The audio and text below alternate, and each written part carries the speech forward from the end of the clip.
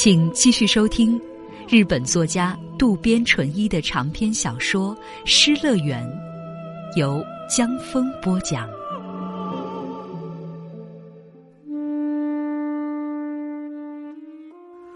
林子让九木卡自己的脖子，那种顺从感惹人怜爱。再一卡，就碰上了喉软骨，觉出颈动脉的律动。不管不顾的再使劲掐，林子下颚慢慢的翘起，旋即一阵剧烈的咳嗽。九木赶紧松手。林子又咳了几次，呼吸平稳下来的时候，说道：“害怕是害怕，不过好像能理解。”林子以梦游般的眼神说：“那个人是用系带勒的吧？系带。”更不好受啊！是啊，案件发生前一晚，两个人也在互勒脖子嬉闹来着。因为过于用力，男的差点死掉，结果脖子呢又系带勒痕，脸红肿了起来。女的又是冷敷，又买卡尔莫都林镇静剂给他喝，总算没什么事儿了。那天很晚的时候呢，喝药喝的迷迷糊糊的男的就小声嘀咕，说今晚。你怕又要勒我的脖子了，不过勒了就别撒手了，勒到最后好了，中间撒手反倒难受。可勒死，不就一切都完了吗？大概就是想一切都完了吧。那怎么会是因为喜欢呢？想必是不想把男的交给任何人。倏然。阳台外响起了阵风掠过的声响，纸罩提灯微微摇晃了一下。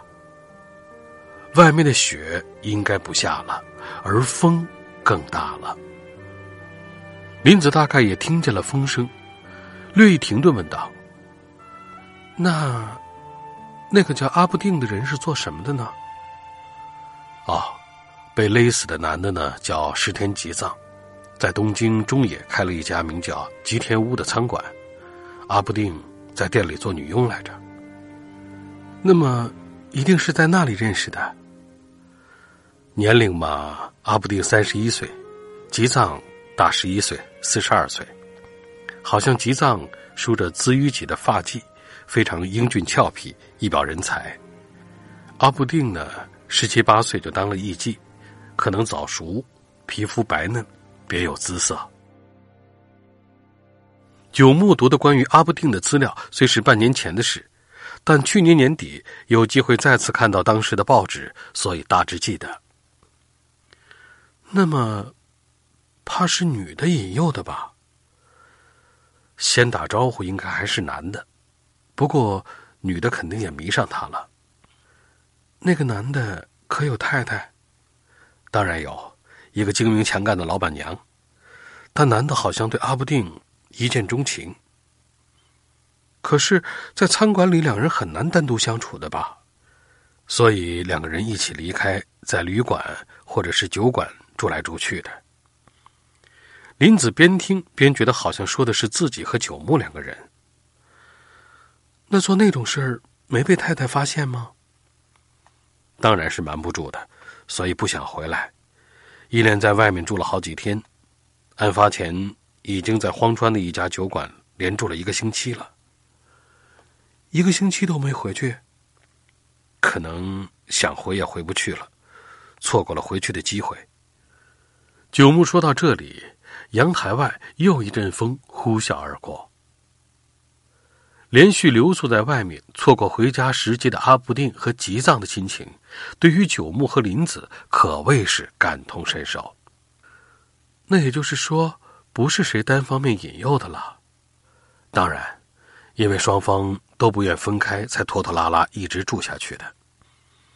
对女的来说，马上回去就等于把心爱的男人交回给他的太太。我也是。被林子突然捏了一下臂肘，九木不由得抽回了胳膊。女人的心情是一样的。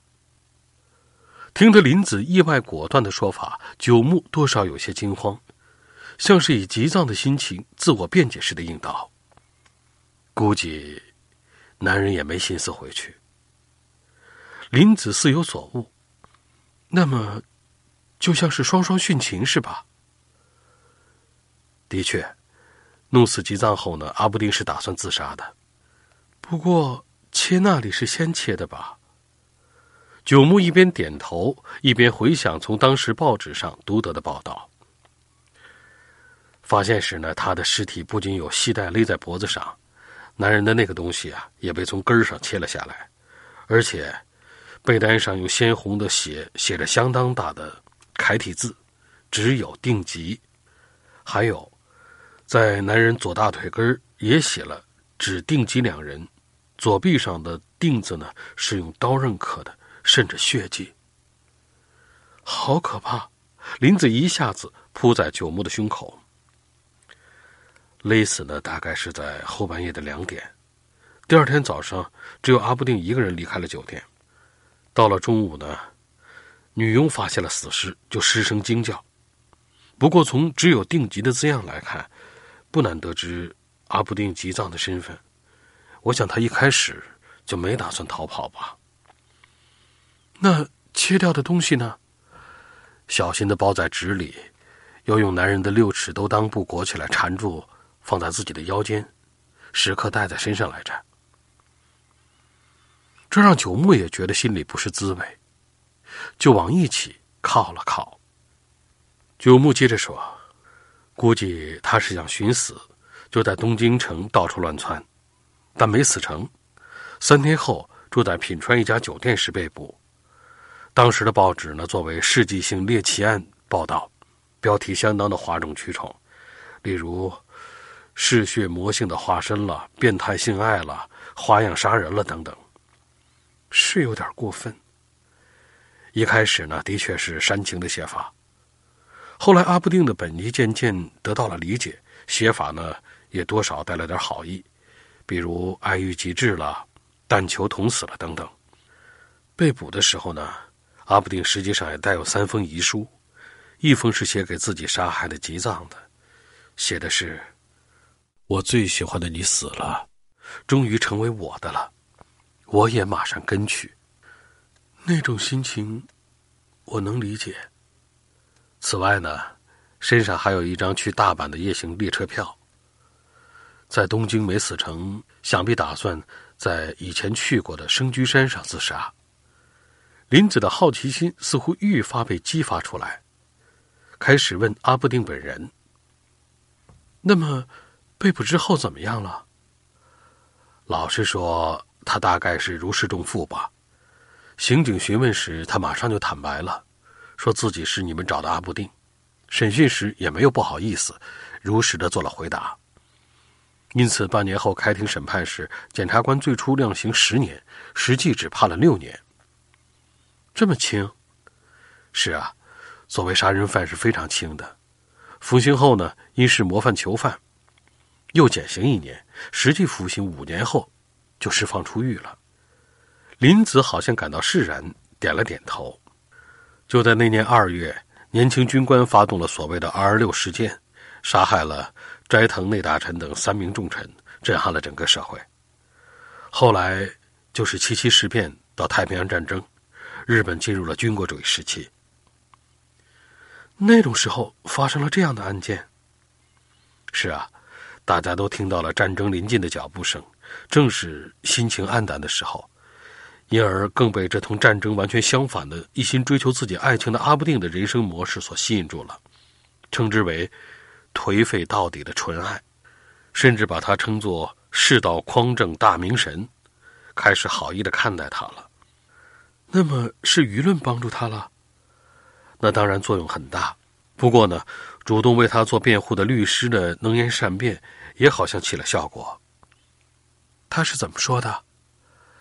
他说：“阿布和吉藏两人由衷爱着对方，而且是具有几万人未必出现一对肉体适合性的显乎其有的组合，故而呢，肉欲难以割忍，乃是爱到极致而燃烧一尽的行为，所以不应以一般杀人论处。”这一辩护使得全场沸腾。你说几万人一对的适合性，总之就是性方面正相合适的意思吧？林子默然，片刻，轻轻的贴了上来。那我们呢？当然也属于几万人一对儿。真的，所以才这样走在一起嘛。无需说，爱少不了精神性的联系。但与之同时，肉体方面的一拍即合也是重要的。有时候，即使比不上精神性的联系，也还是会为肉体性的魅力所吸引，而难舍难分。可是，那不是一开始就能明白的吧？是啊，光从外表上很难判断的。跟合不来的在一起，是不幸的呀。林子的嘀咕，大约是发泄对丈夫的不满。那种时候，大家可都怎么办呢？就算多少心有不满，也忍耐的人估计是大多数，也可能有人以为婚姻就那么回事儿吧。那还是不知道的好吧。话倒也不能这么说，我就是不幸，被你教了不该知道的东西。你怎么这么说？风云突变，九牧有点慌了。林子只管说下去。这种事儿，跟谁都说不出口的吧？的确，由于性方面得不到满足而关系不融洽的夫妻，即使有，也很难讲给别人听。就算讲了，也可能仅仅被人视为不够克制或天生水性杨花，根本得不到解决。性方面合拍的夫妻，真让人羡慕啊！那样就什么都不用纠结了，是吧？可是。碰巧我和别人合拍，在这点上，九牧也一样，对林子的纠结感同身受。不过，一般很难合拍的，而既然碰上了合拍的人，那不也蛮好的吗？眼下只能这么相互说服了。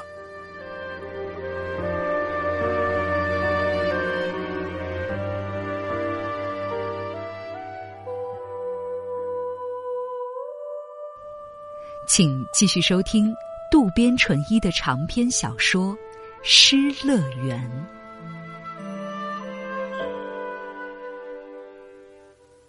看闹钟，十一点都过了。话题始料未及的转到阿布定身上，好像过去了很长时间。外面风仍好像很大，但雪停了，看样子明天可以返回东京了。回程时间还没定。但要时时赶到公司，就必须起得相当早。差不多得睡了，九木轻轻翻个身，不料林子从背后贴了上来。九木静静的安抚说：“该睡了，睡吧。”半夜，九木梦见了阿布丁，大约是从日光回来了。九木乘电车回到浅草后，阿布丁站在通向。重建市的小路上，朝这边望着。虽然年纪看上去不小了，但皮肤白皙，分外美艳。九木正看得出神，他忽然消失在了人群中，不见了。林子也好像同样梦见了阿布丁，因为听说有个女子像他，一时围得人山人海。林子上前细看，被警察赶了回来。两人同时梦见同一个人固然稀奇，不过九木觉得在浅草的人群中看见他，并非没有根据。这是因为记得战后不久，自己从一位老编辑口中得知，他看见阿布丁在浅草附近开了一家小餐馆。据他介绍，虽然多少上了年纪，但风韵犹存，面容姣好，精明强干。遗憾的是，此事逐渐传播开来，他受不住大家好奇的目光，很快没了身影。下落不明了。林子问：“如果还活着，大概多大年纪了？”昭和十一年那年三十一岁，应该九十上下吧。那么还活着也说不定啊。从编纂昭和史这方面来说，本想见一面问问，但是九牧又觉得不能做到那个程度。本人不愿意抛头露面，没必要强拉硬拽。再说，他的心情在刑警审讯书上已经表达的很充分了。讲到这里，九木不再讲阿布定了，翻身爬起，仍只穿着睡袍，拉开了阳台的窗帘。眼前的中禅寺湖在早晨的阳光下熠熠生辉。昨天下了一整天的雪了无踪影，此刻只见皑皑积雪反射着阳光，晃得几乎睁不开眼睛。快来看呐！昨晚知晓回不去后，一再和林子做爱，又陷在阿布定和吉藏那黏黏糊糊的故事中难以自拔，这使得美丽的自然风景看上去宛如另一个世界。两个人正忘情的看着，昨晚那位女服务员进来告知：“啊，早上好，路已经不要紧了。”昨晚对道路不通是那般的忧心忡忡，无论如何都想回去。然而一旦听说道路通了，这回又好像懒得回去了。不仅如此，反倒认为若是路总也不通，回不去，该有多好。这种此一时彼一时的心情动摇，原因肯定在于从告诉自己这就回去之时即袭上身来的现实郁闷。回到东京后，会议那边怎么办呢？参加还是不参加？下午才去。另外，对妻子怎么辩解才好？返回后的麻烦，林子有过之而无不及。她要向丈夫如何解释缺席婚宴，甚至夜不归宿呢？互相明知这种郁闷而又避而不提，无非是因为两人深知事情的严重性。纠结之间，最后吃早饭已经八点过了。九点离开旅馆，打出租车到山下的车站换乘电车，这样到东京差不多要中午。会议当然是赶不上了，于是九木上电车前给社里打了电话，告以感冒缺席。而对妻子还迟迟没有联系。林子也是一样，早上开始就没有往家里打电话的动静。反正十一点半到了浅草，但很难马上告别，就进附近一家荞面馆吃了午饭，出来时十二点多了。若直接去社里，就算只上午没上班，那是直接去还是不去？九木在大城市的嘈杂中举棋不定，你怎么办呢？你呢？林子反问。九木从林子的表情看出他心里发慌，忍不住说道：“那么，去涩谷？往下去两人世界，继续拖延不归，情况势必更糟。”九木明知道这一点，继而又问：“可以吗？”林子正中下怀似的点了下头，两人直接上了出租车。九木轻握林子的手，悄声低语：“这一来，就和阿布定和吉藏一个样了。”两人都清楚，回到小套间后，下一步做什么。浅草到涩谷不出一个小时就到了，两人相拥而入。虽然算不上出远门，但旅行归来的释然和轻度疲劳，使得两人就是倒在床上，马上求欢的抑郁固然没有。可是，在熟悉的床上肌肤相亲的时间里，心情变得舒坦起来，一起酣然入睡。不知哪一方先醒来，睁眼一看，已经是午后三点。晚上时间还没到，但拉合窗帘的房间一片昏暗，紧挨紧靠的时间里，再次生出了情欲。话虽这么说，但并没有像昨晚那样势如干柴烈火。社里的事也好，家里的事也好，早已忘个精光，或者莫如说是为了忘光，才不遗余力的沉溺于性的快乐。不知何时又睡了过去。及至再次醒来，已经是时过晚间的六点，外面已然黑尽。林子用现有的东西做了简单的晚饭，一起喝了啤酒。两人一边看电视，一边不时的交谈。而对最要紧的回家一事却只字未提。吃完饭又不约而同的挨在了一起，倒是也没有积极相求，只是在时不时的相互触摸和欣赏对方的反应当中嬉闹不止，完全没了白天黑夜的分别。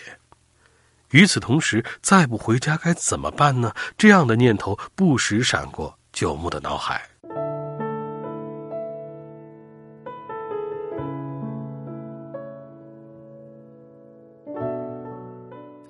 十点快到了，九牧问：“怎么办呢？”只此短短一句，林子当然察觉是问回家时怎么办。你呢？午间在浅草的问答重复过来。九牧说：“倒是想一直待下去，问题是不能不回吧。”时至现在，九牧不想处于主动催促的立场。对于在爱的极致中难以自拔的两人来说，再没有比分别更难受、更寂寞的了。此刻，林子以不无苍白的脸色梳理头发，哪怕再淋浴化妆，同男人过夜的姓氏遗韵也不可能消失。这点九牧也同样，即使穿上外衣，姓氏过后的倦慵仍如尘渣留在身上。终于准备完毕，林子在黑色高领毛衣外面套上红葡萄酒色的短风衣，戴上了灰色帽子。突然，九牧双手搂过林子。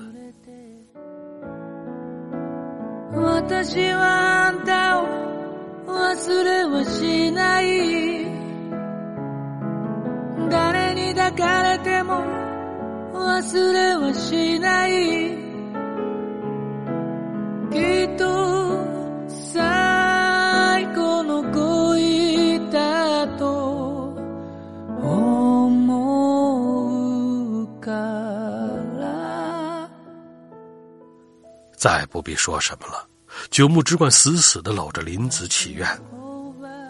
纵使林子的丈夫发怒，狠狠骂她，甚至打她，也希望她平安无事，唯愿跨越这些，能够再次相见。对九牧的祈愿，林子好像也察觉到了。我走了，林子一狠心似的喃喃有声，而下一瞬间，就像突然感到害怕，背过脸去，眼里。沁出了泪水，想必还是不安。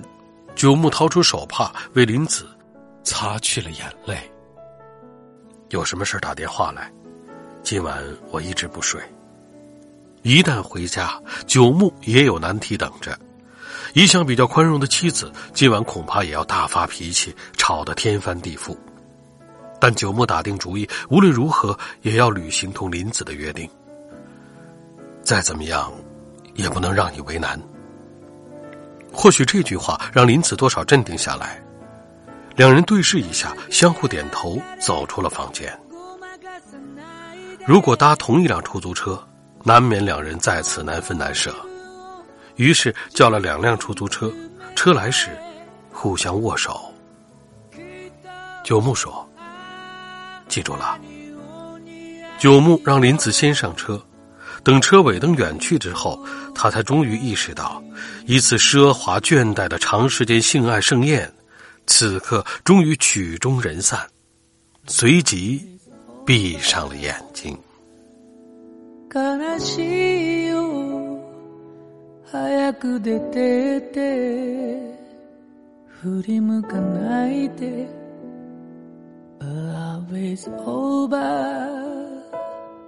失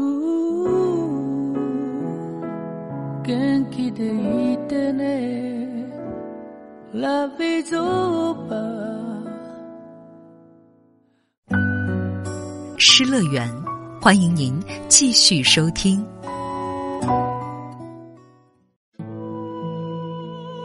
请继续收听日本作家渡边淳一的长篇小说《失乐园》，由江峰播讲。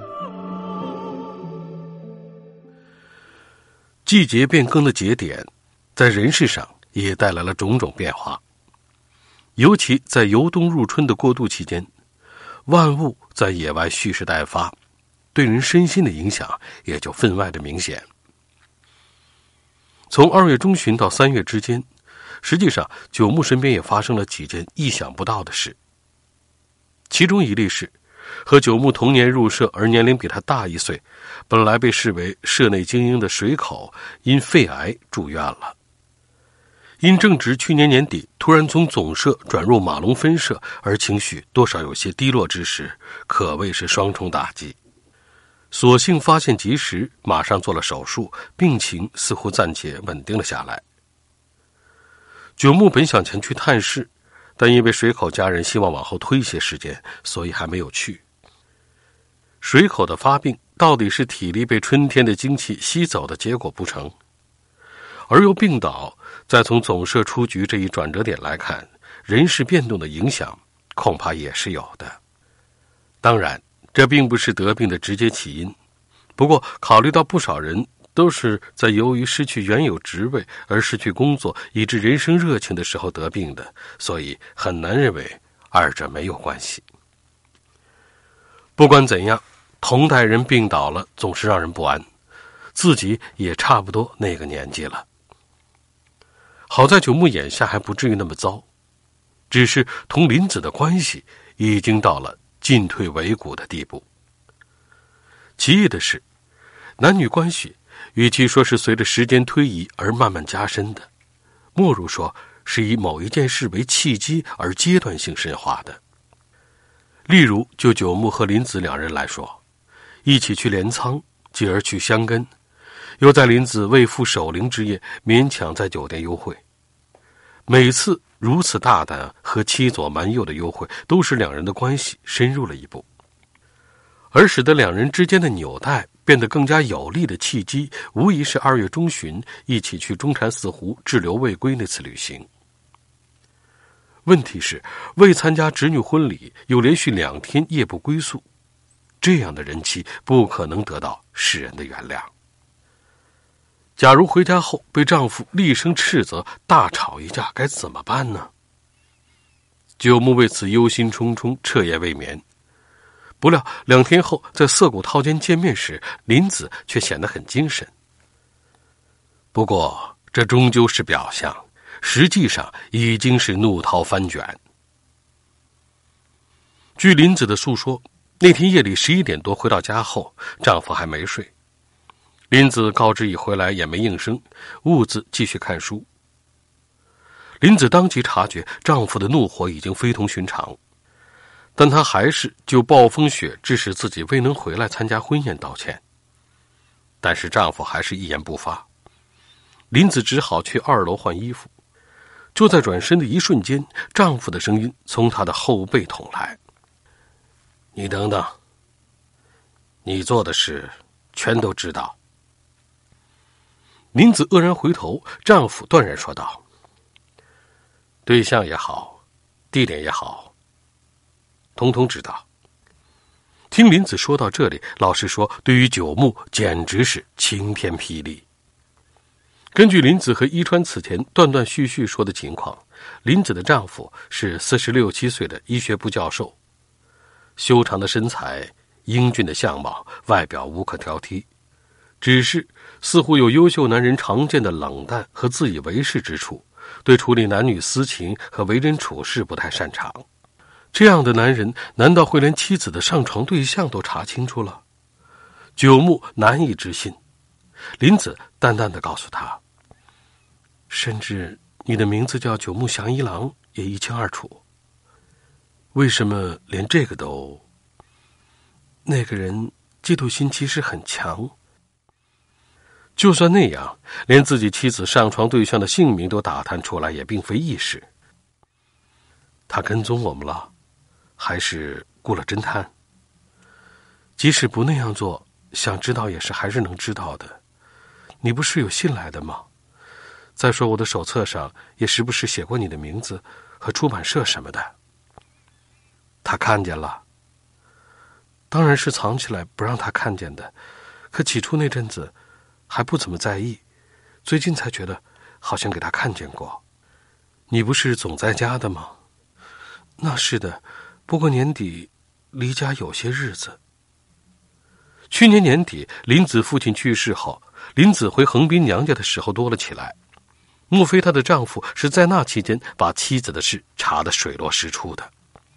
况且旅馆的名字这次也说了，住一晚倒也罢了，结果住了两晚，说不定打电话到服务台这个那个的问了许多。的确，一来那个暴风雪之夜客人有限，二来毕竟紧急时刻，旅馆应对外部的询问也比较随意。他真那么说了？这种事儿，说谎也没什么用吧？九木感到一阵触然，就好像此前一直以为是不谙世事的老实人那样的人，现在突然凶相毕露，扑上身来。那他是怎么说的？他说：“想玩随你怎么玩好了，你这种肮脏淫荡的女人。”九木觉得说的是自己，默不作声。林子叹了口气，又说：“还说恨你，但不分手。”九木一时不明白林子说的意思，不明白借林子之口表达的林子丈夫的心情。假如憎恶妻子，那么岂不应在痛骂一顿之后早早的分手才是？为什么还一如既往维系夫妻的关系呢？这倒不明白了。九木嘟囔着：“我也不明白。”不过，他是在用这个来报复吧？报复，报复你，因为觉得可恶、不可原谅，所以不离婚，想用婚姻这个框框，永远把我困在里面。居然有这样的报复方式，九木半是惊愕，半是认可，但还是不明白。男人一般都是要怒骂、殴打什么的吧？那个人不会那么做的。那么说，不管你怎么在外面玩，都一声不吭，视而不见。与其说视而不见，不如说想关在家里，冷冷的看着。况且，就算他视而不见，我到处寻欢作乐，也会给周围的人说三道四的吧。母亲、哥哥就不用说了，他那边的父母和亲戚们也……反正只要不离婚，妻子就还是妻子。这么说来，林子丈夫考虑的报复用意也不是不能明白。可是到了那个地步，住在同一屋檐下，又有什么意思呢？你没心思为他做家务，他也很难在家里吃饭的吧？这点不要紧的，他父母家在中野，这以前也常在父母那儿吃饭，而且学校里有他自己的房间，何况家里也是卧室分开的。那。从什么时候开始的？有一年多了。说起一年前，正是九木和林子关系直线升温的时候，莫非从那时候开始，林子夫妻关系就岌岌可危了？那怎么办呢？就这样下去？你怎么办？给林子反过来一问，九木不由得屏住了呼吸。当场给对方以满意回答固然不大可能，但不用说，两人的关系早已到了别无退路的最后关头。沉默当中，九木再次回想被困在中禅寺湖之后回到家里时的情形。请继续收听渡边淳一的长篇小说《失乐园》。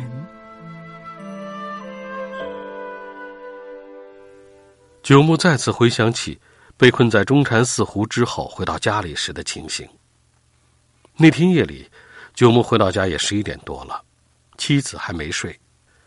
虽然没睡，但妻子没有像往常那样出来相迎，于是自己直接走进兼做书房的自己的房间，脱去上衣，边换宽松的睡衣，边左思右想。马上就要去客厅同妻子见面。昨晚的事难免造成尴尬的气氛，争吵起来也说不定。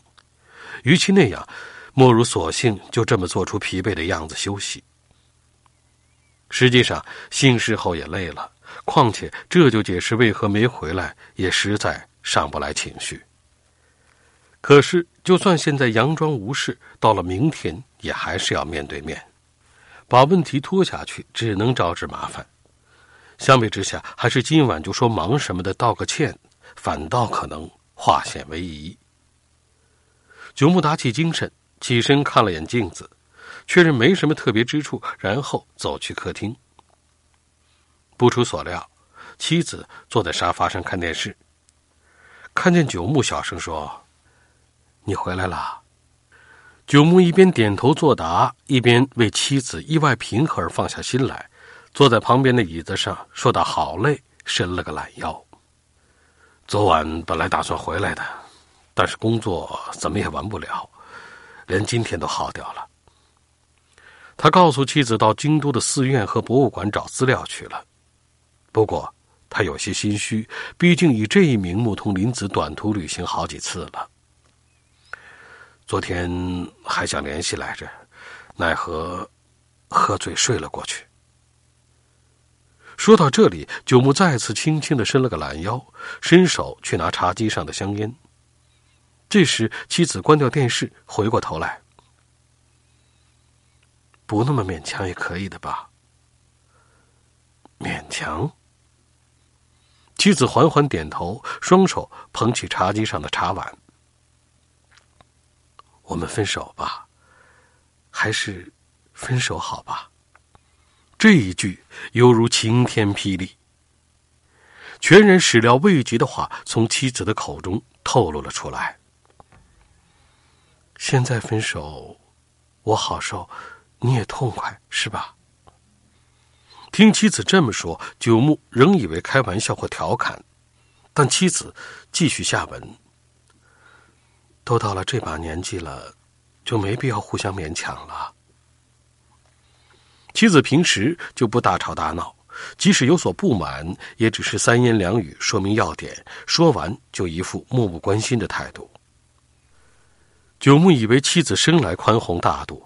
但是今晚多少有些不同，说的比以往更冷静、更平和，其中似乎含有深思熟虑后做出的艰难决断。但是为什么呢？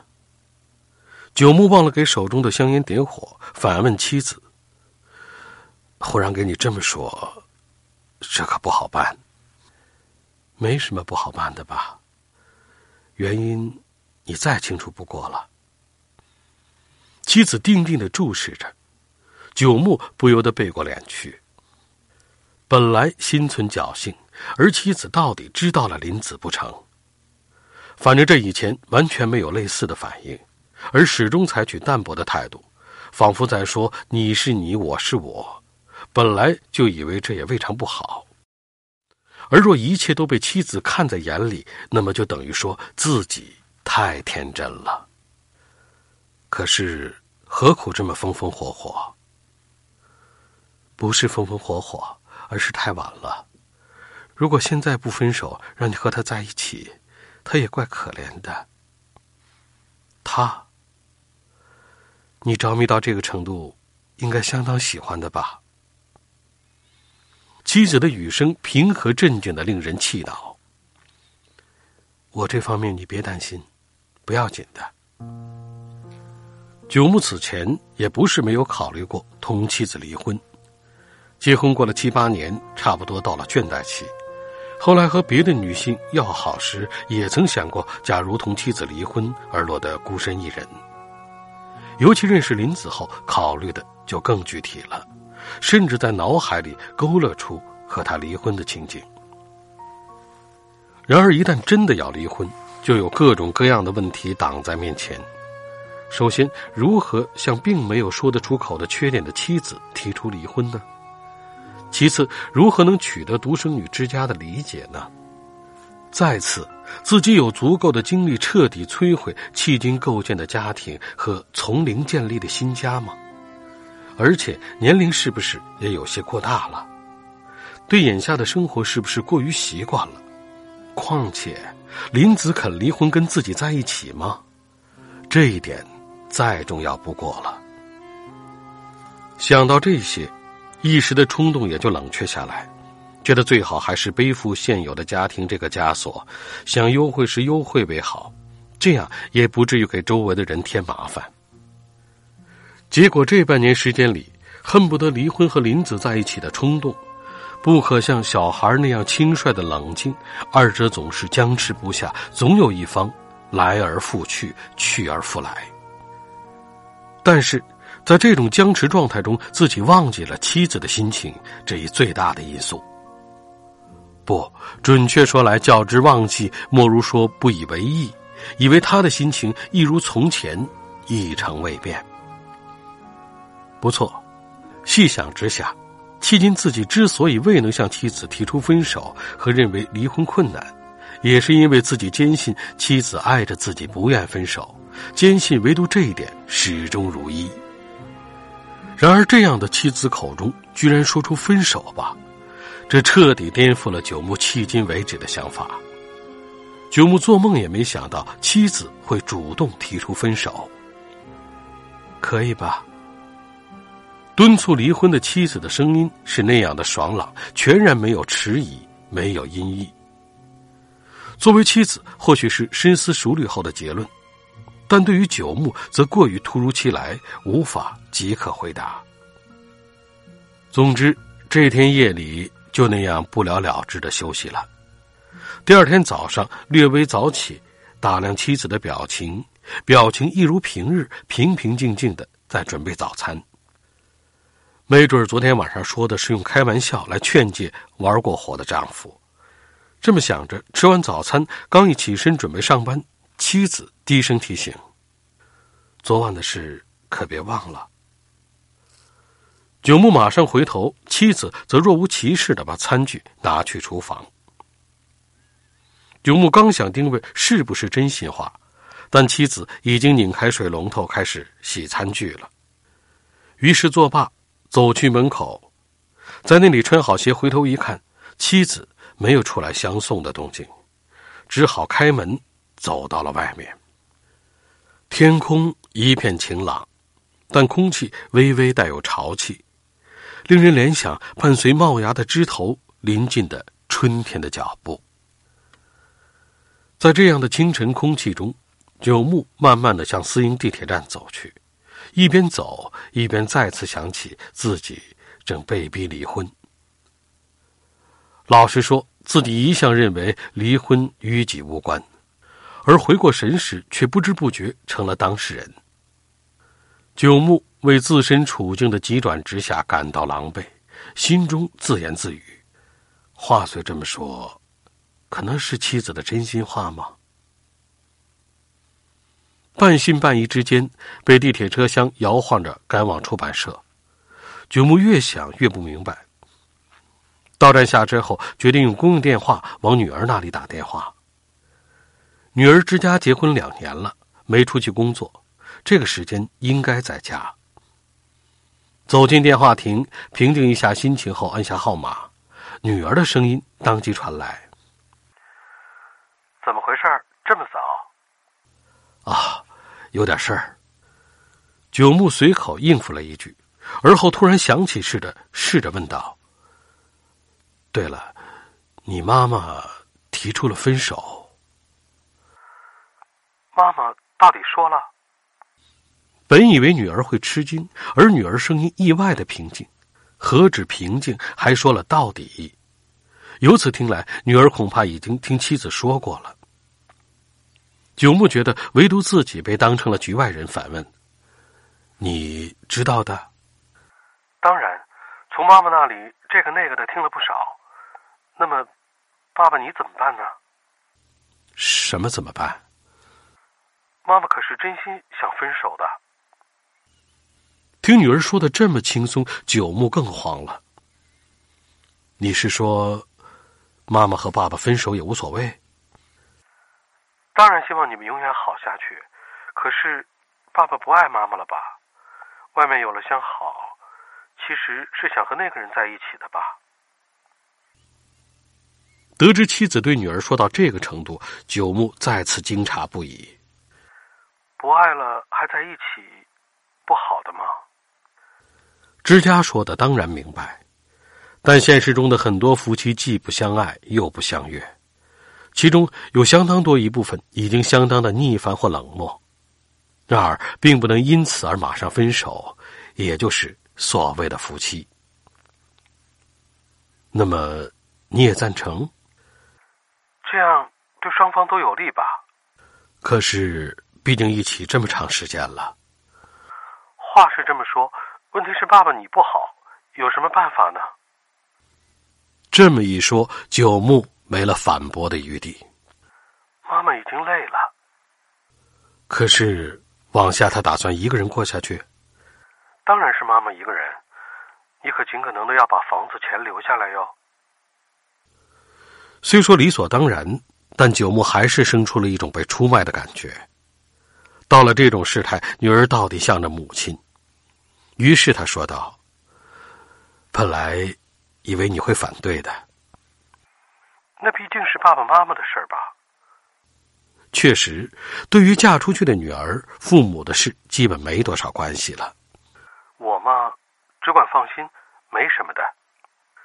自己忘了家庭，四处游耍当中，无论妻子还是女儿，都好像变得强大起来了。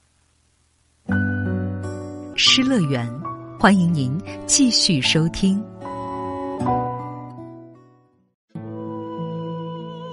请继续收听日本作家渡边淳一的长篇小说《失乐园》，由江峰播讲。林子和九木听罢对方的告白，两人不由得相对苦笑。实际上，时至如今，叹息也好，悲伤也好，都已无从谈起。大声笑，就更笑不出了。总之，此刻两人都似乎处于全然始料未及的岔路口。然而，微妙而奇异的是，两人的处境截然相反。说到底。九木本来猜想，林子回家后很可能受到丈夫的大声呵斥，甚至要求离婚。不但九木，林子也有此预想，并在一定程度上做好了心理准备。结果却完全相反。丈夫没发火，没说分手，不仅如此，还宣称绝不离婚，要把林子牢牢套在婚姻的枷锁里。坦率地说。别说九木，就连林子也没想到会出现这种局面，如此出乎意料，致使林子狼狈不堪。这点在九木身上也如出一辙。晚归时，乐观的猜想今晚妻子也至多大发脾气，大吵一顿。结果别说吵，反倒是极为温和而又坚定的提出了离婚。惊慌的是九木这方面，九木以为不至于。怀疑是在开玩笑，然而回过神时，提出离婚已经是既成事实，无论妻子还是女儿都直言不讳。不过奇怪呀，此刻九木只能如此的表示。我们两个人好像正相反。估计说的是丈夫提出离婚的林子被套进结婚这个枷锁，以为很难离婚的九木反过来被要求离婚。简直莫名其妙。听得九木喃喃有声，林子静静的问：“你，莫不是后悔了？你这是从何讲起？”被林子问，莫不是后悔了？不可能回答正事。两人的关系已经这么深了，示弱是不可能的。可是由此后退一步，叩问自己的心情，多少灰心丧气。也是事实。对离婚的那一状态，原本是那般的渴望，而一旦可以自由了，却又马上不知所措，犹豫不决，这是为什么呢？说千道万，莫非是为摆脱婚姻这一被社会认同的框架而感到不安，还是由对方而不是自己突然提出，致使自己没有心理准备的结果呢？林子似乎察觉出了九木内心的动摇，小声说道：“如果你后悔了，回去也可以的。回去，回哪里？家，回家。这就回去？你不是觉得对不住太太的吗？家，已不再留恋了。你说的当真？”九牧慌忙点头，绝不回家。我也不回。九牧点头，同时想起林子仍被紧紧束缚在婚姻的框框里。可你，我就这样了，回家也无法可想。但是离不了婚，那怎么都无所谓，即使离不了，身体也是自由的。那周围人如果说三道四呢？谁怎么说，都不在乎。林子毅然决然，在他的影响下，九牧也鼓励自己。那是那是。二月末至三月间，九牧一天天在不安中度过。妻子提出离婚后，九牧也时而回家，回家也没怎么争执和吵骂，表面上平平淡淡，一如既往，有时甚至忘了对方的离婚要求。这种时候，九牧倏然心想：妻子固然提出了离婚，可现在后悔了也说不定啊。可是，即使表面上风平浪静，妻子的心情也好像没有改变。三月初刚回到家，就发现桌面上放着离婚协议书。协议书大概是妻子自己特意从区政府取来的。离婚协议书的一角写有自己的姓名，九牧文之，盖了印章。九牧只要在旁边写上自己的姓名，盖上印章，离婚。即告成立。事情竟如此简单，九牧惊惑不已。如果只要在此签名即可分手，那么二十五年来孜孜不倦营造出来的一切，算是什么呢？相对于九牧迟迟拿不定主意，妻子依然干脆利落，一副事务性的态度。第二天早上，在临出门时，又听到。妻子淡淡的说：“喏，放在桌子上了，请签名好了。”九牧受到新的冲击。妻子究竟有没有类似留恋的心情呢？看这样子，岂不成了冰一样毫无温情可言的女人？九牧忍不住给女儿之家打去电话，女儿则同情妻子方面。之家说：“不过在下决心之前。”妈妈可是一直纠结的，情况似乎是妻子苦闷期间，自己一直到处寻花问柳，而察觉到时，妻子已然下定了决心。哪怕在他苦闷时朝他走近一点点，情况也不至于如此。而现在恐已错过时机，修复起来太迟了。想来想去，九牧到底没能产生按妻子要求签字的心情。而将离婚协议书收进了抽屉，一天天得过且过。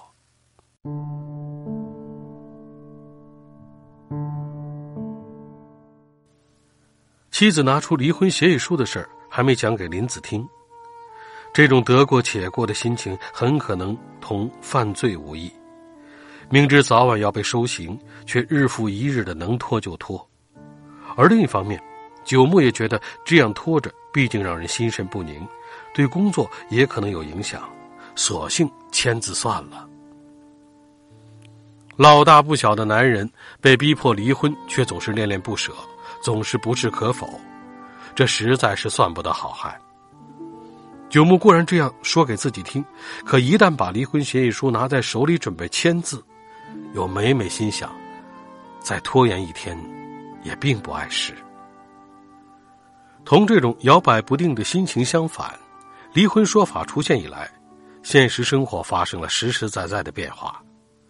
例如，即使两人在涩谷套间幽会并直接住下之时，以往难免要琢磨种种理由，总像有罪孽深重之感。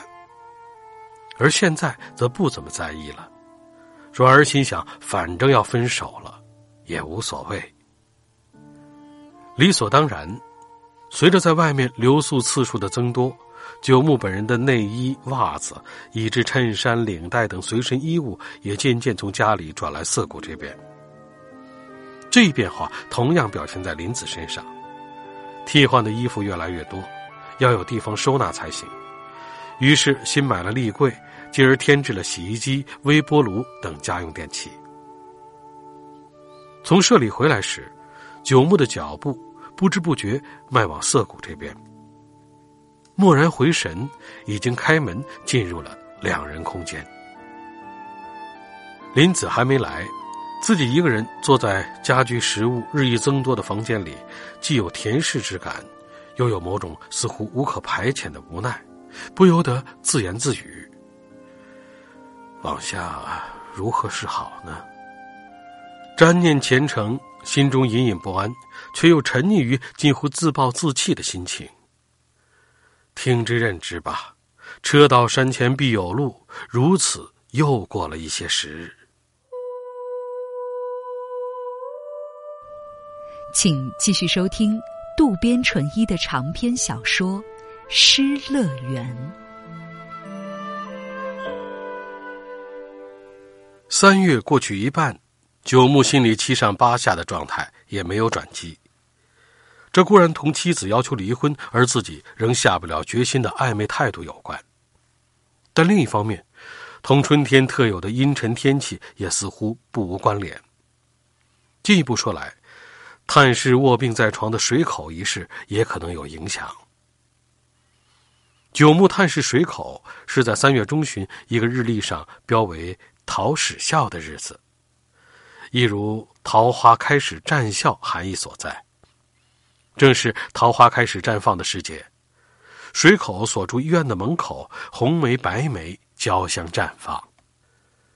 午后三时，按着水口妻子指定的时间来到医院，对方已站在走廊等候，当即把九木领去旁边的休息室。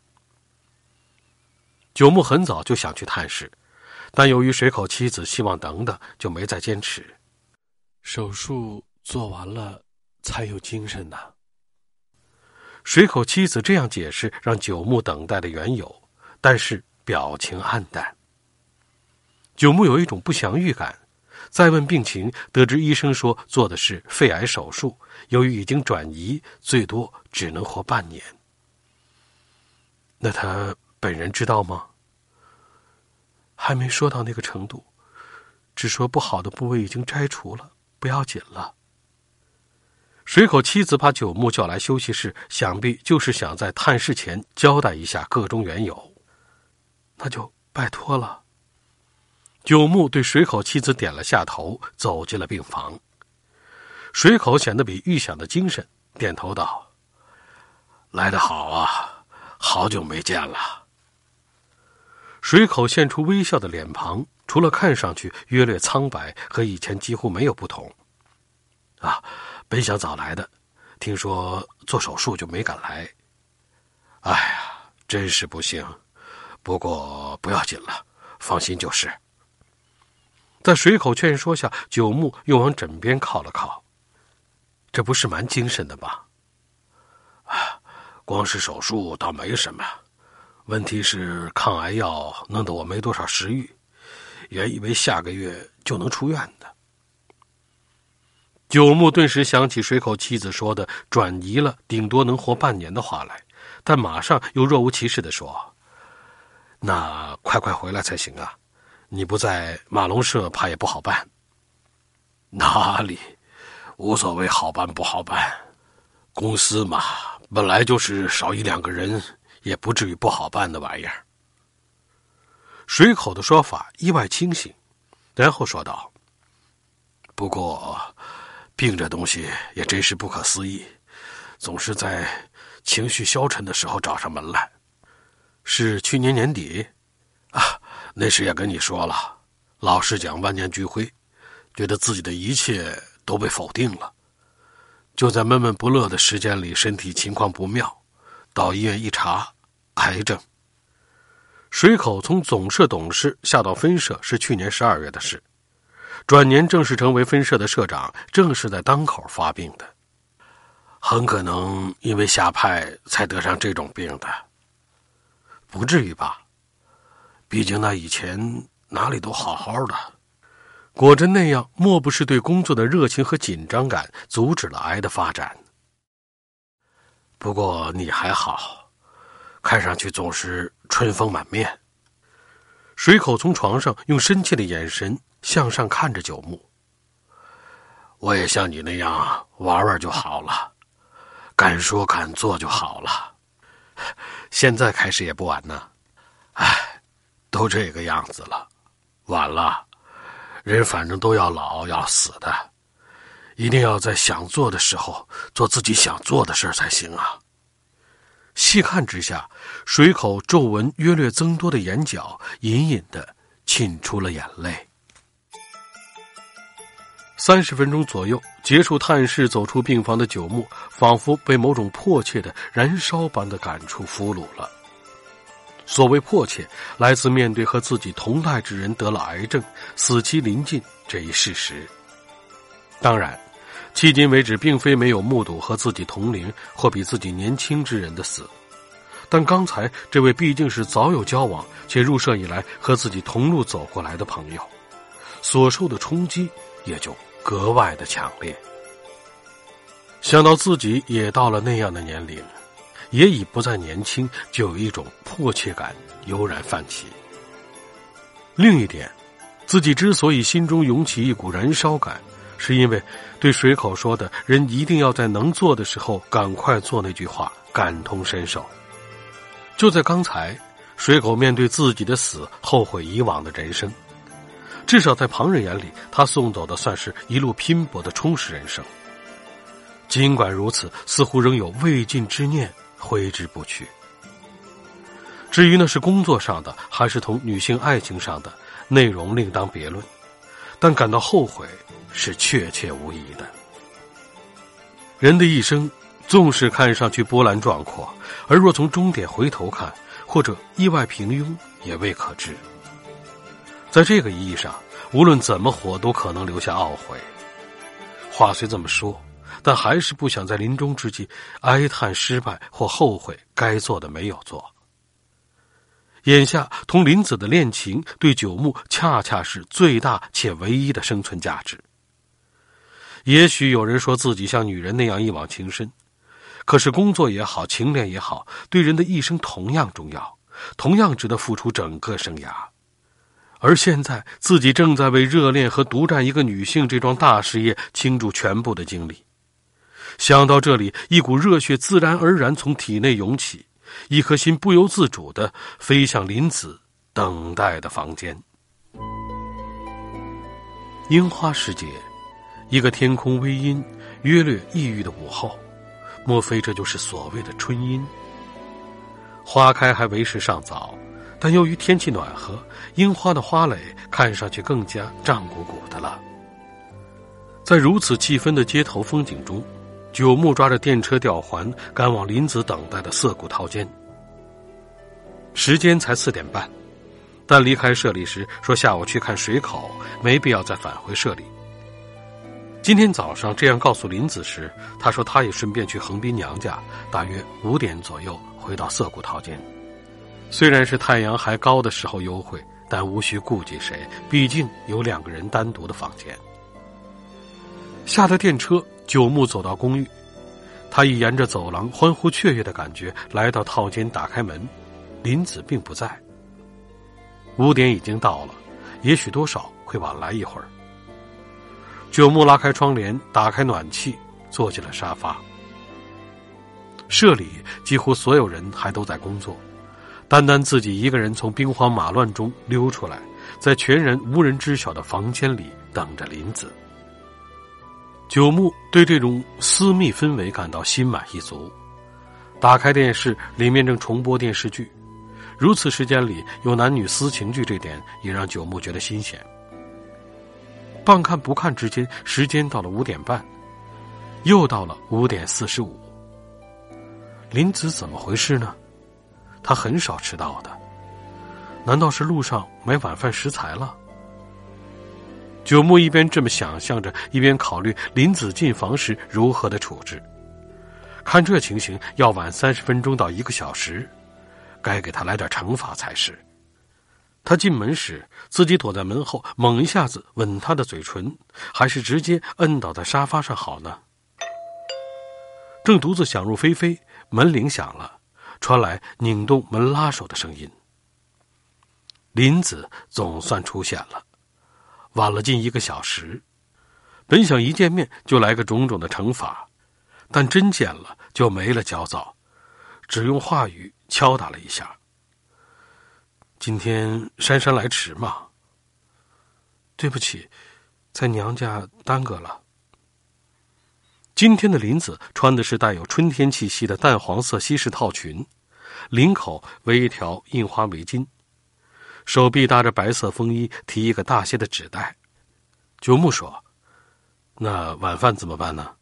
咱们出去吃吧。”林子打开纸袋，我在车站商店买了一点回来，在这儿对付一顿好了。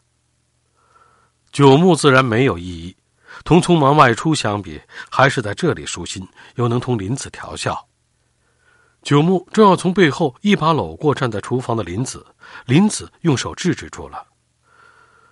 我今天给猫找地方来着，去你母亲那里。林子点头，从纸袋里拿东西出来。我被母亲骂了，因为猫。林子说：“近来离家时候多了，猫孤苦伶仃，怪可怜的，而又不乐意求丈夫，就想寄养在横滨的母亲家里。母亲也喜欢猫，寄养是没问题的。可是问我为什么要这样，是不是地方小，禁止养宠物啊？不是那样，是问我为什么离家离到了必须寄养猫的程度。的确，自己有家却要寄养猫是不自然的。”母亲知道我时不时的离家，说前两三天晚上还往家里打电话，可我不在，问我那么忙去了哪里。看来问题已经波及林子的娘家，到了相当严重的地步。失乐园，欢迎您继续收听，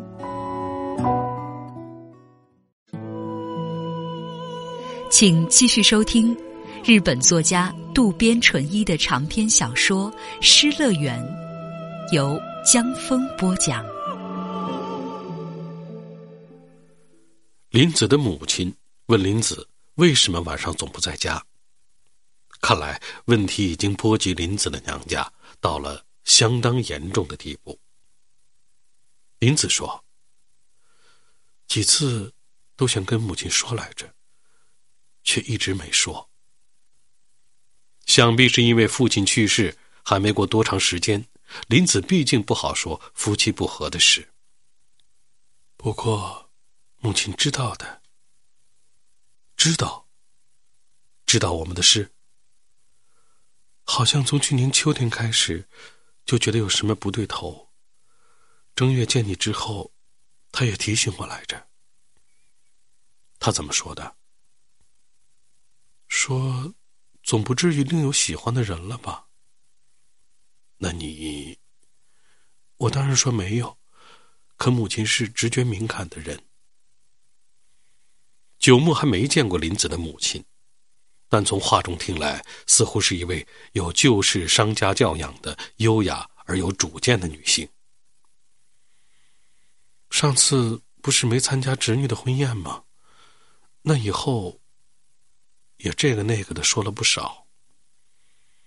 三天前夜里又往家里打电话，我又不在。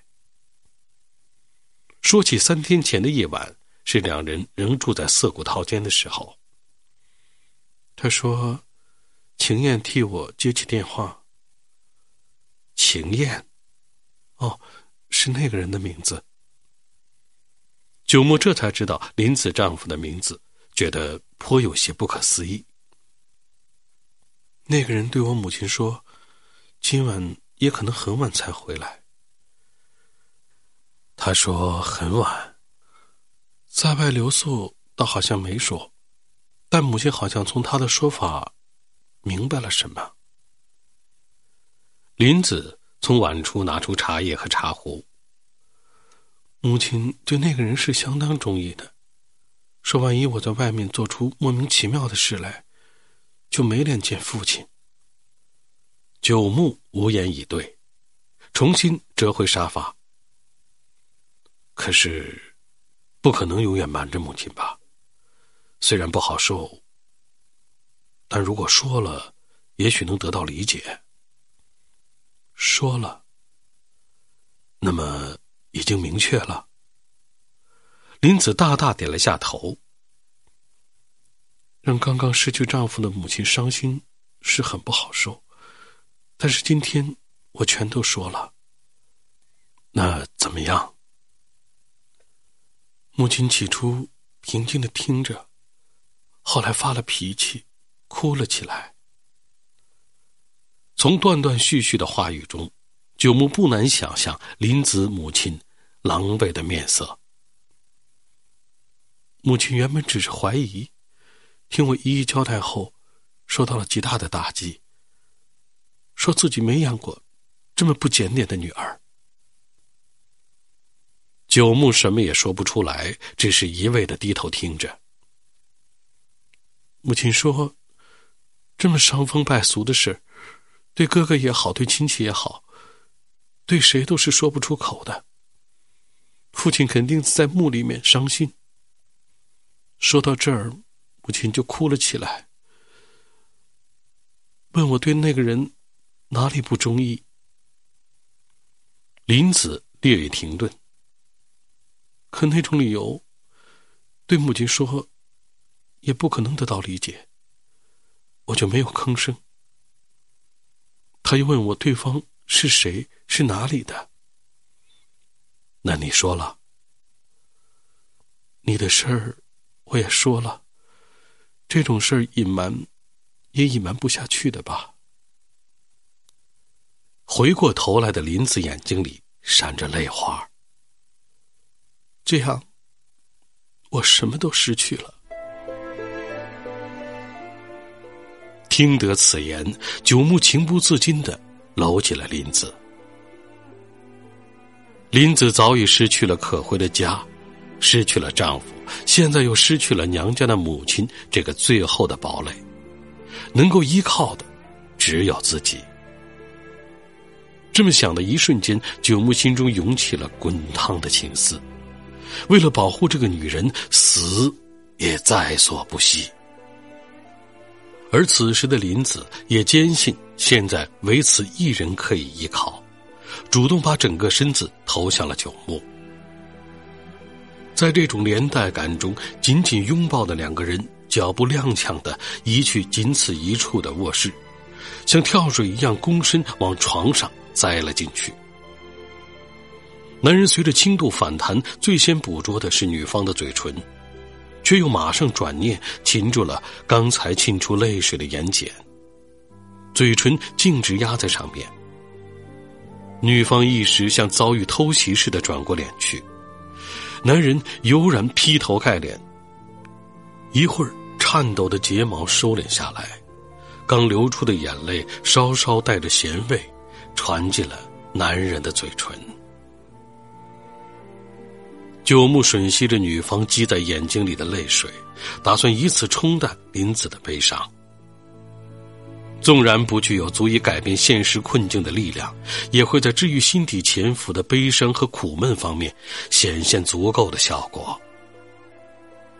本来就不是多么棱角分明的脸庞，眼睛、鼻子、嘴巴都那么小巧玲珑而又端庄秀丽。那刺激男人好奇心的甜美表情，时而如泣如诉，时而如笑如歌，时而如死如活，如此千变万化着，熊熊燃烧。可以说，男人正是为了目睹这柔和凄切的表情而竭尽全力，而孤注一掷。九牧正在如此的沉思，林子小声说：“我，好怕的。”以前就说过可怕。林子痛快的点头。不过，现在怕的又不一样。这么不动，就好像真的要死掉。自然而然的这么想。嗯，已经怎么都无所谓了。这便是再好不过了。死一点也不可怕，怕的是这样的自己。林子说的好像是自相矛盾，不过在性爱高潮受到死亡诱惑这点似乎是千真万确。死了可不好办，可我已经可以了，活到这足够了。如此说罢，林子是以唱歌的调调说：“我现在最幸福，人生途中，现在是最幸福的。九木还没有反应过来，又听林子继续说：“还不是我，是这么爱你，从身体里面感受着你，知道了这个，心想死也可以了。可你才三十八岁吧？所以说，现在这个年纪，可以了，足够了。”林子以前就执着于年龄，说三十八岁够老了，死了也无所谓了。但在年过五十的九木眼里，他还相当的年轻，人生则刚刚开始。而林子本人或许有别的感慨。这么想着，九木说：“上年纪，自有上年纪的好处。”林子断然摇头：“也有人这么说。”可我认为这个年龄到顶了，再多活，也不外乎是走下坡路罢了。不仅仅是外表的问题吧？那倒是，不过上了年纪，对于女人到底不是滋味，哪怕再挖空心思，也总有一天掩饰不住。可现在，总还是能掩饰的。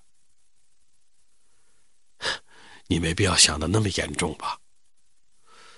当然，我也不愿意那么想。可是天天要照镜子的吧？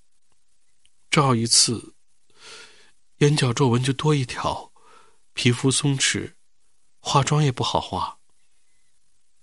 自己比谁都清楚，只是不愿意说出口来。尤其面对喜欢的人，就更难说出口了。可你不是在说吗？我当然也不情愿说，但我希望你知道，我现在是最好的。这种话自己说可能不太合适，可我觉得自己现在是最漂亮的。由于你的关系，头发和皮肤都光艳艳的。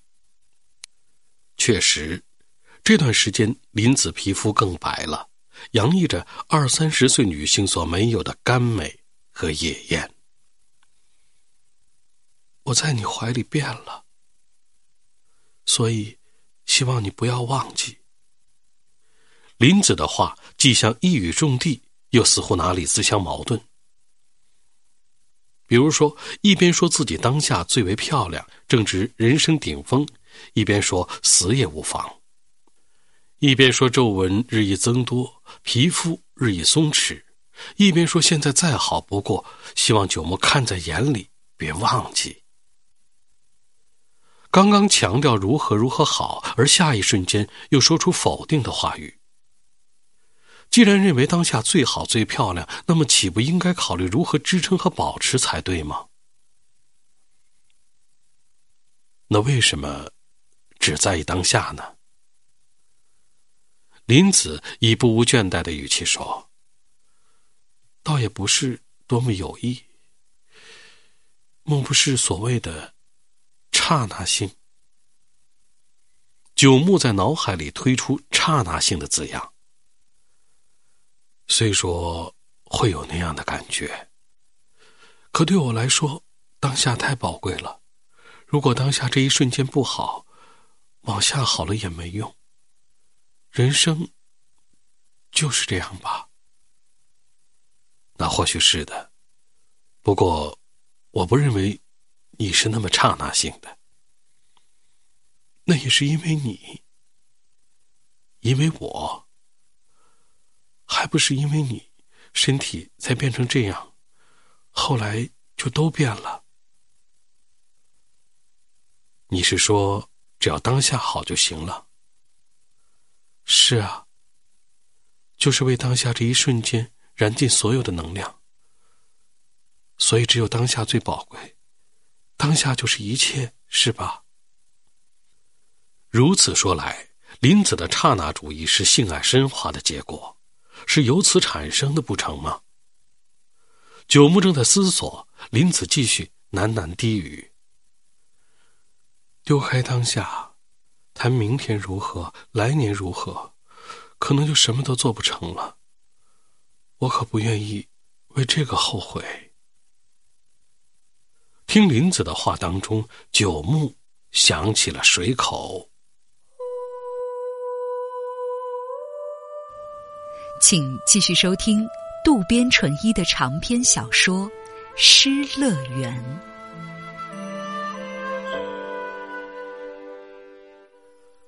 从当下。现在最宝贵的这种林子式刹那主义来看，只知闷头工作的水口的活法算怎么回事呢？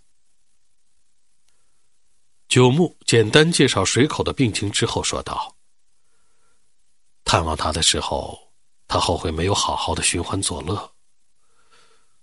那种心情实在太能理解了。”林子把脸轻轻的贴在九牧的胸口。你后悔了？哪里，没那回事。那就好。我们不后悔。当然，还是当下宝贵啊。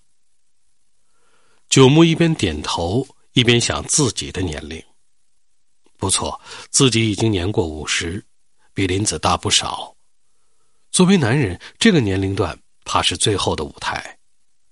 往下，纵使地位和收入上升的空间也可想而知，不至于有多么开心。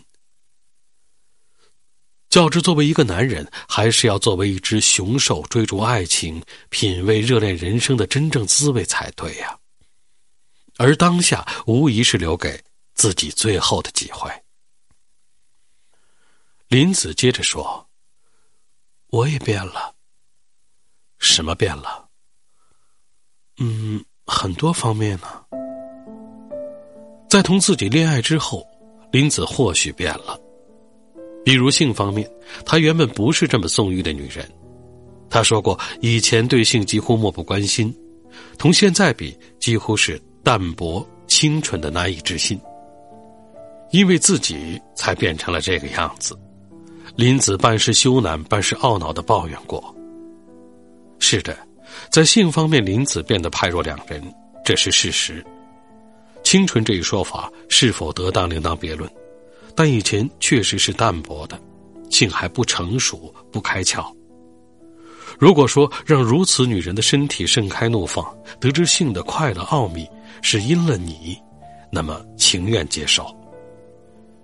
可是。现在稍深一些回顾自己的内心，似乎自己本身也受到了林子的很大影响。以性为例，九牧原本打算主导林子，让他由此自觉，不料意识到时，自己也陷于性中难以自拔。当初的出发点固然是指教，而半路上却被其魅力所吸引，如今已被逼入有进无退的地步。而且不止于性爱天地，从工作到家庭都已经受到连累。同妻子的关系所以岌岌可危，说是被林子吸引造成的也未尝不可。林子越是投注于他同自己的爱，自己越是割舍不下，而尽可能的予以满足。如此一来二去，蓦然回神，已然堕入了同一深渊。不仅如此，在生活态度上倾向于唯有当下宝贵，应全力活在当下的这种刹那主义，也完完全全是林子影响的结果。本来以为自己年长，一切由自己主导，及至有所察觉，角度已然颠倒，被主导的反成了自己。林子的那句“我也变了”，还萦绕在九牧的脑海。九牧叹息了一声，说：“唉，是吗？”林子责备似的问：“怎么了？”“怎么也不怎么，只是两人正一步步同周围环境疏离开来，陷入到走投无路的困境。本以为自己是在这种实感中拖拽对方，而意识到时，自己反被对方拖拽。”九牧为这样的自己感到惊讶，不由得叹息一声，但并非哀叹。事到如今，早已无能为力，只能听之任之。九牧为如此自我放弃、自甘堕落的自己，半是愕然，半是认同。两人正说着，电话铃突然响了。林子一下扑在九牧身上不动。知道这房间电话号码的只有九牧、林子两个人，家里自不用说，朋友也没有告诉过。电话为什么响个不停呢？莫不是谁知道两人在这里而打过来的？铃声仍在响着，响到第六遍时，九牧起身，林子拽住他的胳膊：“别接。”会是谁呢？不知道啊。九牧一边嘟囔，一边考虑家里的情况。妻子不至于知道这个房间的存在，莫非家里发生了不测之事了？自己不在的时间里，家人会不会有病？会不会发生遭遇交通事故等不测？当然，就算夜不归宿，而只要明确告知去处也没问题。但自从和林子一起外出之后，往往隐瞒去处，酒店名称也每每随口谎报。这么想着，万一发生事故时也联系不上，就可能出大乱子。这种情况下，手机最便利不过，但同林子幽会时几乎都是关机的。他不愿意妻子或社里的人打电话打到两人在一起的地方惹麻烦。因为不用手机，所以只要自己不主动打过去，那么家里的情况就无由得知。而有刚才这样的电话打进来，到底让人放心不下。这里的电话号码没有告诉过妻子，他不可能打进来。想虽然这么想，但还是有些担心有什么急事。这样的担心，林子也同样有。已经彻底冷却的丈夫倒也罢了。而若是娘家的母亲那边，万一有什么事情，只要林子不打过去，也照样无从确认。这种对方全然无法联系，而只能由自己联系的单行道方式，是不告知去向而在外留宿的男女最为放心不下的。既然抛弃了家庭了，那么本应该怎么都无所谓才是，而现在仍耿耿于怀，难道是因为尚未？完全了断。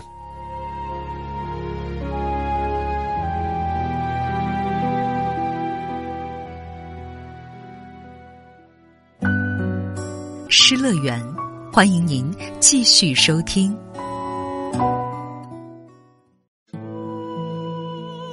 请继续收听日本作家渡边淳一的长篇小说《失乐园》，由江峰播讲。等电话不再响了，九木试着问林子：“这里的电话，你可告诉过谁？”“跟谁也没说呀。”“既然这样，那么很可能是打错了。”九木这么说服自己来消除担忧，但是不能否认，电话铃声稀释了一直沉浸其中的姓氏余韵。起来吧。九牧这么一说，林子现出了依恋的眼神。哎，最近想再去哪里呀？自二月中旬两个人去雪天的中禅寺湖以来，两人一直在涩谷套间里见面。作为两人幽会的地点，固然再合适不过，可是，一旦有刚才这样的电话进来，就觉得好像被人监视着，变得心神不定。那么。樱花快开了，去看樱花，住樱花酒店。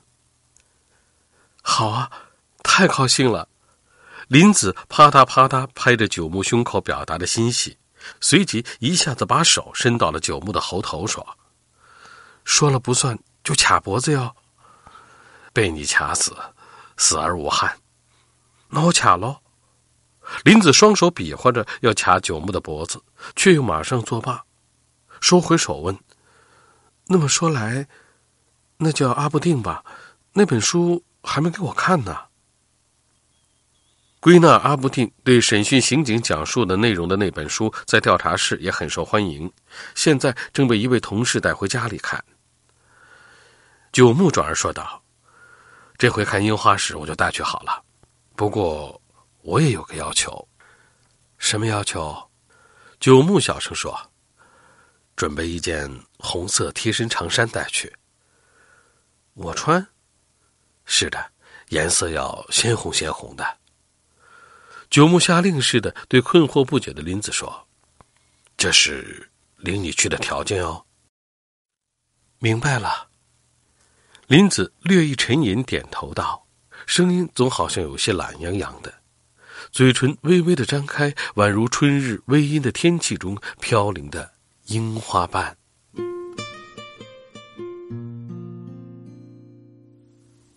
想来，恐怕再没有比樱花更幸运的花了。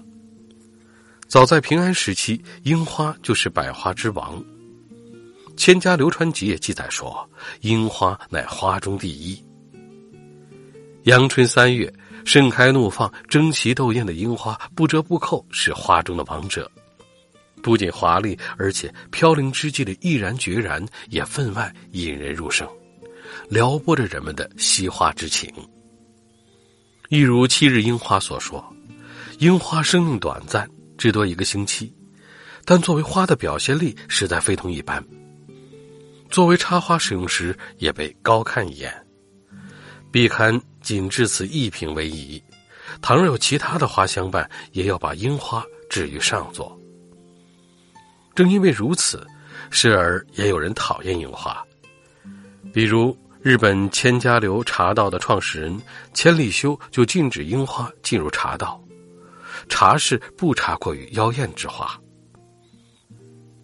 茶室不愧以侘寂为宗旨，势必认为不宜过于华丽，而这也正是千里修特有的不同凡响之处。不管怎样，樱花培育了日本人的审美意识，激发了丰富多彩的情思，这是毫不含糊的事实。九木本身对樱花的感受，除了为其美丽所吸引，心田的一隅还有类似忧郁和嫌弃吵闹的情绪。开匆匆，落匆匆，自己跟随不上，同自身从容的生活大约了不相干。每年随着樱花时节的临近，都要发布樱花前线的消息，电视上也推出哪里樱花开了几分，哪里已经盛开等赏樱景点五彩缤纷的图像。可是迄今为止，九牧几乎不曾充分欣赏过那些樱花。虽然很想去樱花开得正盛的地方，悠悠然的一饱眼福，但终因工作忙而未能成行。仅仅是看了几眼住处附近路边的樱花和城内的樱花，草草了事。正如“了无静心”这句话所说的：“樱花无暇心境，留下的只有匆忙之感。花开完了，反倒让人释然。”或许如此，周而复始之间产生了对樱花的焦躁情绪。不过今年较往年略有不同。看来，由于转为闲职，这个春天似乎也可以充分领略樱花之美了。提起樱花，最先想起的是京都的樱花。如平安神宫的垂枝樱，灯光辉映下的白川沿岸的夜樱，以及醍醐寺、仁和寺、城南宫等以樱花闻名的寺院数不胜数。九牧过去曾利用去关西采访和商量事情的机会，匆匆忙忙的观赏了几处樱花。樱花全都那么好看，有时华丽的几乎让人不敢呼吸。但换个角度。未免觉得有些过于搔首弄姿、井然有序。这也是因为京都的樱花过于同周围的古寺和庭院等打成一片了，何况背后还有苍翠的山峦列阵以待。樱花诚然好看，但也有其背景提供绝妙支撑的因素。在这方面，不妨说同以附加值吸引眼球的名牌货有些类似。这种使得大家心悦诚服、赞不绝口的樱花，诚然可观；而仅以樱花自身之美凛然挺立的樱花，也让人依依不舍。进而言之，没多少人围观的静静独处的樱花，也是别具风情的。想来想去，九牧最后想到的是伊豆的修善寺。若去那里，一来离东京不很远，二来毕竟是群山环绕的温泉古镇，樱花也好，旅馆也好，都足够安然静谧。九牧如此决定后，童林子一道出发是在四月第二周的周日夜晚。以往年赏樱假期来看，多少有些迟了。但是今年进入四月后的寒潮延长了花期，伊豆一带眼下似乎开得正盛，真可谓春深时节。不过同样春深也有憨蓝之分，时下更是近乎蓝的烂熟春光了。九牧在这样的一天同林子一起离开涩谷桃间，他轻装上阵，身穿浅褐色开领衫和同一色调而稍深一些的夹克。林子一身淡粉色的西式套裙，领口夹了一条印花围巾，头戴灰色的帽子，手提略大一些的提包。动身的前一天，林子去家里取了春季的衣物，应该也见到了丈夫，但她还是只字未提。林子的家庭后来究竟怎么样了呢？从计划这次旅行时开始，九牧就放心不下。但是没有主动过问，林子也沉默不语。由此看来，估计是不大想说。只是在他四月初回横滨娘家后，曾不经意的说过：“妈妈要我把事情说清楚。”不用问也知道是林子和先生的关系。林子母亲早已知晓女儿同丈夫的关系不好，对林子一再出轨这点也应该有所了解。为此还大发脾气，严厉斥责林子，说是他无法见人，见亲戚就更不用说了。这是三月中旬的事。自那以来，林子母亲似乎认为不能对女儿的一再出轨坐视不理，而要求她尽快了结。可是，据九牧从林子口中听得的情况，拒绝离婚的莫如说是林子丈夫一方，而用意似乎是对妻子的报复。那么林子母亲对此是怎么看的呢？问起这一点，林子只回答跟母亲说，也得不到理解，全然不得要领。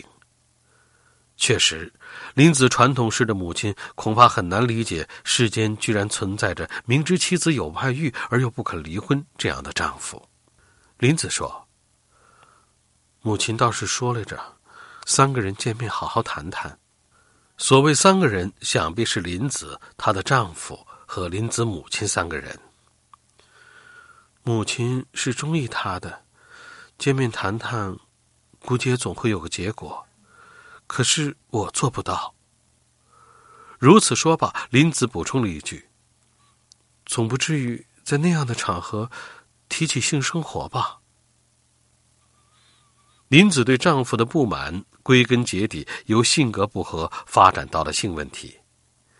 林子指的就是这个，而他的本意似乎是，即使最后同意分手，也不愿意把话说到这个地步。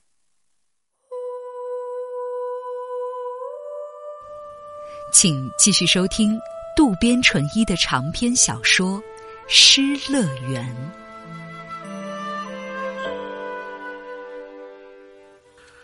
而九牧这边则相反，是妻子方面逼着他离婚，但他尚未明确响应。既然同林子的关系如此之深，响应似也并无不可。但是，一旦真要离婚，心里总有些顾忌。那当然不是简单的事，其中有对自己一意孤行导致离婚的愧疚，也有向社里和亲朋故友告知和解释的郁闷。进一步说来，也有对林子尚未利利索索分手而自己提前分手的不安。更主要的是，彻底颠覆差不多持续三十年之久的生活形态这点上，也让他提不起精神，或者莫如说是望而却步。总之，离婚是最终的手段，无需操之过急。这样的心情使得他在进入决定性状态的最后一道门前止步不前。而妻子的心情是怎样的呢？近来即使回家，也几乎不跟妻子说话，说话也仅限于当务之急，说完就匆匆的离开。并没有什么争执。莫非人一旦进入相应的环境，就相应的习以为常了？这么着，两人的关系在彻底僵冷之中保持着奇妙的平和。话虽这么说，但并不意味着妻子的态度有所软化。作为证据，四月初九木回家时，妻子还是再次盯问：“那个，你没忘吧？”九木当即意识到是指离婚协议书签字的事，但只是啊了一声，轻轻点头，没有回答什么时候签。正要直接出门，妻子追赶似的说：“明天开始，我也不在的。你去哪里？”脱口问罢，这才发觉自己并不处于足以追问妻子行踪的立场。这和你没什么关系吧？不出所料，妻子的态度斩钉截铁，冷若冰霜，无法继续下去。什么时候都是女方态度果断，这点在要分手时表现的尤其突出。林子也好，妻子文之也好，一旦决定分手，就绝对的坚定不移。相比之下，男人是何等的模棱两可、优柔寡断呢？这不限于九牧。而是所有男性的共通点，总好像拖泥带水，犹豫不决。到了这个阶段，同妻子之间或许也还是一了百了的好。九牧一边这么思索着，一边赶来东京站，同林子并排而坐。电车是新干线的回声号，先去三岛，在那里换乘伊豆箱根铁道去修善寺。虽然是赏樱的季节，但也许是周日午后，车厢里空荡荡的。以前大多是周六出门，周日返回。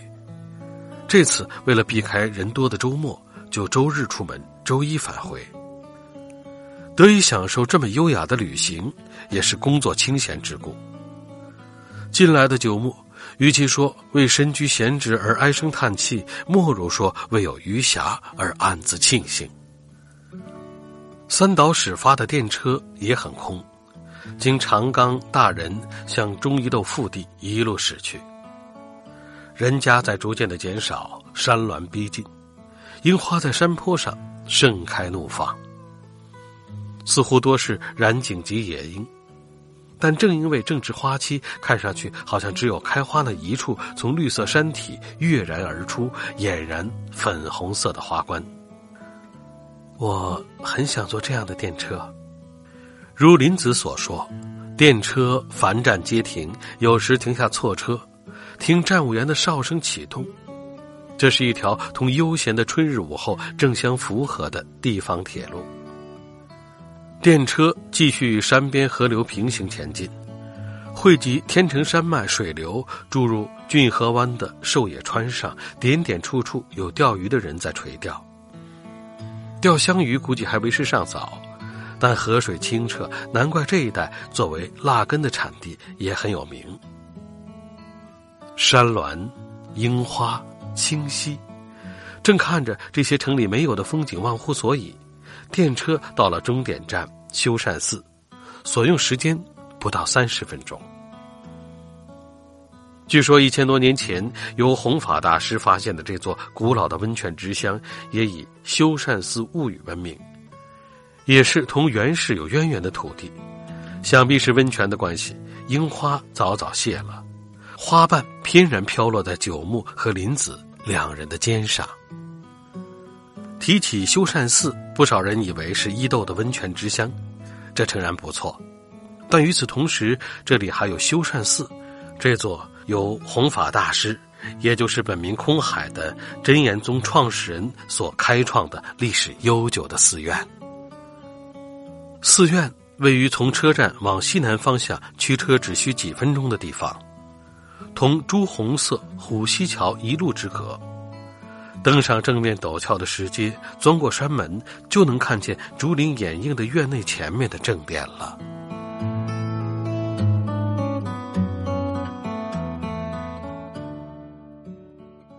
距今八百年前，袁范赖被兄长赖朝幽禁在这座寺院，后来受到委员景时偷袭而自杀绝命。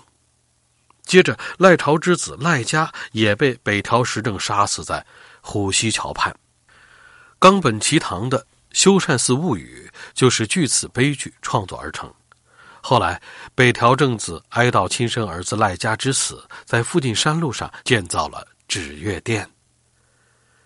同关于修禅寺的这种血腥事件形成鲜明对比的是，寺院那颇有纵深的正殿、缓缓起伏的顶脊，同后山树林相得益彰，自有一种仿佛高贵的女性丽姿般妙不可言的优雅与妩媚。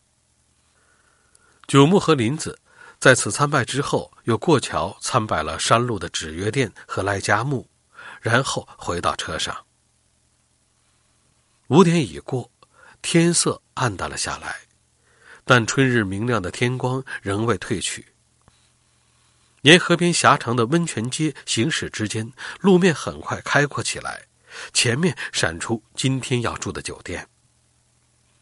入口有敦敦实实的大宅门。里面现出了带有山形封檐板的宽阔门厅，车在门前停下，出营的女领班当即把两人领进门去。门厅足够大，放着刻意表现木纹之美的茶几和藤椅。林子小声赞叹：“好漂亮！”是在他看见浮在水池上的能剧舞台的时候，面积有五六百平。朝左右伸展的水池的另一端，映出歇山顶建筑风格的能剧舞台那幽深迷离的姿影。其尽头处的山崖上，林木郁郁葱葱。对于穿山溯流之后眼前忽然出现的另一天地，林子目不转睛的看得忘乎所以。女领班领入的是二楼尽头拐角的房间，迎门是四张半榻榻米大的客厅。里面是铺有十张榻榻米的和室，再往里是隔离开来的临窗木板房间。地面明显低了下去，从这里可以俯视水池的一部分。哎，看呐，樱花全都开了。林子招呼九木来到窗前，左侧盛开的樱花和眼睛一般高，几乎伸手可触。我想说看樱花，大概。就留给了这个房间。这家酒店，九木也是第一次来。听说修善寺有一家附带能剧场的幽静的酒店，就请曾经在出版部工作的同事介绍过来。喏，花瓣儿都飘落了。大概傍晚有微风，一片花瓣落在林子伸出的手上，而后落入眼前的水池。这里好静啊。到了这里，工作也罢，家庭也罢，离婚也罢，都好像是遥远的另一个世界的事了。九木吸了一口山谷的空气，从背后轻轻抱住看樱花看得出神的林子。也许怕人看见，林子转过脸去，但眼前有的只是盛开的樱花和寂无声息的池面。失乐园。欢迎您继续收听，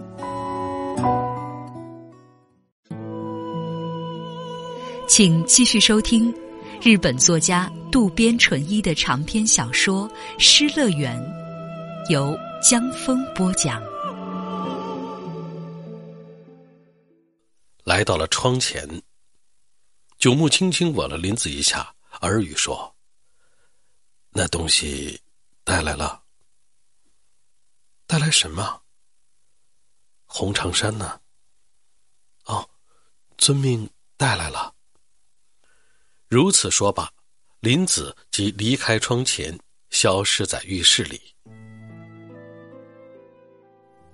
九木一个人留在窗外樱花飘落的房间，点燃了一支烟。窗开着，但并没有觉得冷。樱花时节的阳光余热。似乎还在打开的窗口内外低回流连，心旷神怡，却又有莫名的倦怠感。九牧随口吟道：“但愿春樱花下死，正是二月望月时。这是自行辞官在大自然漂泊当中终了一生的镰仓初期的歌僧西行的和歌。两个人在房间喝着女领班泡好的茶，休息片刻，然后一起走去温泉浴场。下到一楼，走廊旁边好像有男女分开的浴场。九木看了一眼前面的露天浴场。晚上六点过了。暮色上来的天空由蓝变青，不过尚未黑尽，正是入夜前的瞬间。露天浴池里一个人也没有。毕竟是周日的夜晚，留宿的客人想必也很少。静悄悄的浴池，只有顺着石岩流淌的泉水，单调的回响着。九木劝道：“哎，进来吧。”林子现出困惑的表情。没关系的，即使有谁来看见两人在里面，也可能会客气的走开。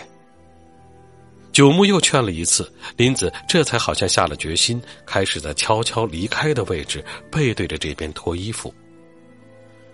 浴池的面积估计有十平，椭圆形，岩石结构，天花板附以网状尾边。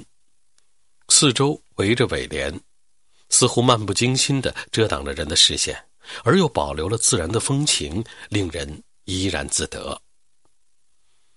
九木刚刚背靠岩石伸展四肢，林子就手拿毛巾进来了，一步步慢慢的把脚尖进入水中，小心翼翼。九木等林子全身泡进池里，把他叫来池边。你看看天。身体斜倚露天浴池边缘往上一看，由于那里没有尾边天花板，可以直接望见夜空。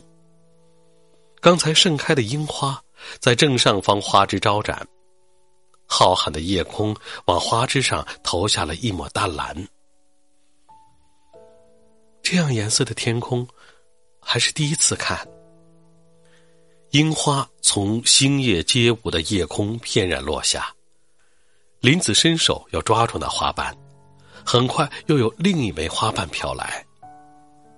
夜色姗姗来迟的天空下，林子追逐花瓣那白嫩的腰肢，宛如夜空中飞舞的蝴蝶一样，妖冶迷人。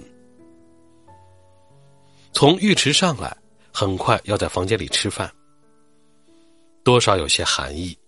九木和林子都在浴衣外披了短褂，关上窗扇，灯光辉映的樱花从一端探出脸来。樱花相伴的晚餐，菜式也洋溢着季节感。清煮风斗叶，芝麻凉拌土当归等等，一切都显得自然而然。九木一开始要来啤酒。紧接着换成烫过的当地偏辣的清酒。女服务员只斟了第一杯就离开了，往下林子表现得很乖觉。九木喝干一杯，林子就赶紧斟上。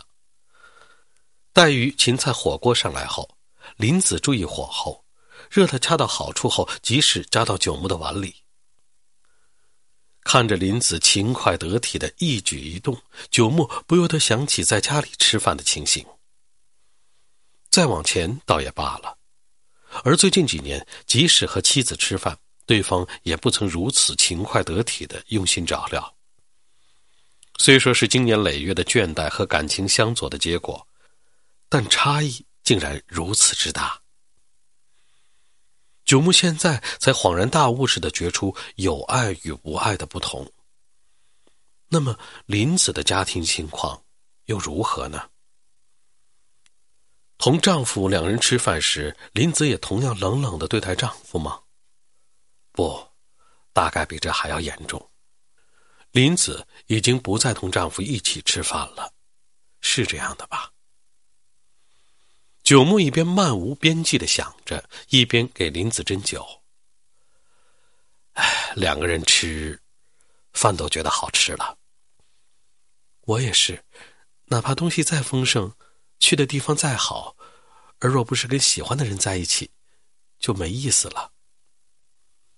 九牧再次深感移情别恋的可怕。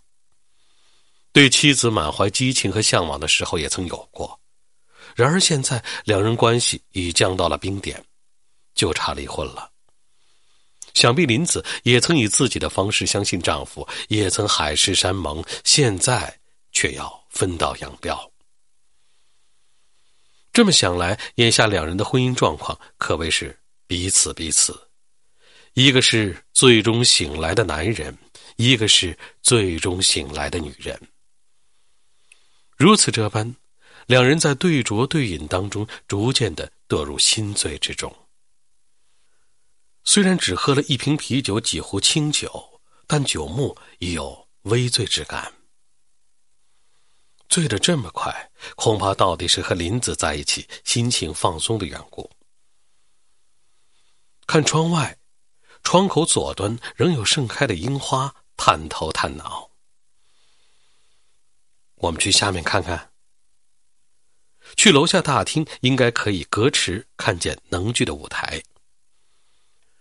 等女服务员撤去餐具，两人拿起毛巾走出了房间。走下楼梯，走过刚才经过的通往露天浴池的门口，沿地面更低的走廊前行不远，正面就是大厅。右边的门已经大敞四开。水池上的木板舞台凸显出来。九牧和林子并坐在露天椅子上，情不自禁的叹了口气。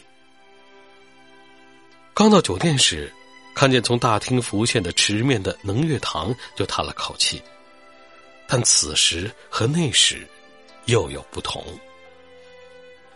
入夜后，露台栏杆的边边角角都被照得一片雪亮。舞台为三进方形，地板宛如镜面，灿然生辉。里面大幅的木板墙上画着一棵老松树。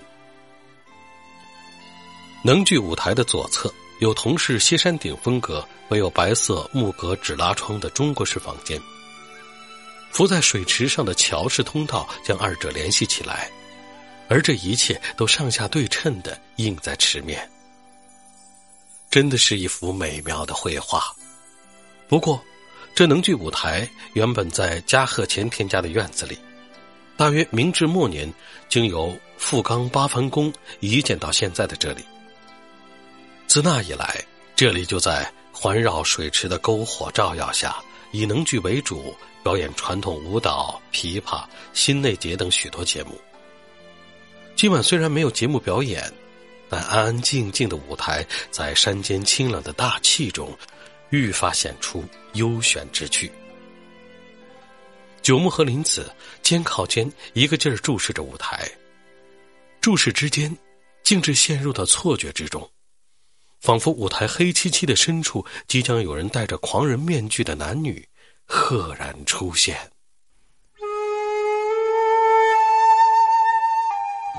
请继续收听渡边淳一的长篇小说《失乐园》。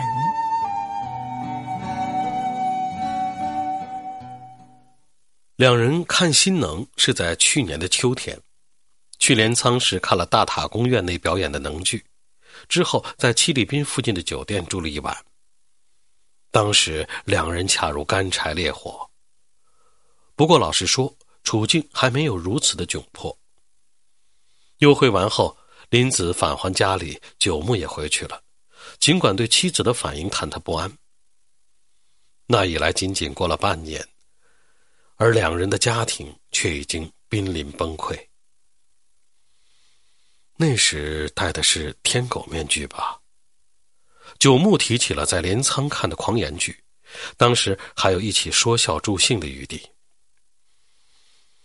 不过这里。好像不大适合演狂言剧。这深山老林幽玄的舞台，似乎适合表演更能深入肺腑和发掘心底情念那样的剧目。不过，真是不可思议呀！九牧望着池面摇曳不定的露台灯光说：“难道古人到了这里就以为再也不会被发现了？”也有两个人一起私奔来的吧？男人和女人。说着，九牧眼望能剧舞台后头黑黢黢、静悄悄的山峦，说：“就算和你单独住在那儿，怕也是一回事。”你是说，迟早有一天会厌烦吗？一男一女相守，一开始就有怠惰这种病偷偷的染上身来的。实不相瞒，九牧现在对爱情持怀疑态度，至少不像年轻时那么单纯。那时深信只要相爱，两人的爱就会天长地久，或者爱情燃烧期间没那么长也说不定。我也是那么想的。得到林子的认可，九牧反倒感到尴尬。你也这么想？所以，想在燃烧时了结。大约受到灯光中矗立的能剧舞台气氛的影响，林子说出的话带有些许的妖气，令人有些恐惧。九牧倏然觉得皮肤发冷，把手插进怀里，大概是所谓的樱花时节的低温吧。入夜后，多少冷了下来。走吧。这么待下去，说不定被舞台的妖气俘虏不放，被拖进远古世界了。九牧站起身，像要告别舞台似的，又一次回头看了看，然后离开了露台。折回房间，暖融融，恰到好处，被褥已经靠里面窗前铺好。九牧暂且在铺好的被褥上仰面躺倒，蓦地向上一看。窗口的樱花仿佛正在看着这边。九牧觉得，没准今夜的事都要被樱花一一的看在眼里。他叫林子，没有回音。清河双眼继续仰卧的时间里，林子从浴室出来了，短褂脱掉了，只穿着浴衣，向上卷起的头发像松开发髻一样左右的分披下来。九牧问：“长衫没穿？”问的林子站住不动。真要穿呐？不是带来了吗？林子似有所悟，默默消失在休息室。九牧只留枕边的台灯，再次眼望夜幕下的窗口，在深山酒店里看把气氛悠悬的能剧舞台。此刻正静等女友换上红色贴身的长衫，表面上似乎在追求幽玄与淫荡这种毫不相容的背反，而实际上又觉得二者之间有意外共通的因素。例如，能剧有所谓神、男、女、狂、鬼五种角色，其中自然也含男女情欲。就在刚才。九牧目睹舞台，还油然生出庄严心境，而后来被激起某种诡异的色情感觉，也是事实。万物皆有一表一里，庄严里面潜伏的淫荡，静谧之中隐秘的痴态，道德背后栖息的背叛，这才是人生至高无上的甜事与快乐。九牧的思绪正在信马由缰。纸格扇开了，身裹绯红色贴身长衫的林子出现了。刹那间，九牧从被褥上立起，瞠目结舌。此刻，打开纸格扇现身的林子，穿的固然是一色绯红的贴身长衫，但其脸庞带有童女般的天真无邪。被低位置台灯淡淡照出的林子身影变得高大起来，高大天花板。一瞬间，九牧恍惚觉得女主角出现在能剧舞台。九牧心生诧异，进而定睛细看，林子的脸庞渐变得像女面具孙次郎那样含有成熟女性的娇美、忧郁和妖冶。九牧就那样欲言不得的怔怔看着，身穿绯红色贴身长衫、戴着面具的女人缓步走到这样的九牧眼前，伸出双手要搂他的脖子。九牧不由得缩起身子，左右摇头，这才像清醒过来似的，大大的吸了口气，吓我一跳。听着九牧喃喃自语，戴着能具面具的林子浅浅一笑。平日林子柔和的表情终于失而复回。感觉像是看见了能剧中登台的女子，因为刚才看舞台了嘛。不过也太像了。九牧以前在画上看过出现在黑底色上的名为孙次郎的女子面具，觉得那娴雅柔和的表情下潜伏着汹涌的情欲和隐念，而现在的林子面庞也与之两相仿佛，娴静。内敛而又淫荡。你说谁呢？啊，面具吗？说罢，九牧猛地搂过林子。事出意外，林子向前扑倒，九牧不予理会，从上面整个压上身去，在他的耳边悄声说道：“剥掉你的面具。”男子现在成了恶魔，要把女方贴身长衫下潜藏的淫念挖掘出来。不过，绯红色的确是不可思议的颜色，诚然是鲜艳浓郁的朱色，但同时又是血色，致使看的人产生一种异样的亢奋。其中尤以绯红色贴身长衫特别，皮肤白皙、娴雅矜持的女子穿在身上，具有雄性动物性癖的男人们，无不两眼放光，跃跃欲试。此刻，九牧把身着绯红色贴身长衫的林子从上面紧紧的压住，以扑食鲜红嫩肉的野兽凶相死死搂住不放。这固然有看见绯红色的亢奋，但同时又含有对接受男人好色要求而乖乖做一件贴身长衫带来的女人感谢之情。九牧就这样受用皮肤接触绯红色皱绸的舒适感，而后渐渐减缓力度，把手伸进凌乱不堪的领口，时隐时现的乳沟。等等，虽然明知迟早要被剥光，但操之过急，还是使得林子闪身，摁住他伸进来的手，缓过一口气，说道：“这东西可麻烦大了。”九牧一只手仍在林子胸部游弋，反问林子：“只做麻烦？和服店做好了送到家里时我不在，是那个人收的。”林子进来把丈夫叫那个人，他看出来了。无意中看了一眼，原来是红色贴身长衫。我想那个人肯定吃了一惊，就一个劲儿的问我干什么用。平时也穿的吧，在和服下面。可那个人好像看出来了，是要穿这个东西跟别的男人上床。林子说，已经有几年时间同丈夫完全没有性关系了，而丈夫看见妻子的绯色长衫，还是会暴跳如雷。九牧问：“那么？”他说：“我是淫妇。”一瞬间，九牧觉得骂声朝自己头上落来，不由得把手从林子的胸部抽出。失乐园，欢迎您继续收听，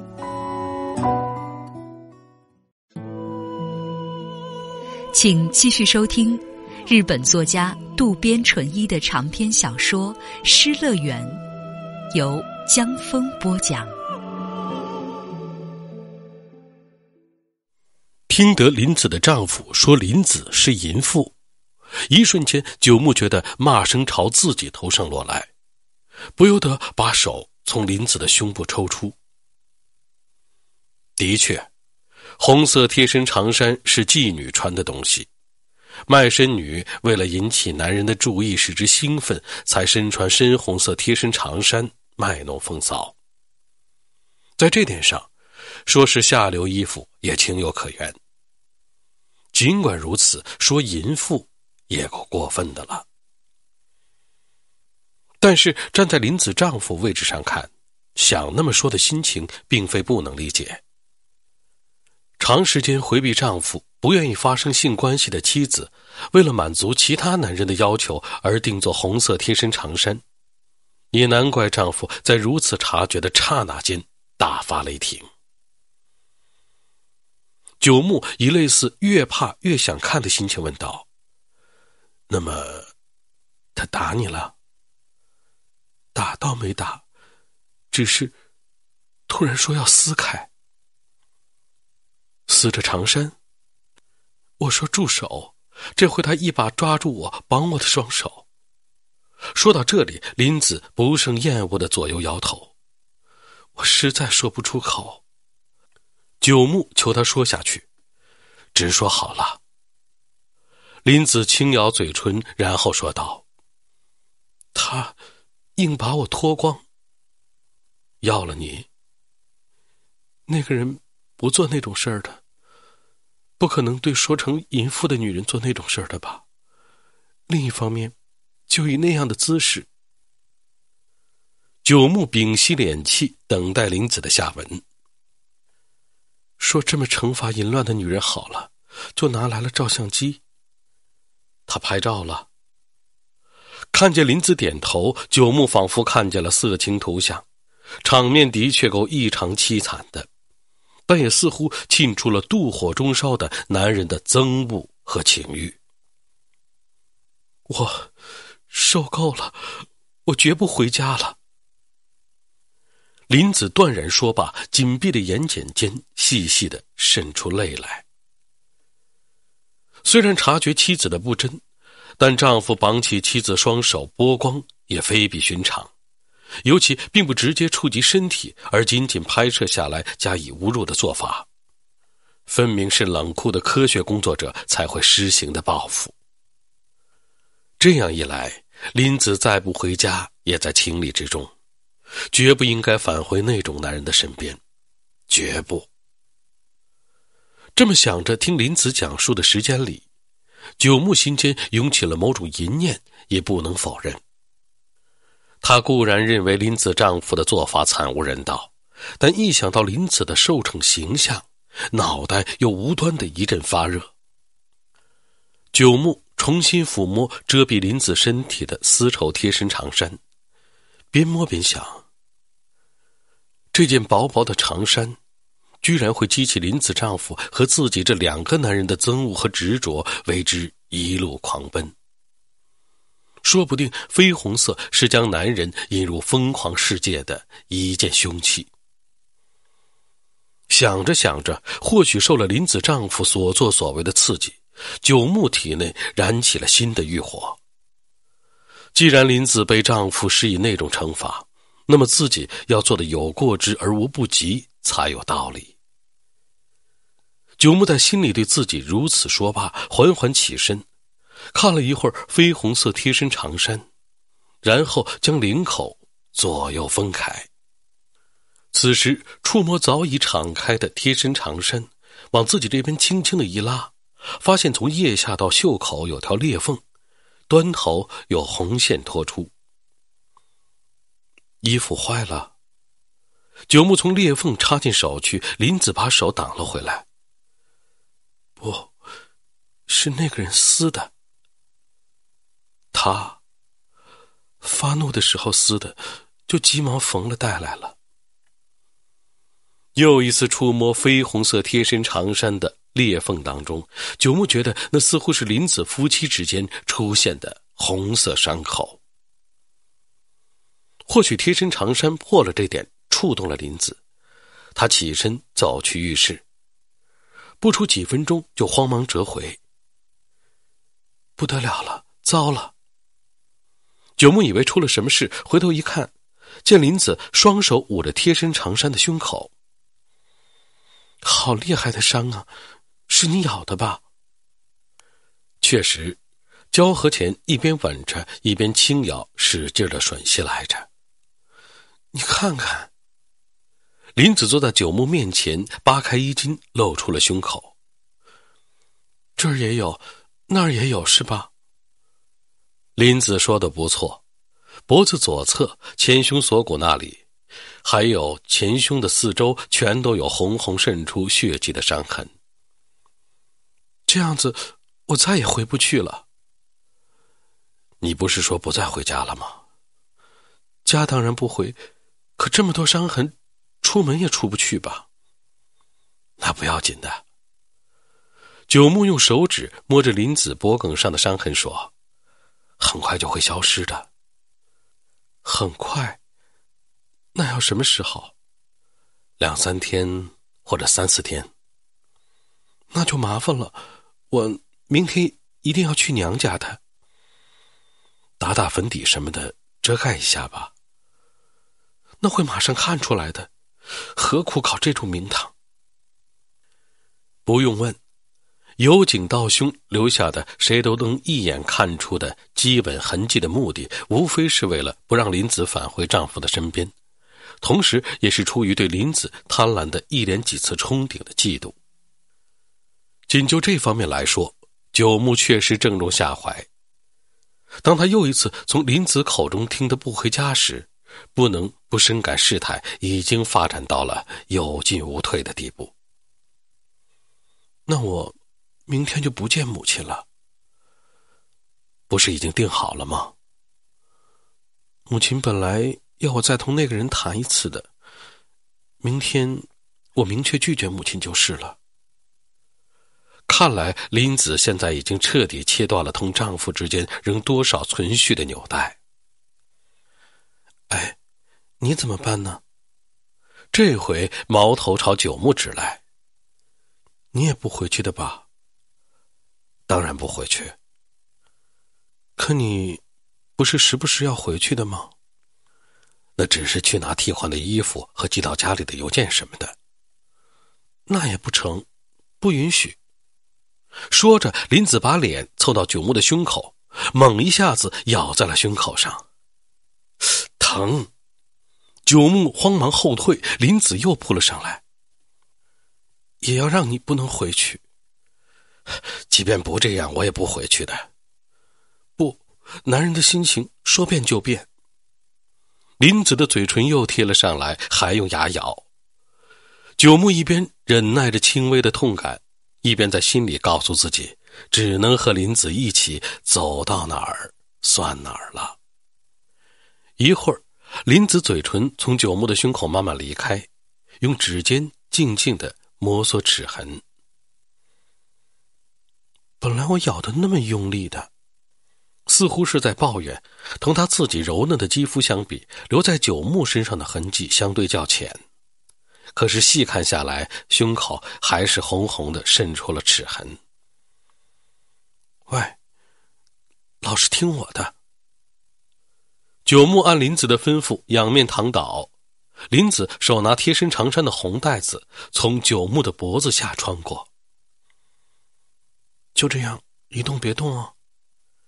林子哄劝似的说罢，这回从两侧慢慢拉紧缠在脖子上的红带。喂，喂！九木仍以为是开玩笑，不料林子不管不顾的越拉越紧。松开，那要死人的！别怕，死不了的。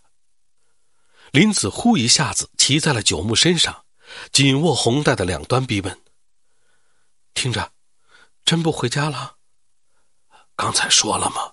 不回了。”九木把指尖勉强插进脖颈和红带之间，以防继续勒紧。你要是胆敢瞒着我回去，真就把你勒死！啊，不回去，不回去！九木拼命发誓，最后竟透不过气来，咳个不止。放手，可别像阿不定那样。林子马上不再勒了，就那样打了一个结。那本书该给我看了吧？啊，我带来了。那么，这就给我看。就这么看？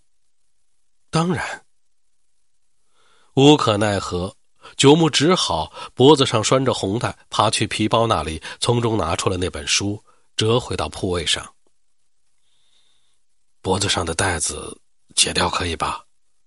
不行，就这么念。林子手攥红带的端头，继续惩罚者那样的口气下令：“躺下，念你最兴奋的地方。”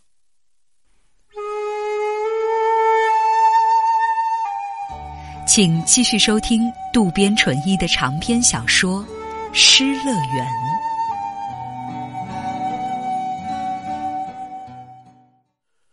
这样子总有些莫名其妙。深更半夜，在修善寺一家酒店的仪室，一对男女隔着一本书面对面躺着。男的脖子上缠着红带，手拿着书；女的攥着红带的一端，侧耳倾听。书的内容是审讯记录。女的因沉溺于性爱难以自拔，而将男的勒脖子勒死。又切掉那条关键物件逃走，于是女的接受刑警审讯。这可够长的，只念一开始那部分。审讯记录多达五万六千字，最出彩的地方，较之阿布定老老实实不害羞的供述，不用说，更是关于阿布定这个女子活生生的内容，以及对于爱之深切之沉重的生动描写。那可以念了。九木侧身翻开书页，林子贴近九木的胸口。审讯记录首先是检察官将如此事实作为杀人及尸体损坏案件对被告提起诉讼，讯问被告对这一事实有无陈述事项。被告回答事实一如宣读的内容，大概没有什么出入。下面是由此开始的。一问一答。问：被告为什么产生杀死吉藏的念头？我喜欢那个人，喜欢的不得了，就一门心思的想据为己有。可那个人和我不是夫妻，所以只要他活着，就难免接触别的女人。如果杀了他，别的女人就一根指头也碰不着他了。所以，就杀了。接着问：吉藏也喜欢被告吗？我想还是喜欢的。如果放在天平上，那么就是四比六。喜欢我的分量更多一些。石田总是说家庭是家庭，你是你。家里有两个小孩儿，我年龄也大了。时至如今，不可能跟你私奔。还说，哪怕再穷，也要让你有个家，或者开个酒馆什么的，永远快快乐乐的。可是，我受不了那种温吞水似的许诺。九木尽可能淡淡的念，但林子似乎听得大气不敢出。看他这样子，九木继续按着刑警的审讯记录念阿布定。对石田吉藏一往情深的过程，警察接着问：“被告为什么如此爱慕石田？”你问石田哪里好，我也答不出好在哪里。不过无论长相还是心地，我从未见过像石田这样无可挑剔的情种。看上去无论如何都不像四十二岁。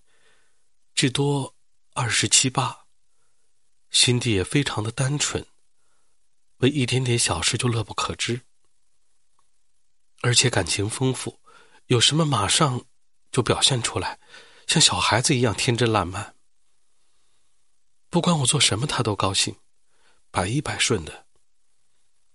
还有，石田在卧室里手段高超，做那种事时。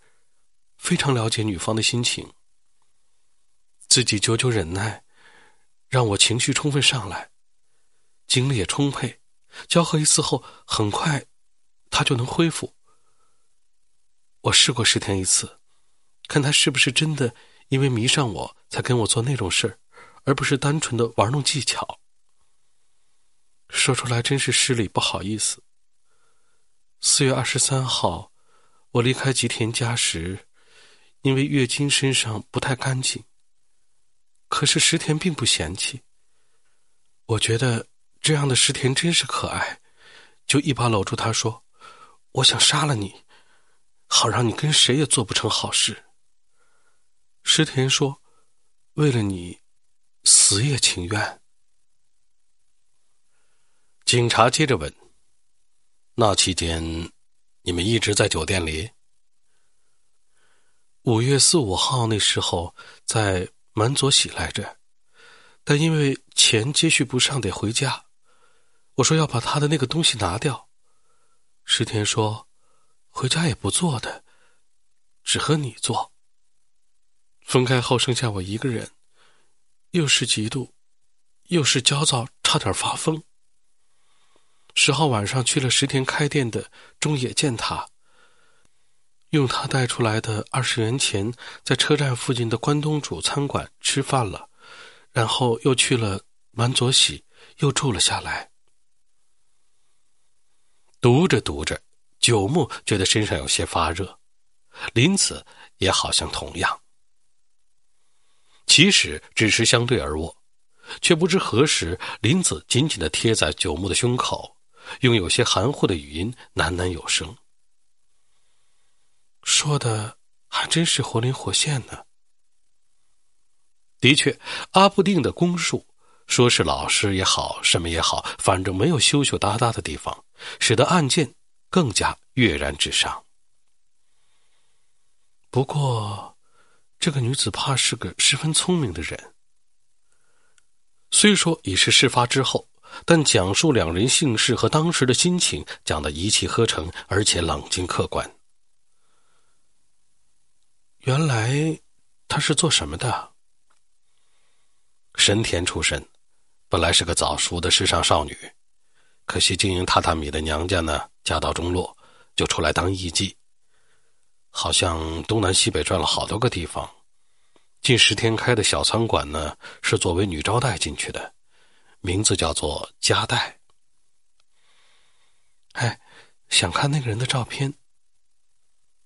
九木翻开书，前面有阿布定照片那页，似乎是事发后不久照的，梳着圆发髻，椭圆脸，眉清目秀，沉静的眼神中透出一丝凄寂，还挺好看的，像你呀。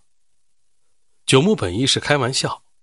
不过，就绵柔中含带让男人心动的甜美这点来说，和林子不互相像。我可没有那么美。你当然更优雅。九木赶紧补充一句：“说不定美貌里面隐藏着女人的魔性。”案件发生的时候呢，阿布定三十一岁。九木一只手再次拿着书念了起来。刑警的询问。开始逼近案件的核心。问：那你讲一下五月十六号勒着石田博梗发生关系的情形。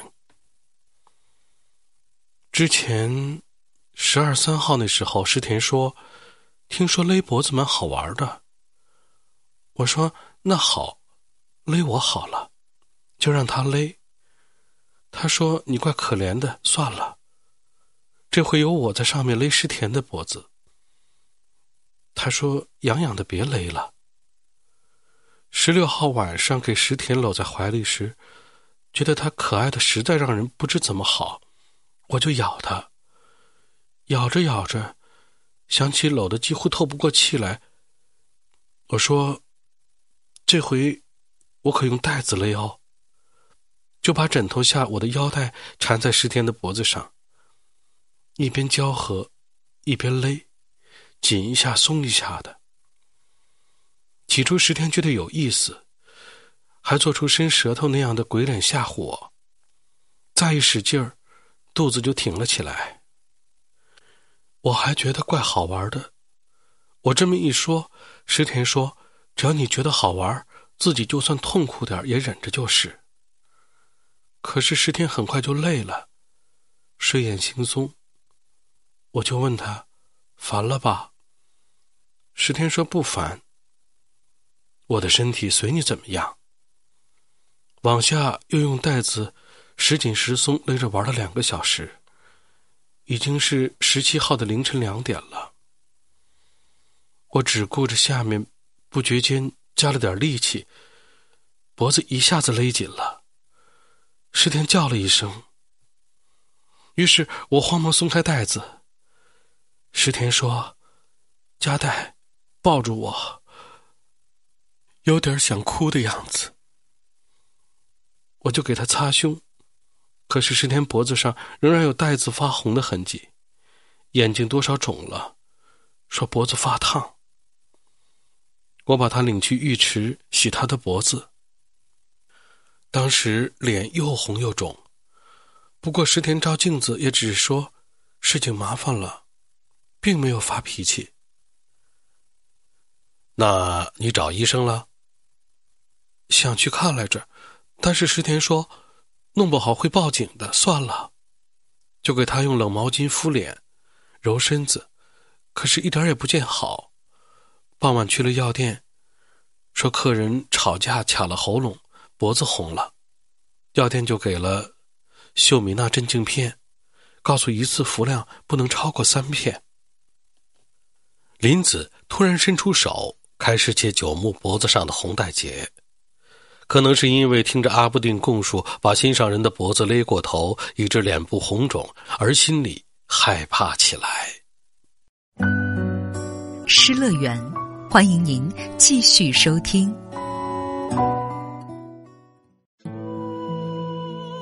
请继续收听日本作家渡边淳一的长篇小说《失乐园》，由江峰播讲。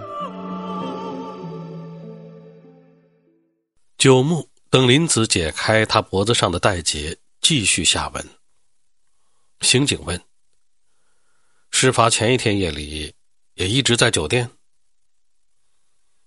石田那天脸肿的出不了门，早上只吃了柳川，晚上出去买药的时候，顺便买了西瓜回来让他吃，之后给他要了素汤面，我要了紫菜卷寿司。药马上给他吃了三片，他说三片不管用，就让他吃了六片。石田倒是睡眼惺忪，却还是不睡，说钱没了，只能回去了。我说不愿意回去。他说留在这儿给女佣瞧见这张脸难为情，无论如何都得回去。你在下谷或在哪儿待着。我说：“反正不愿意回去。”他说：“什么都不愿意可不好办。一开始你就知道我是个有孩子的人，不可能总和你在一起。为了将来两个人长久快乐相守，这点事儿都不忍耐是不好办的。想到石田要打定主意暂时分手，我就低声哭了出来。石田也眼泪汪汪的，这个那个的。”和我说了很多好话。问题是，他越说好话越让我来气，脑袋里想的全是怎么样才能十年在一起。对他说的话多半心不在焉。那那天晚上，终归你们还是住下了，因为这个磨磨蹭蹭的时间里，女佣把要的鸡汤端来了，我就让石田喝了。十二点左右，两个人睡下了。石田脸上还肿得无精打采。石田很快就说：“困，要睡了，让我别睡，看他的脸。”我说：“看着就是，好好睡吧。”我把脸颊蹭在石田的脸上，他开始迷糊起来。九木忽然想碰林子，一只手相互握着，继续念审讯报告。那下决心杀他是在什么时候？五月七号到十号，一个人独处当中总是想石田，心里很不好受，就开始，索性杀了他算了。不过那时马上打消了这个念头。石田说：“一来要治脖子，二来即使将来两人能在一起，也要分开一段时间。”那往下。看石田睡下的时间里，心想石田回到家，老板娘一定会像自己这样照料他。这次一别，一两个月都见不着。就连眼下都这么难受，一两个月肯定忍受不了。无论如何，都不愿意放石田回去。在这以前，即使我说一块死了或者逃去哪里，他也不真正当回事，只是说开个酒馆什么的，长远的快活下去。于是我就下了决心，只有杀了石田，才能把他永远的据为己有。刑警接着问：“那你说一下十七号夜，你用被告的腰带勒紧睡书当中的石田的脖子的经过。”石田迷迷糊糊的时候，我用左手捧着石田脑袋，就以那样的姿势看他的睡相。石田一下子睁开眼睛，见我在。就又放心的闭起了眼睛，说：“加代，我睡着了，你又要勒我了吧？”我嗯了一声，笑笑。他说：“要是勒，中间可别松手哟，不然往下很痛苦的。”听他这么说，我才想，没准这个人盼望我把他杀了，但我很快转念认为是开玩笑。一来二去，看样子石田睡着了，我就伸出右手，拿起枕边我的腰带，塞到他脖子下面，缠了两圈然后攥着两端使劲的一勒。石田猛地睁开眼睛，叫一声“夹带”，稍稍欠身往我身上扑。我用自己的脸蹭着石田的胸口，一边哭着说：“原谅我吧。”一边拼着浑身的力气勒紧了腰带的两段，石田一声呻吟，双手急速颤抖不止，但很快就瘫软了。我松开腰带，这回轮到我发抖了。我一大口喝干了桌子上的酒壶里剩的酒，又勒了勒，防止石田活过来，然后把剩下的腰带藏在了枕头下面。接下去，我就去查看楼下的动静。账台静悄悄的，那里的挂钟刚过后半夜两点。蓦地，林子长叹一声，想必在听阿布丁勒死心爱男人的逼真场景当中，心情亢奋起来。九木略一停顿，继续念下去。刑警问。其后，被告切掉石田的阴茎阴囊，在他左臂刻写自己的名字，在尸体和电褥上写书“满足喜”后逃走。讲一下这个情况。勒死石田后，我彻底放下心来，感觉如释重负，心情豁然开朗。我马上喝光了一瓶啤酒，躺在石田的身边，见他嘴唇发干。就用舌头舔湿或擦拭他的脸。我没觉得是守在尸体的旁边。石田比活着的时候还可爱，就一起躺到了早上。这当中，我心想：既然勒死石田，那么自己也必须死掉才对。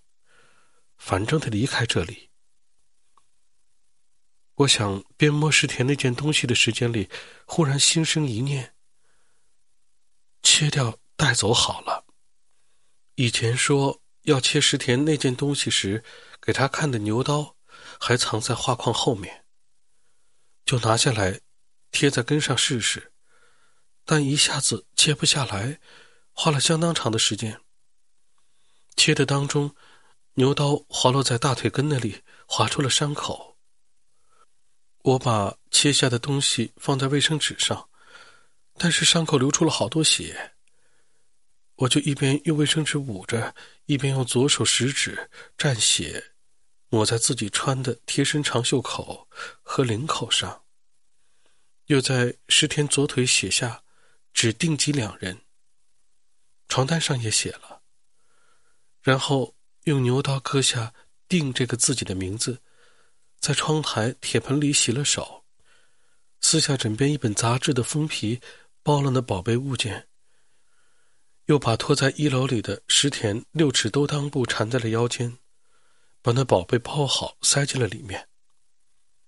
之后穿上石田的衬衫和内裤，外面穿上自己的衣服，扎上腰带，收拾好房间。沾洗的卫生纸什么的都扔进了二楼的厕所。准备妥当后，只把牛刀用报纸包了，带在身上。吻别了石田，尸体搭上毛毯，脸用手帕盖上。上午八点左右下楼对女佣说：“出去买点东西，不到中午别叫醒他。”自己就叫了辆出租车，钻了进去。阿布定绞杀心爱男人，又切割其局部，这点两人困在雪天中禅寺湖时对林子讲过，多少有所重复。但九牧还是照念审讯记录给他听。刑警问：“为什么要把石田的阴茎和阴囊切掉带走呢？”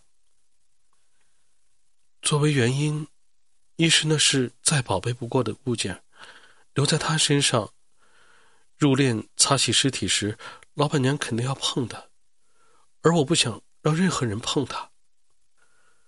二是。反正要把石田的尸体留在那儿逃跑。若是有石田身上的东西在自己身上，我会觉得仍然和他在一起，不会孤单。至于为什么在石田的腿上和床单上写下“只要定吉两人”，意思是说，我通过勒死石田而得以把他完全的据为己有。我觉得应该把这点告诉世人。就从我和石田的名字中各取一个字，写下了“只要定吉两人”。那为什么在石田的左臂上也刻写“定”字？我想让石田身体带着我，所以把自己的名字刻上了。为什么把石田的兜裆布和内衣穿在里面呢？因为兜裆布和内衣有男人的气味，我可以。闻得到石田的味儿，也算是把石田的纪念物带在身上了。那你再讲一下作案后逃跑的路线。五月十八号上午八时左右离开满佐喜酒店时，身上有五十来元钱。我决定先换衣服，就把一直穿着的衣服在上野一家旧衣店卖了。卖完，买了单和服，又买了包袱皮。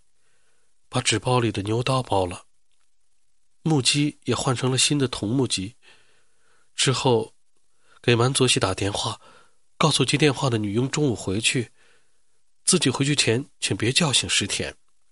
女佣说好的。于是我知道杀人的事还没被发现，放下心来。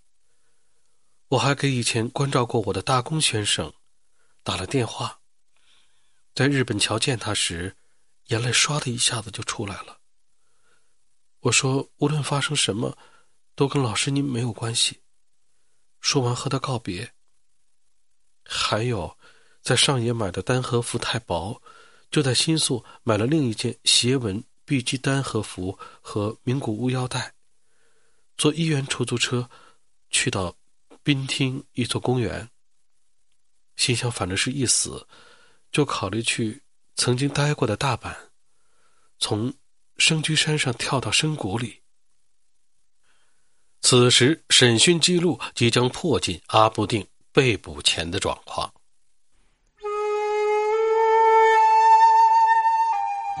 请继续收听渡边淳一的长篇小说《失乐园》。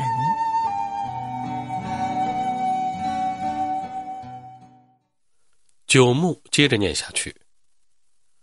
被告，杀死石田那晚，你住在哪里？想在大阪死来着，但没有马上死的勇气，打算留些时间想想石田。就在夜里十点去了浅草，名叫上野屋的以前住过的旅店，在那儿洗了澡，带着宝贝纸包一起去了浴池，然后在二楼的房间躺下。这时候，这个那个的想了很多，边想边哭，觉没睡好。第二天一早，借来账台的报纸一看，满左写的是连同我年轻时的照片大大的报道出来。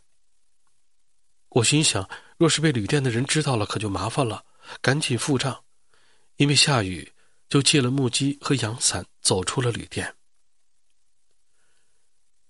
那说一下你十九号被捕时的情况。由于下雨，即使去大阪也要坐夜班车。去浅草看完夏清十郎的电影，去品川站买了三等车的车票。到发车还有将近两个小时。就在车站的小卖店买了五份报纸，放进包里，打算过一会儿看。在站前餐饮店喝酒喝困了，五点多去附近名叫品川的旅店做了按摩。那当中梦见了石田，担心他说什么，但是什么也没说，就放下心来。把按摩打发走后，吃饭。看晚报，一看把我叫做高桥阿传，写的触目惊心，还说每个车站都有刑警蹲守。这么着，大阪看来也去不成了，就决心在这里死掉。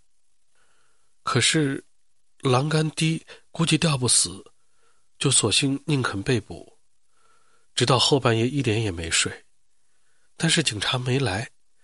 只好第二天早上让女佣把房间换去厢房，认为在那里上吊时，只要把腿伸到院子里就能死掉。我借来自来水笔和纸，给大宫老师、黑川先生和死了的石田写了三封遗书，打算半夜吊死。喝完两瓶啤酒躺下了，结果下午四点左右警察就来了。我说：“我是阿布丁。”就被捕了。九木一直躺着念，有点念累了。但审讯记录正要进入高潮，那就是阿布丁被捕后的心境。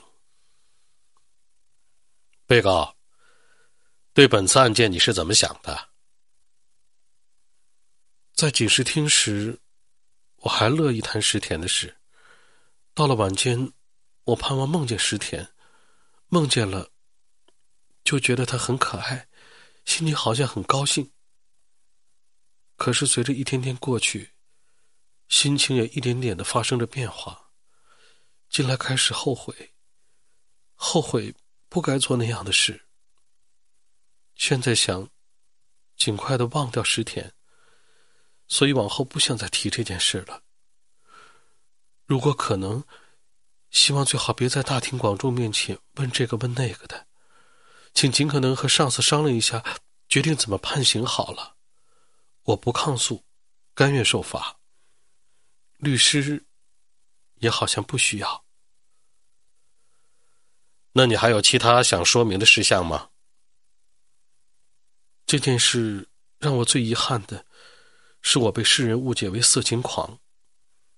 关于这一点。请允许我解释一下，我是不是变态性欲者？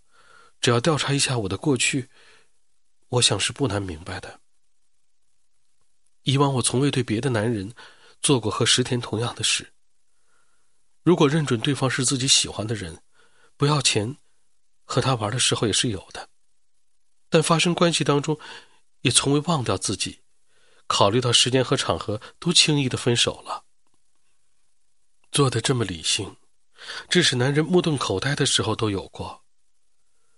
可是单单石田无可挑剔，勉强说来，是有点品味不够，而我反倒喜欢他这种无拘无束的地方，全副身心的投了进去。我的事情已经大白于天下了，人们好像多半当作笑话津津乐道。可我认为，女人喜欢男人的那件东西是理所当然的。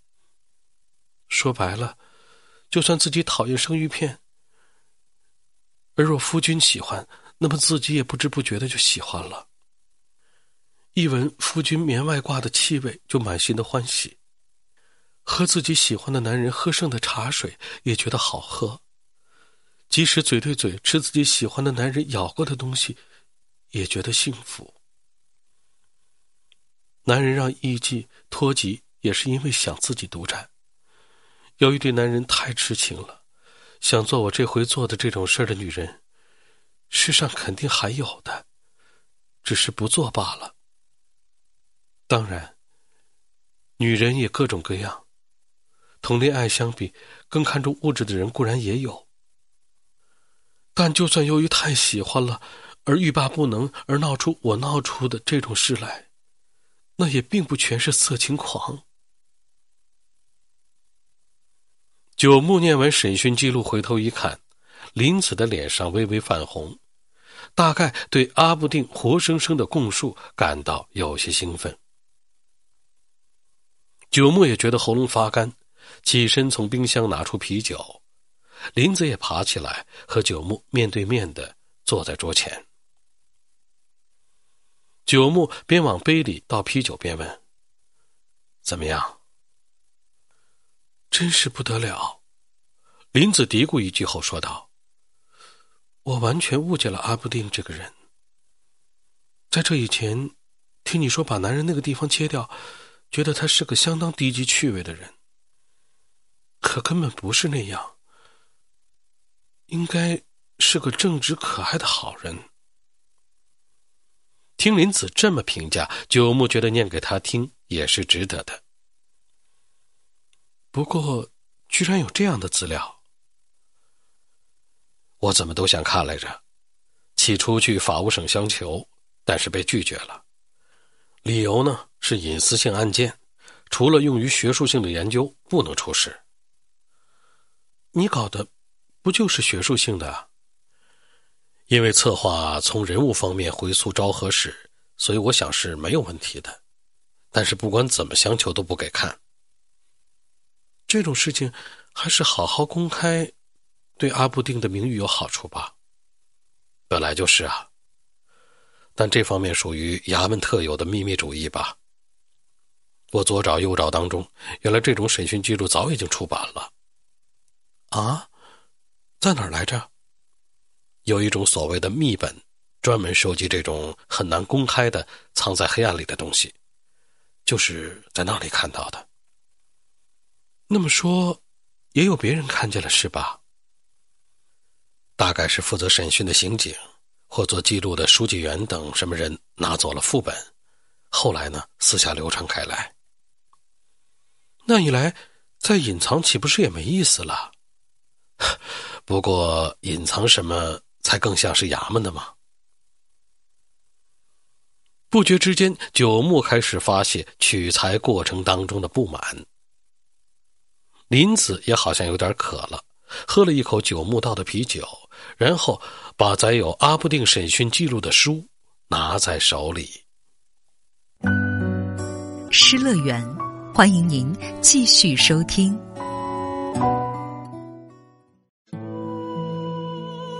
请继续收听日本作家渡边淳一的长篇小说《失乐园》，由江峰播讲。林子好像也有点渴了，喝了一口九木道的啤酒，然后把载有阿布定的审讯记录的书拿在手里，翻开前面几页，有事发后立即刊登在报纸上的阿布定和吉赞两人的照片。接下去是阿布定被捕时的照片。奇异的是，无论被捕的阿布定，还是逮捕他的警察，亦或是所辖警察署的署员们，全都笑眯眯的，活像庆祝什么的纪念照。九木说：“可能是因为逮捕的太容易了吧，又是美女，警察们也够开心的。可那时候……”不是警察和军人耀武扬威的恐怖时期吗？昭和十一年，往前一点点有二二六事件，日本一步步的跨入军国主义，正是黑暗动荡的年代。想必人们对那种时候还能贯彻一己之爱的阿不定的行为产生了共鸣，一时有了获救般的心情。林子点头，继续翻动书页。感觉上倒像是极不一般的猎奇事件，不过那个人的所作所为，并不是什么变态吧？这一句就说的不错。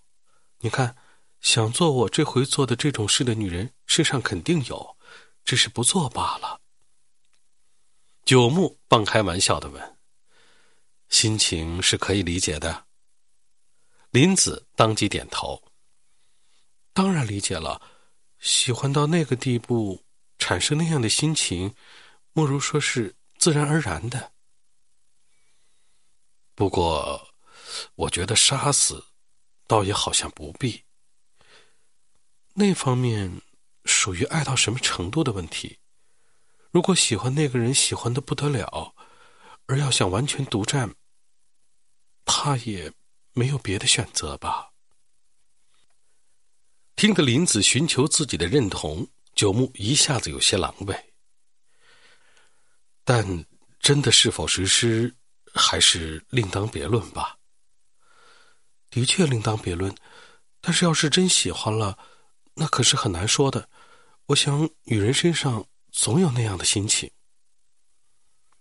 九木倏然觉得闷热，站起身来。不知是念阿布定审讯记录当中兴奋了，还是房间温度多少升高了。反正九木轻轻打开窗扇来凉爽一下。春夜的凉风倏然掠过脸颊，让人神清气爽。过来看呐！九木招呼林子。并站在了窗前。紧挨两人左侧有一棵盛开的樱花树，树下可以看见灯光照亮的水池。池水绕过露天浴池的前端，同映出幽玄的能月堂的夜间池面连在了一起。好安静啊！九木大大的吸了口气，似乎想让自己从刚才念的阿布定。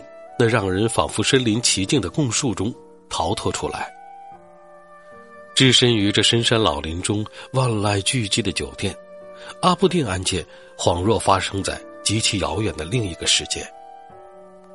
九木抬起眼睛，仰望正面耸立的黑黢黢的山峦，棱线远方横沉的夜空，正望着林子，悄声低语：“你看，樱花。”应声回头，但见盛开的樱花树枝有花瓣，忽有所思的飘落下来，其中一半落在眼下的池面，另一半随着徐来的夜风飘来窗前。夜里，樱花也落的呀。林子此言，听得九牧觉得有了意外发现。毫无疑问，两人一起进露天浴池时也好。随后共同沉溺于性事时也好，再后来念审讯记录时也好，樱花都在持续的飘落。我们就这么休息时，樱花大概也不休息，落个不停呢。那么，由我们守护着好了。林子的心情固然理解，但九木觉得有点累了。不知这是过于剧烈的性事的关系，还是由于念阿布定供述书带来的亢奋，亦或是二者混合而成的倦怠之故。反正只有樱花在这深夜黑暗中无声无息的翩然飘落。九木把手悄悄搭在林子的肩头，小声说：“休息吧。”返回两人刚才弄乱的铺位。多少有些难为情，这次只管静静安睡就是了。九木先钻进了被窝，林子仍站在窗前喃喃自语：“窗子多少留一点缝吧。”确实，那样会有夜晚凉气进来，让人感觉舒适。九木闭着眼睛点头，林子熄掉了房间灯，钻了进来。九木伸出手去，想亲近柔润的肌肤。林子阻挡似的轻轻按住九木的手，悄声说道：“可那一来，女人够可怜的呀。”九木一时不解其意，随即明白过来，林子说的是阿布定。换我就不做那样的事，哪怕再喜欢，把对方杀掉也没意思，是吧？九牧也认同。是啊，就算杀了他，把他独占了，他以后的人生是不是幸福，也是个疑问呢。刑满释放后，阿布定好像重新在浅草一带一家餐馆打工，但因为有人看见了阿布定在的餐馆的广告，中意也罢，不中意也罢，都好像要暴露在那些人好奇的目光下。九牧说：“即使尝了罪，杀人犯。”也还是杀人犯呐。唉，还是活下来的人难受啊。林子说的固然不错，而另一方面，被切去那个部位死掉的男人，说可怜也足够可怜。唉，对谁都不是好事，是不是呢？只一个剩下来，是不可取的。只一个人。是啊，要死两个人一起死，那样就能永远在一起了，也不至于寂寞。九牧有些觉得透不过气，稍稍背过身去。听得林子说一起死，九牧颇为困惑，透不过气，想必也是因为这个。但林子并没有明确说死，只是嘀咕：与其闹出阿布定那样的事件，不如一起死去。九牧转念似的回过头，脸颊贴上迎面躺着的林子胸部。被阿布定勒死时，男人同样把脸颊贴在女子的胸部。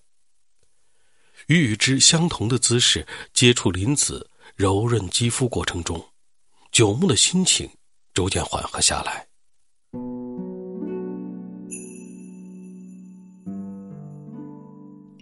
在夜的静寂中。半是做梦，半是接吻当中，九牧倏然觉得有什么轻碰嘴唇，宛如薄薄的薄膜。正感到诧异，细细中又有一个轻触过来。是什么呢？九牧缓缓把脸凑近纸罩提灯一看，原来是两枚淡粉色的花瓣，是樱花。林子也诧异的往这边看着。你的嘴唇上也是。听林子怡说，九牧这才发觉自己嘴唇上也沾着花瓣，于是取下来放在林子的胸部，花瓣多了一枚，一定是从那儿飘来的。九牧眼望稍稍开着的夜幕下的窗口，要整整飘落一夜的吧？看这光景，樱花不出一两天。就要收尾了，就这样别动。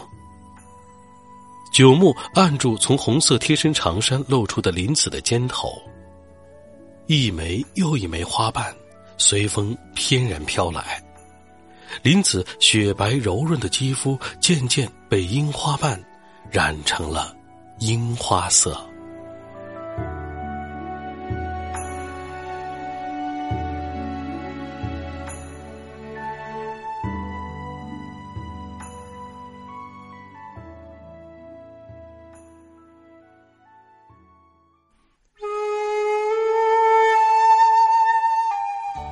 请继续收听渡边淳一的长篇小说《失乐园》。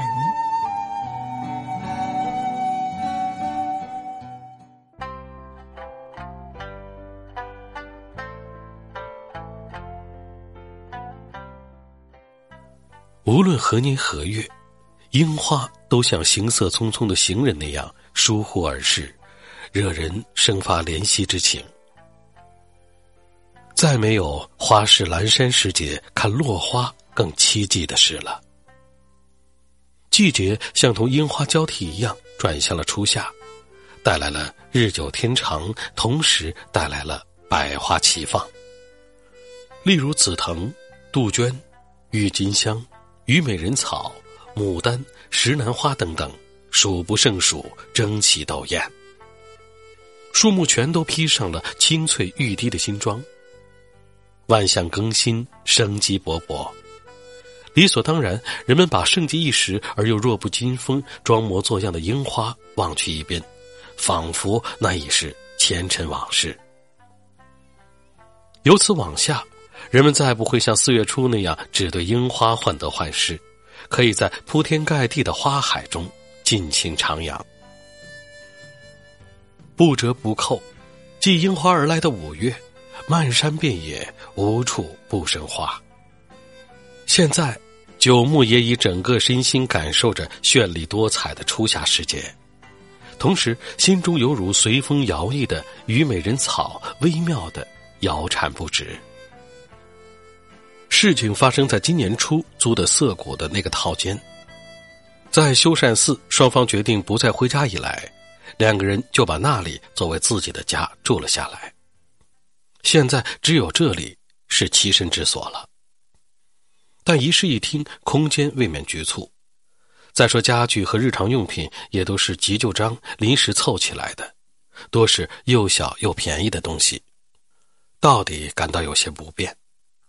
如果可能，很想搬去宽敞些的地方，可是，一来花费不是小数，二来为了一起放心居住，在户籍上也需要一清二楚。近来也许因为在一起的时候多了。公寓管理员和周围的人似乎把两人看成了夫妇，但也好像有人觉得两人的关系有点蹊跷。理所当然，房子的事，九木也对林子说了。和九木不同，林子一整天都在房间里，理应深感狭窄的不便，做家务转不开身，衣服因小箱里放不下，一部分塞进了塑料箱。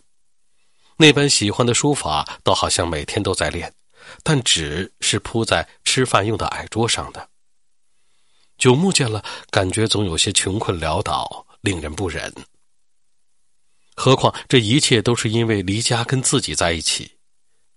想到这里，九木就想，哪怕多花些钱，也要租多少大一些的房间才是。可是林子却反对：“别勉强了，就在这儿好了。”心情不难理解，想必不想让本是一介工薪族的九牧过于勉强。但不管怎么说，从他不积极这点看来，也有可能对这里相当中意。房子大小无所谓的，只要你每天都回这里就可以了。听林子说的这么大度，九牧觉得他更可爱了，不由得紧紧的搂在怀里。即使说房子。说来说去，也还是为了两人相守，而意识到时，又已经双双的贴在了一起。阿布定的审讯记录上说，两人住酒店期间，只要有空闲，就紧贴紧靠，恨不得把对方吞进肚里。两人于此完全接近。话虽这么说，但并非总是做爱，更多时候仅仅是胳膊腿的相互接触。即使九木碰林子的胸，林子碰九木的隐秘处，也只是看着或轻轻的抚摸，相互嬉戏而已。就是交合的时候也有，但一般来说，察觉到时已经迷迷糊糊的睡了过去。休息日午后等大白天做这样的事，两人每每觉得仿佛成了被关在狭小地窖里的性囚犯。林子所以不愿意离开这里。说不定是因为整个身心都已经被房间中潜伏的这种淫荡氛围彻底感染的缘故。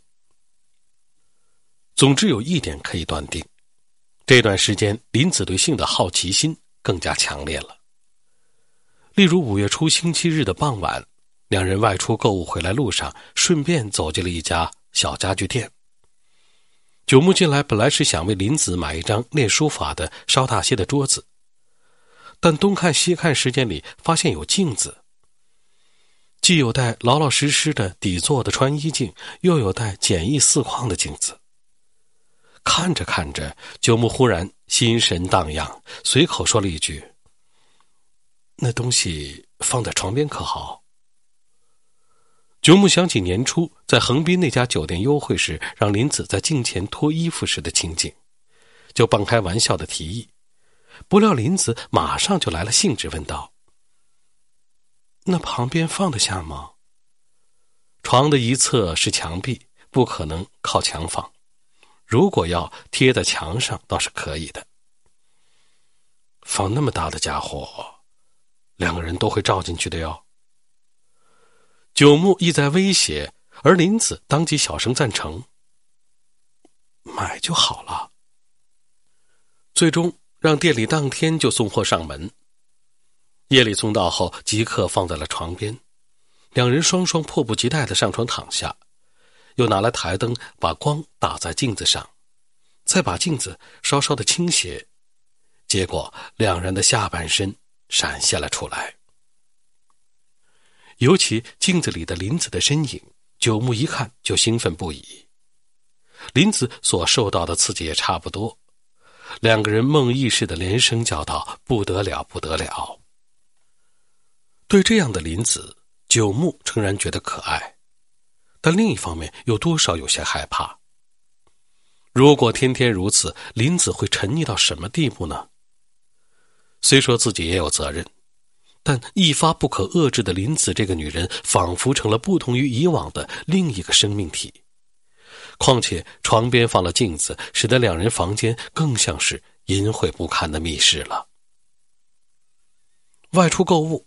还有个两人第一次去的地方，那就是位于涩谷繁华大街旁边一条小路深处的所谓成人用品店。当时并不是一开始就打定主意去那儿的，而是漫不经心的在小路闲逛时偶然碰上的。劝诱的当然是九木。我们进去看看。林子好像不大明白是什么店，默默的跟进去一看。里面挂满了花花绿绿、俗不可耐的三角裤和皮鞭子一类的东西。林子这才好像意识到，这不是普通的商店。看到形形色色的震动管和环状物，林子似乎察觉，这不是女性来的地方。他拉住九木的袖口，说了声“讨厌”，随即低下眼睛，但好像无意回去，反而躲在九木背后细看。看着看着，大概来了兴致，指着震动管问：“那个是干什么的？”九木半是恶作剧的拿在手上，对准林子的胯间。林子慌忙用双手挡住，摇头道：“别别。”九木很想寻背过脸去的林子开心，就出不少钱买了下来，但返回住处，当即一个人看着苦笑。你们男的买这东西觉得好玩 其实那店里差不多所有的东西都是为了讨女性欢心用的。跟这东西相比，绝对是你那个好。听林子这么说，自是舒了一口气。可这样一来，小房间更加成了两人的私密天地。失乐园，欢迎您继续收听。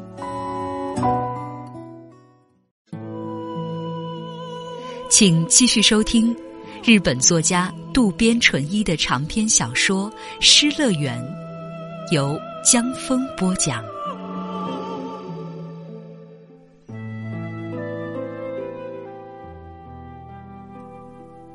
说清楚些，该说九木现在被林子拖着才对。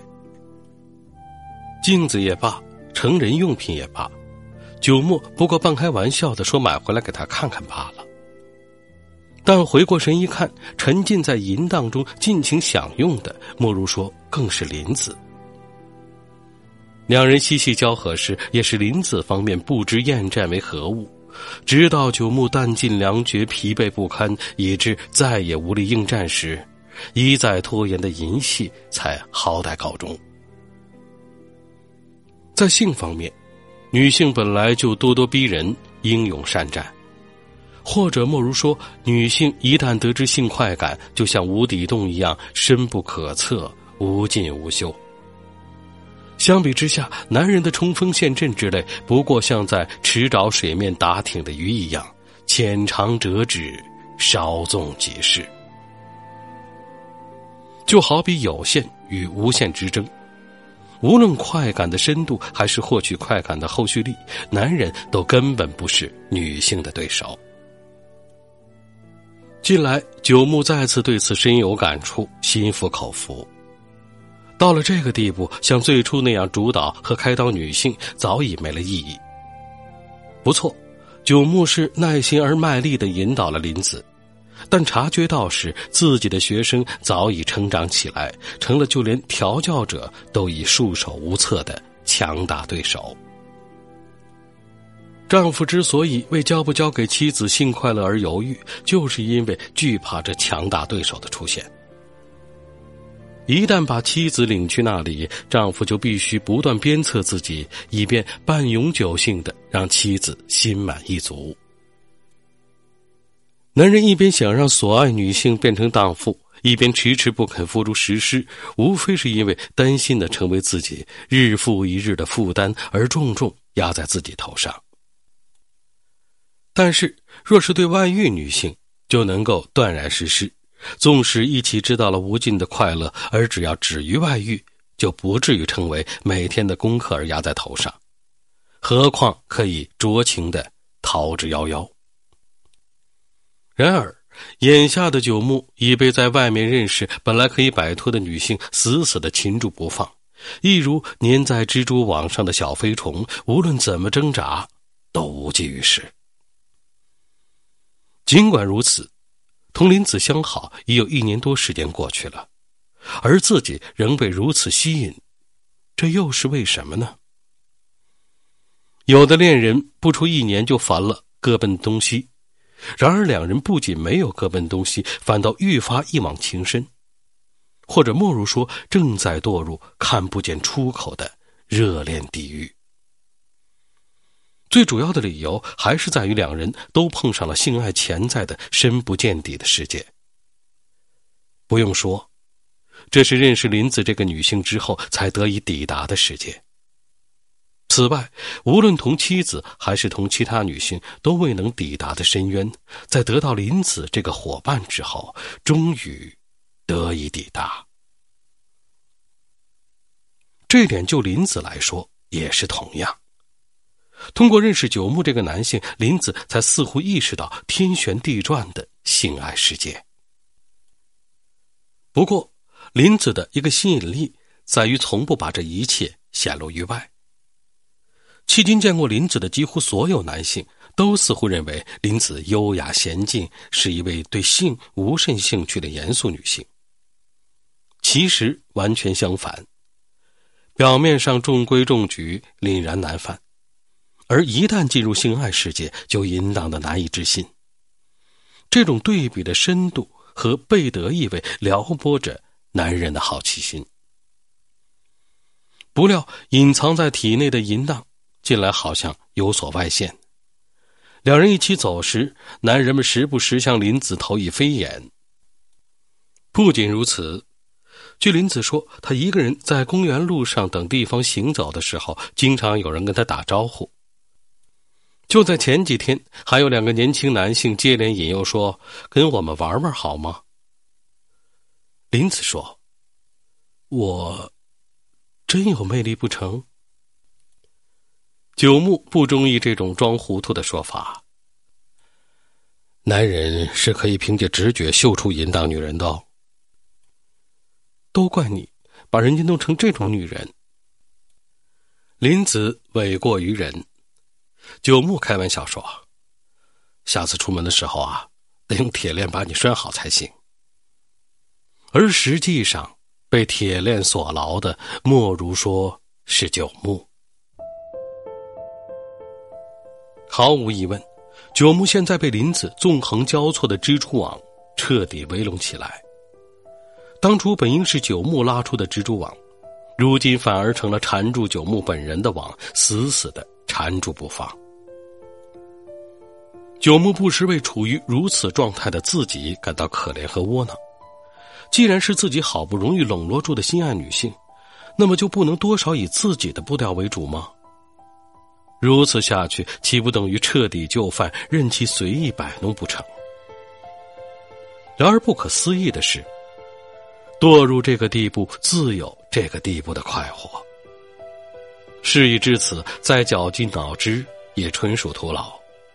往下听之任之好了，只管堕落好了。这既是一种豁达，又是一种无奈，一种委身于主动放荡和堕落的本能。九牧的心思似乎微妙传导给了林子。每次叹气，林子都劝他别想太多，把他拉进更加隐秘的两人世界中。的确，如果认真考虑两人前程和生计什么的。就不可能一味沉溺于眼下怠惰的日日夜夜，总要在哪里做个了结，对双方的家庭也该有个交代。可是现在的九牧几乎没有心绪面对现实中的郁闷。按理，同妻子离婚的事及其相关的种种问题，本应该尽快处理，但时至如今，就连这个也打不起精神。如果妻子再提一次分手，自己是打算离婚的。但他不提，就这样也未尝不可。这点林子也好像一样，任由同丈夫处于绝缘状态，自己无意积极的推动离婚的进程。说到底，除了一味沉溺于二人世界，两人眼下什么都不想，逃避责任这点心知肚明。可是时至现在，两人即便幡然醒悟，返回家中，也于事无补。打比方说，两人现在恐怕已彻底陷入了无名长夜的黑暗中。那黑暗也是不知所终的，名为淫荡的地狱。从旁人眼里，那分明是令人瞠目结舌的颓废行为，但两个当事者并不认为多么不好。就算是黑暗，也已在肉欲河中随波逐流，时而陶醉于头晕目眩的快感之中。若只看这一点，说是在极乐花园中玩耍，也并无不可。两人追求的早已是挑战肉体极限的欢愉顶点。但是，几乎不出房间的林子倒也罢了，而对于天天上班的九牧。现实与梦幻生活之间势必会出现破绽。白天来社里跟同事们见面，伏案工作是事实，但二人世界中的糜烂生活则近乎似梦非梦的幻觉。往来于这两种截然不同的世界，而使之浑融无间，几乎是不可能的。实际上，涩谷糜烂生活的气息，在来办公室后，也难免会流露出来。女秘书曾试探道：“近来好像有点疲惫嘛。”如果再打个盹儿，又冷嘲热讽的说：“九牧君，最好别太勉强哟。”男同事到底没说到那个程度，但也好像看出了九牧的无精打采和荒废感。要好的村松担忧的问：“哎，身体不要紧的？”九牧每次都搪塞了事，但到了五月中旬，连续留宿在外这点终于瞒不住了。起因是村松有急事找九牧往九牧家里打电话时，妻子的答话：“啊，那个人已经好久不住这边了，什么都不知道。”语气那般的冷淡，全然不加掩饰。啊，只是吵了几句嘴，没什么的。当场倒是好歹应付过去，但九牧外面有女人，并且难以自拔一事，完全成了公开的秘密。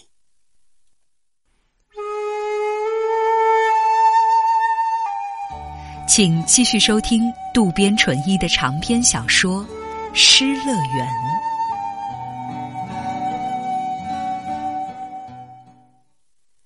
作为工薪族，通过工作从公司领薪水。从这点来说，个人生活哪怕多少出格一些，而只要工作圆满完成，就应该没有问题。但实际上，如果私事上面有了麻烦，也还是免不了给本人在单位的处境带来微妙的影响。比如，如果由于同妻子和另一女性有三角关系，而要好的那个女性闹到公司来，或夫人找上司投诉，那么就有相当不小的负面影响。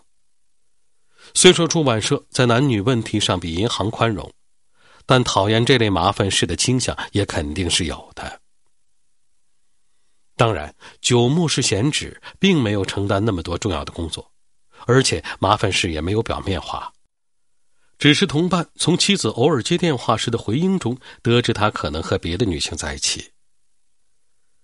但此后不出几天，当办公室里偏巧只剩两人时，算是市长的铃木漫不经心的搭话道：“那个，怕是够瘦的吧？”九木当即意识到是在说自己和林子的事，但作为自己无法应答。啊，这个九木含糊其辞。铃木不挖苦的接了一句：“啊，不过呢，精力充沛，让人羡慕啊。”铃木的话只说到这里，也并没有再提醒什么，似乎只是想把自己也听了的传闻这点告诉他。可是毫无疑问，调查室里已经无人不晓了。到了这个时候，就算无人不晓，也无需惊慌失措了。因为离家一事迟早要被知道的，此时知道反倒了却了一桩心事。九牧这么自言自语，但另一方面，自己在社里被大家怎么看呢？到底让人耿耿于怀。归根结底，降职加上家庭失和。显而易见，重新出阵的可能性已经彻底消失了。单位有了烦心事，自然闷在家里不动。而九牧并非在社里有什么不妙的事，不外乎离家同别的女性同居这件事被大家知道罢了。可是，每当调查室同伴们小声在说着什么，他就觉得是在说自己，心里一阵的不安。即使碰见室外的同事，也开始觉得好像在议论自己了。正所谓疑心生暗鬼，即使自己的处境愈发变得局促不安，而冲淡这种不安和提供慰藉的，仍然只有林子。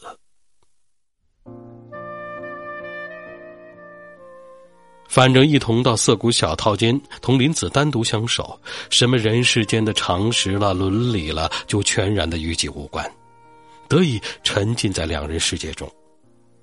而且只要待在这小套间里，就再也无人说三道四，无人指脊梁骨，得以为所欲为。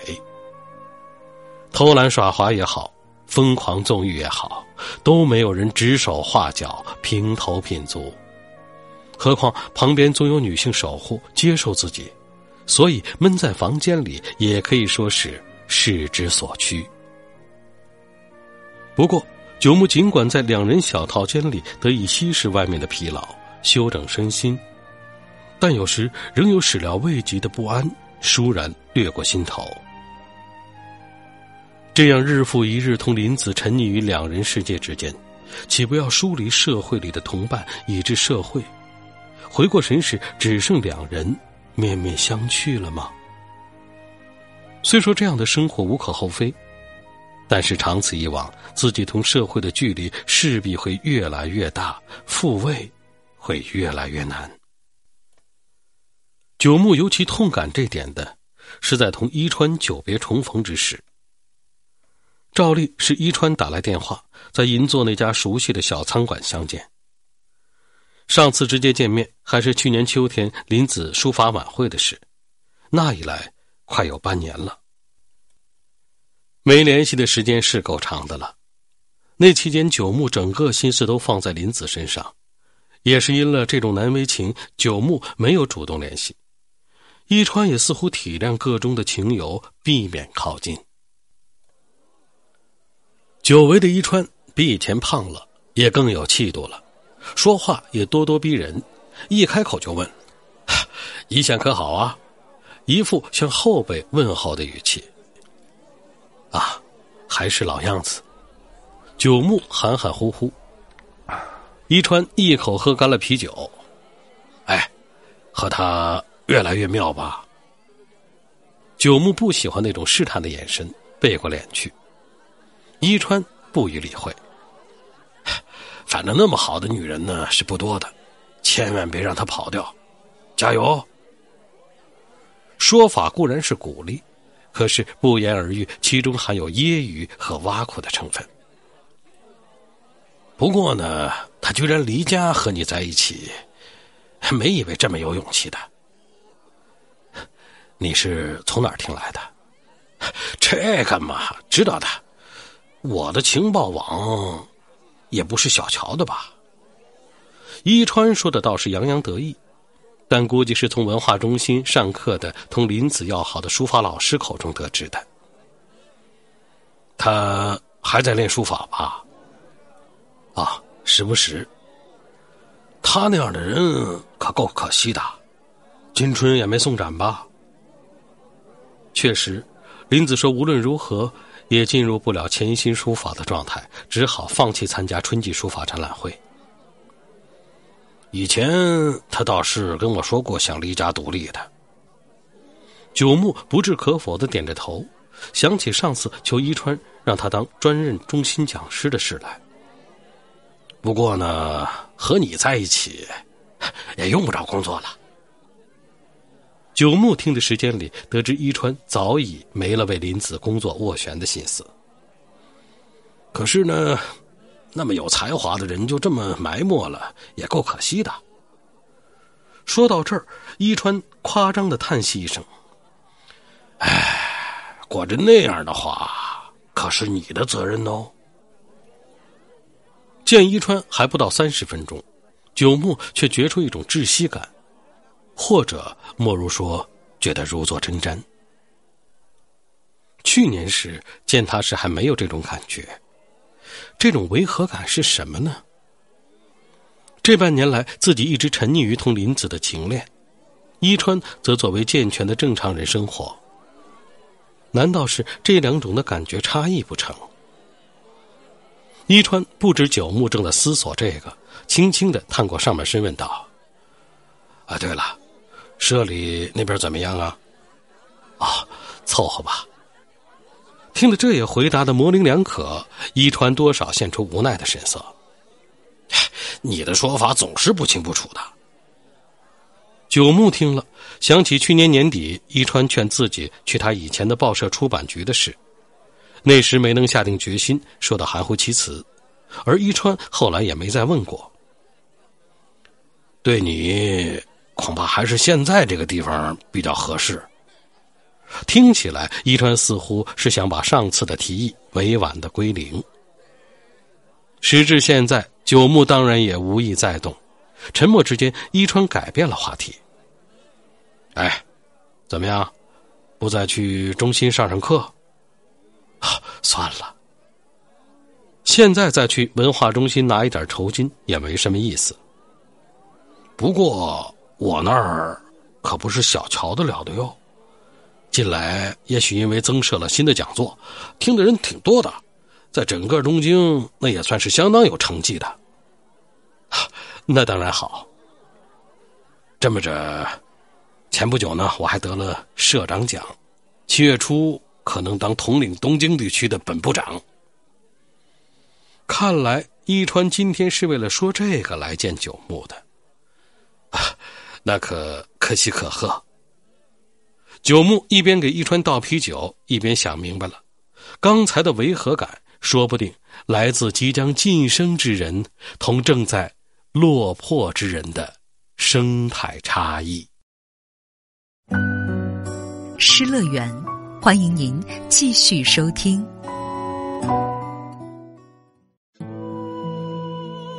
请继续收听。日本作家渡边淳一的长篇小说《失乐园》，由江峰播讲。见过伊川，九木多少有些沮丧。不过，这并非因为听得伊川即将荣任统领所有文化中心的本部长，即使他飞黄腾达，也是另一单位的人，同九木没有直接的关系。相比之下，让他在意的是伊川以伊川的形式拼命工作，而自己却不正经工作，而沉溺于同林子的情恋。说夸张些，原因在于自己都为这么我行我素、无颜面对世人的自己感到目瞪口呆、羞愧不已。这样做到底合适不合适呢？这也是自从两人入住涩谷小套间以来始终思考的一点。而在见了伊川后，想的就更多了。不料半个月后，就像等不及六月的梅雨时节似的，传来了更加令人沮丧的消息：一直疗养的水口于梅雨到来的第三天，在城内一家医院病故。水口虽然年龄大自己一岁。但也是因为同期进入出版社的，两人关系很好，晋升步调也差不多。可是，在九木由出版部长转去调查室后，两人拉开了距离。水口升为董事，岂料去年年底被突然派去分社，之后不久升为分社的社长，但刚开始施展拳脚就被肺癌击倒了。三月做了手术。九木也去看过，但听家人说为时已晚。正当自己犹豫该不该再去看望之间，病情好像进一步的恶化了。本社董事马龙分社社长水口无郎氏今晨五时二十分去世。社内通知的后面标以享年五十四岁。九木看了，想起三个月前去看望水口时说的话。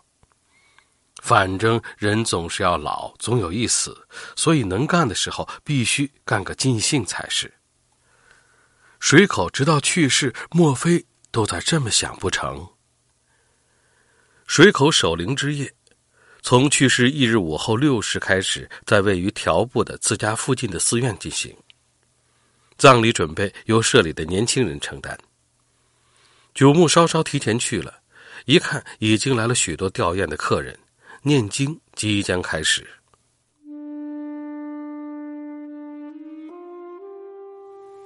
灵坛中央鲜花簇拥着水口脸庞，是两三年前拍摄的，面带笑意，两眼炯炯有神，令人觉出健康时的雄心壮志。虽说去了分社，但毕竟是现役社长。从灵坛左右到会场两侧，摆满了各出版社社长及编辑、发行、书店等人士送来的花圈。目睹之间，不知何故，九木想起了“夭折”这个字眼。对于五十四岁去世的人说夭折，也许不自然，但作为同代人的心情，还是觉得为时过早。不管怎样。水口喜欢工作，是个爱舍如家之人。那样的人先死了，而自己这样的多余者却悠哉悠哉的活着，想来也真是不可思议，甚至啼笑皆非。过了一会儿，开始上香。九木站在队列里，认识的人很多，其中同期入社当营业部长的中泽站在自己的旁边，互相以目示意。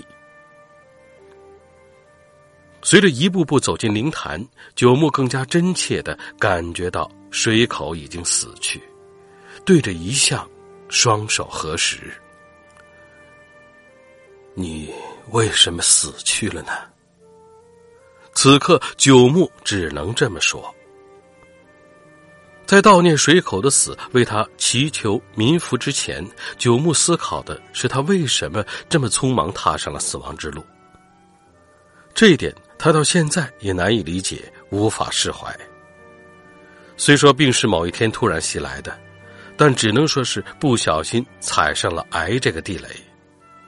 水口和自己之所以阴阳两隔，差别仅在于是否踩上了这个地雷。如此不释然之间上完香，向其遗留的亲人表示完哀悼之意，正要离场，中泽要他过去一下。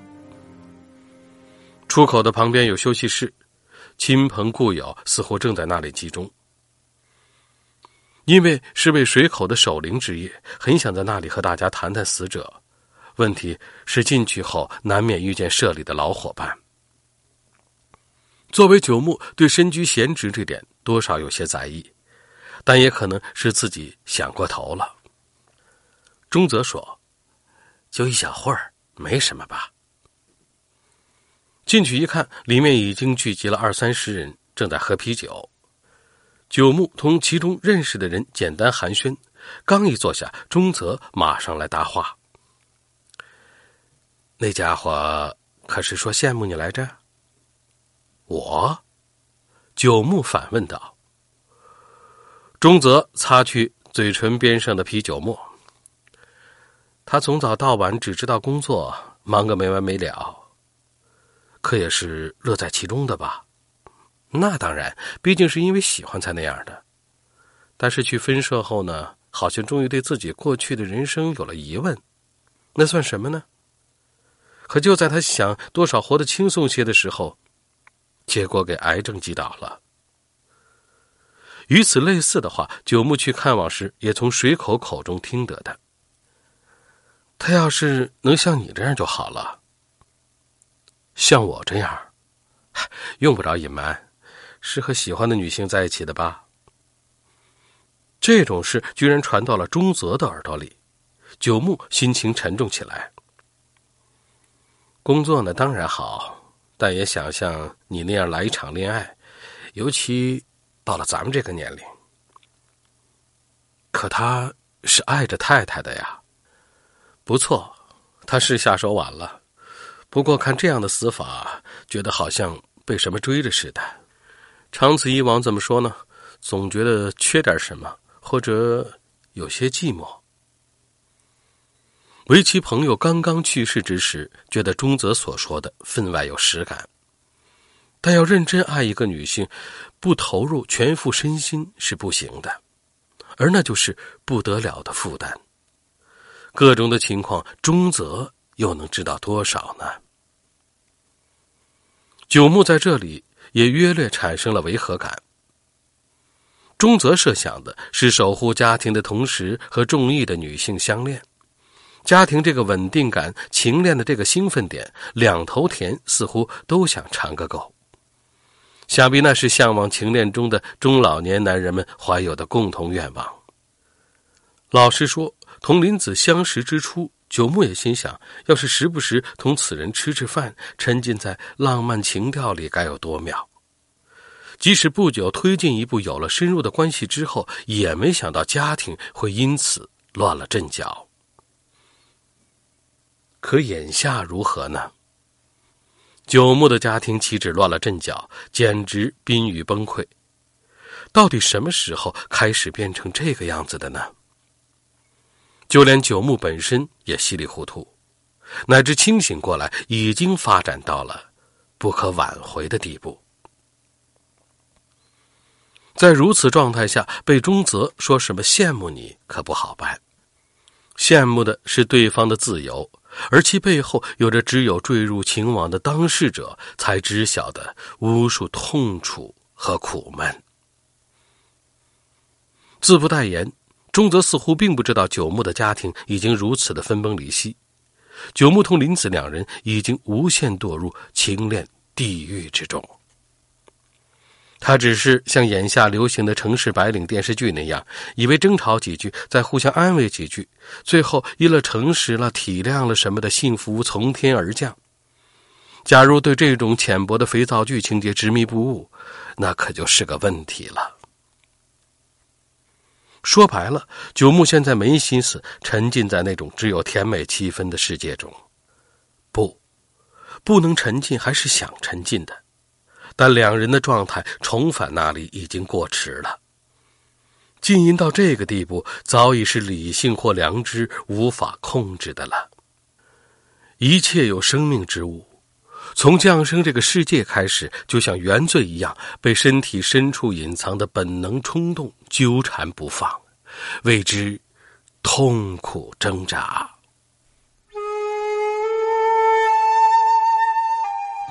请继续收听渡边淳一的长篇小说《失乐园》。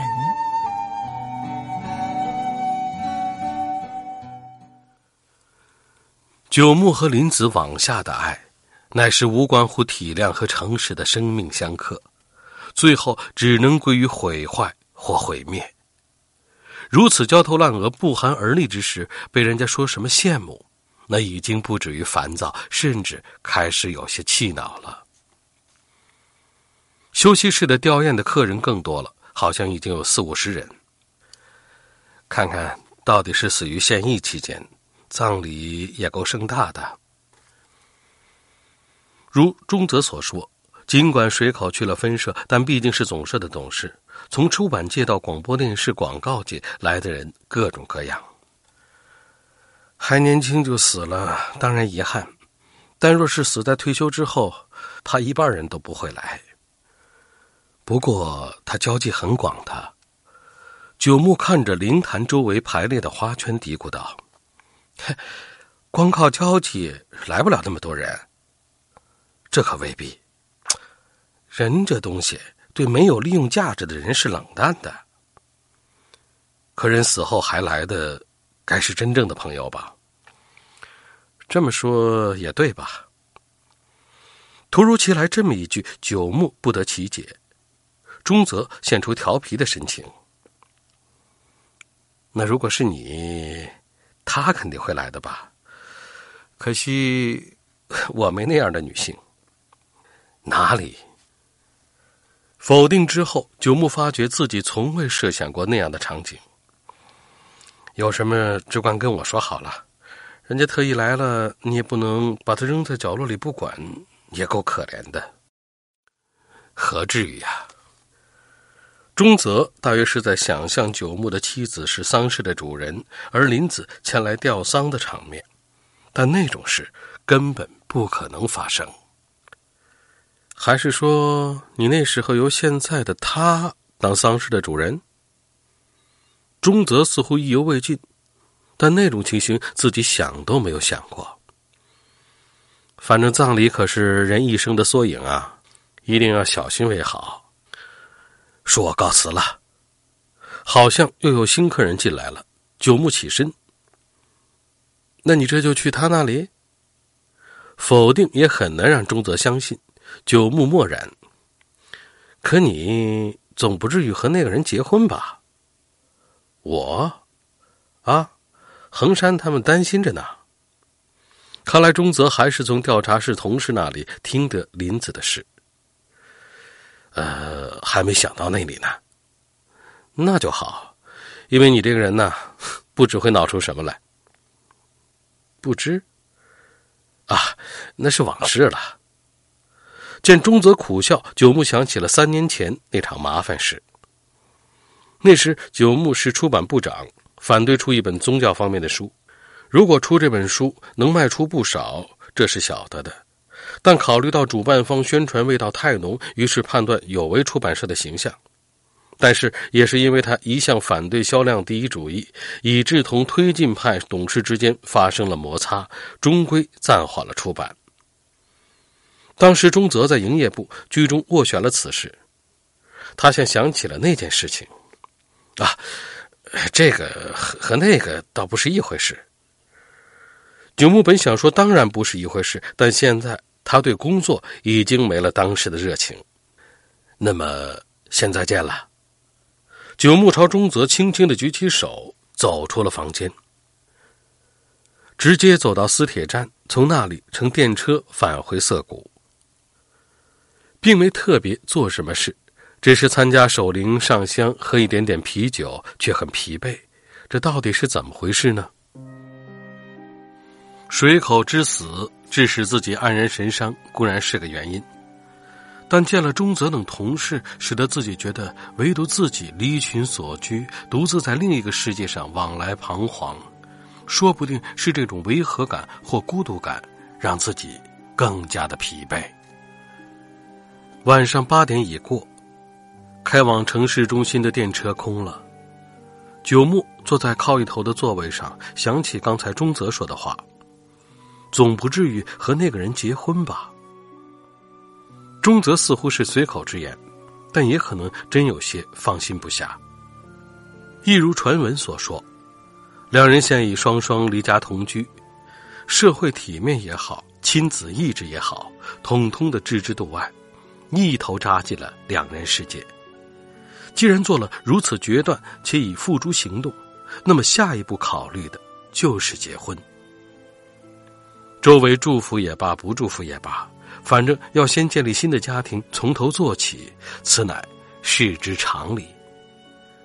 然而费解的是，九牧至今根本没考虑和林子结婚，一起构筑家庭。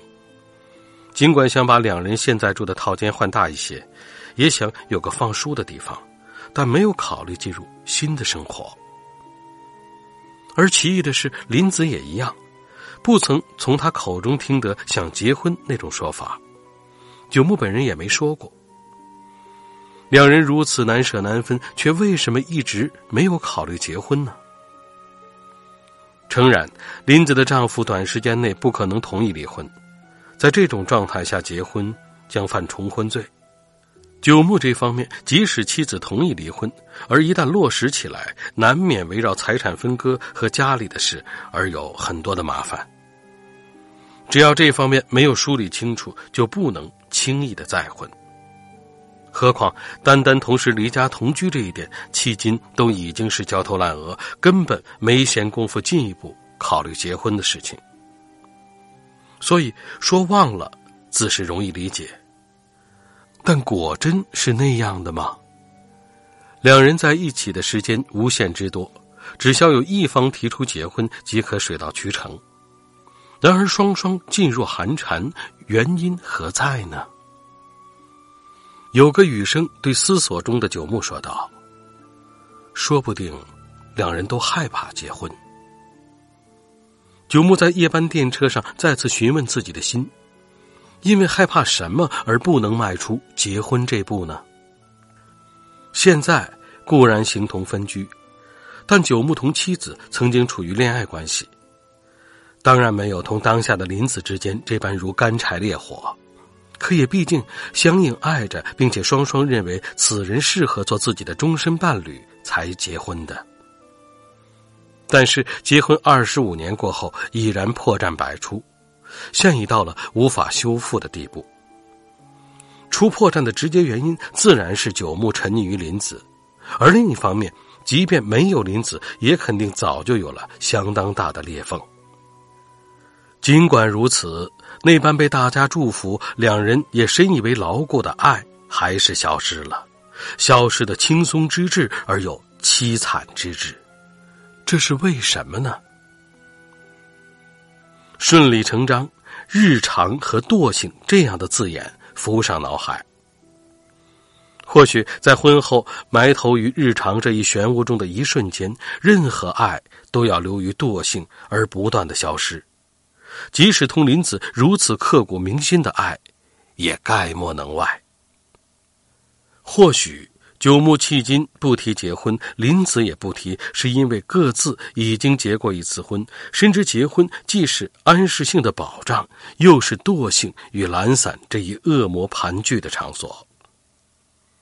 想到这里，九牧蓦然想起阿布定杀石田吉藏是关系深入后仅仅过了三个月的事。那般疯狂的性爱，结果是女方因爱到极点而杀了男人。或许正因为相识仅仅三个月，第三个月正是激情如盛开怒放的花一样熊熊燃烧之时，所以才起了杀心。假如两人在半年或一年后结了婚，那般强烈的爱也好，占有欲也好，就不会涌出。相反，唯其爱之烈，也就恨之深，迟早分手也未可知。毫无疑问，爱也有花季的问题。如此思来想去之间，九牧到了涩谷，已经是九点了。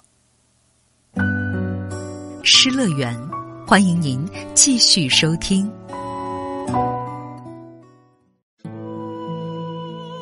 请继续收听日本作家渡边淳一的长篇小说《失乐园》，由。江风播讲。一如往日，车站周围到处是匆匆赶路回家的工薪族和赶往热闹场所的年轻人。穿过这样的人群，从宽阔的路面爬上徐缓的坡路，往小路一拐，顿时四下悄然。第一条巷口的拐角，就是九木住的公寓，五层建筑，不很大，一共只住三十户。租住时说是十五年房龄，但已经相当陈旧了。楼门那里的预制板院墙就那样塌在那里。不知何故，回到世田谷家时有回来了的感觉。但这个小套间总好像给人以赶来两人偷情的据点之感。进去前都需要匆匆的四下打量。当然，公寓周围冷冷清清的，一个人也没有。九木看好后走了进去，乘电梯上到四楼。按响了拐角第二个房间的门铃。林子在里面时总是迫不及待的一跃而出，但今晚有些迟缓。九木有点纳闷，再次按铃，正要用自己的钥匙开门时，门终于从内侧开了，现出了林子的脸。你回来了。话是同一句话，但声音有些含糊，眼睛也好像没抬。九木马上问。怎么了？林子没有应声。发生什么事儿了？脱下吊唁的礼服，又问了一句。林子边把衣服挂上衣架边说：“刚才母亲来电话了。”林子最近把这小套间的位置和电话号码只告诉了横滨母亲一个人。从他不悦的表情看，猜得出电话内容不会让人欢欣鼓舞。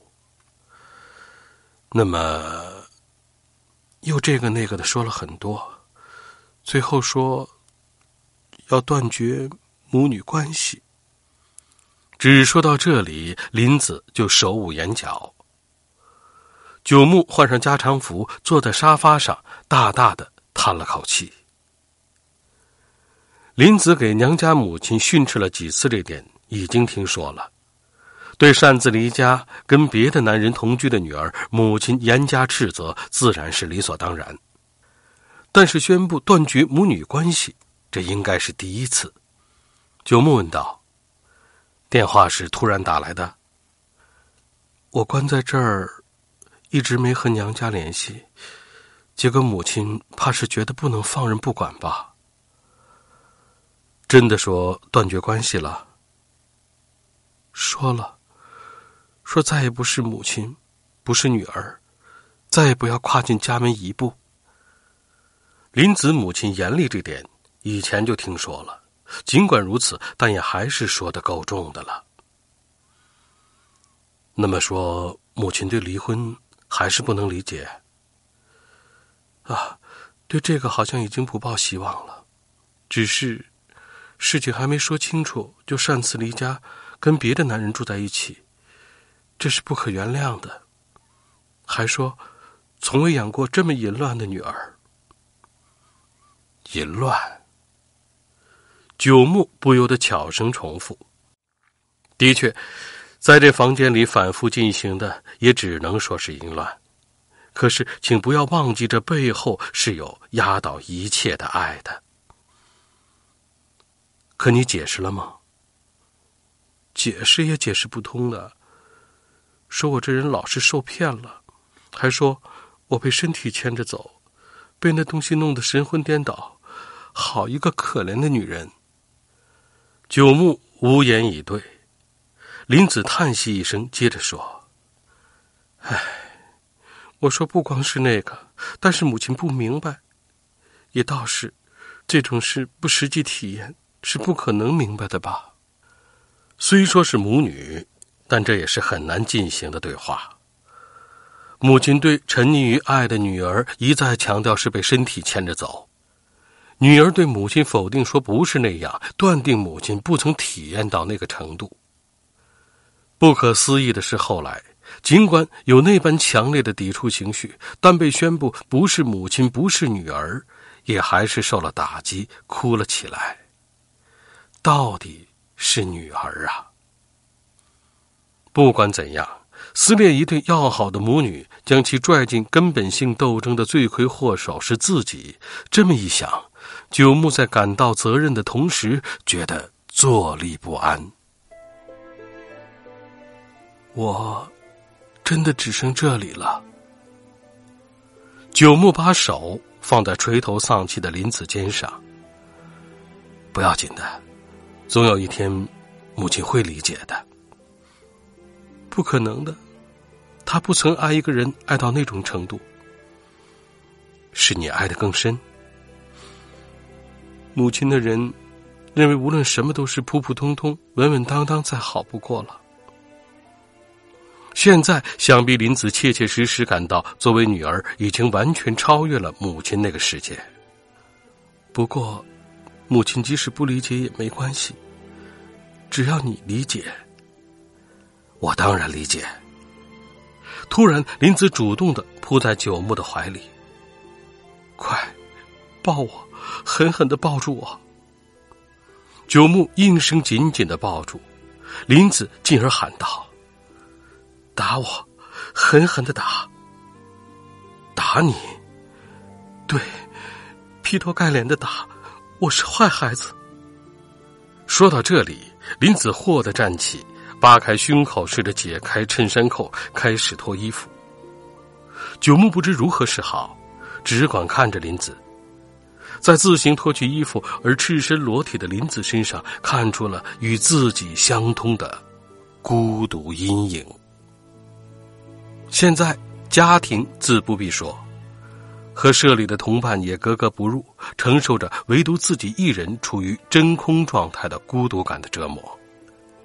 而林子也似乎一样，在自存有生以来再无二次的深爱的裹挟之下，越是勇往直前，越是为世人、为亲人所抛弃，只剩下自己，形单影只，被周围拒绝疏离的男女，最后赖以寄身之处，只有同样孤立的男方或者女方身边。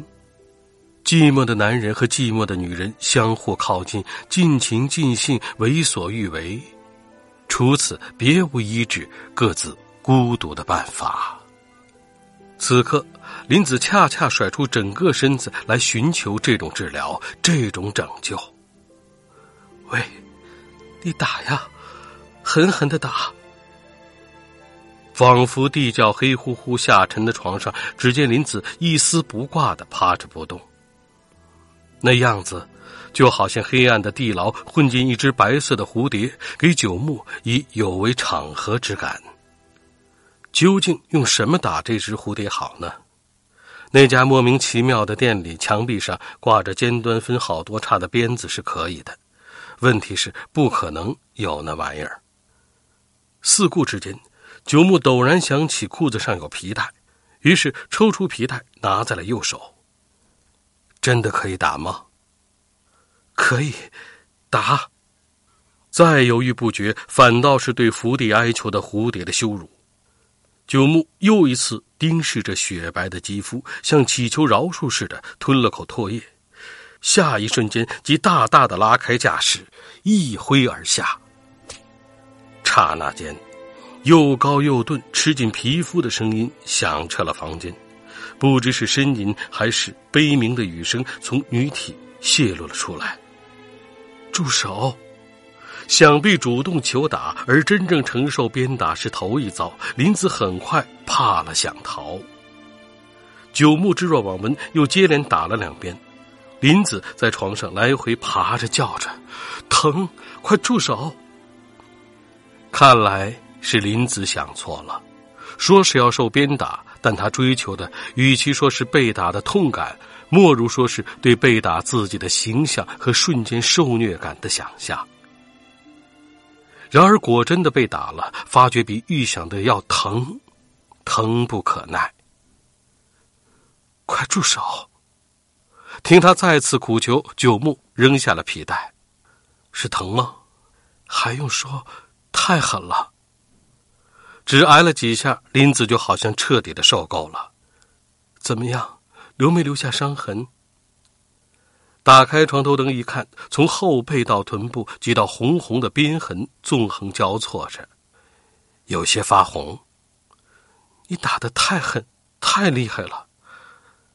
不是你叫我打的吗？我没以为你那么真打。林子说的颇有些出尔反尔，自相矛盾。很快就会好的。九木把手指按在白色皮肤鼓出的红道道上，林子小声的嘟囔着：“就那里麻麻的，没感觉。”如此说罢，林子忽然想起似的说：“对了，这回要打你报复，不行不行，男人这东西打也没什么意思。”九木说的是被打的样子，林子好像是说打的效果。想看你挨打的时候怎么四处逃窜。话说的有些莫名其妙。九木于是下床俯视林子的背，近乎透明的白嫩皮肤上边痕红红的拐来拐去，好像在看一幅超现实主义的绘画。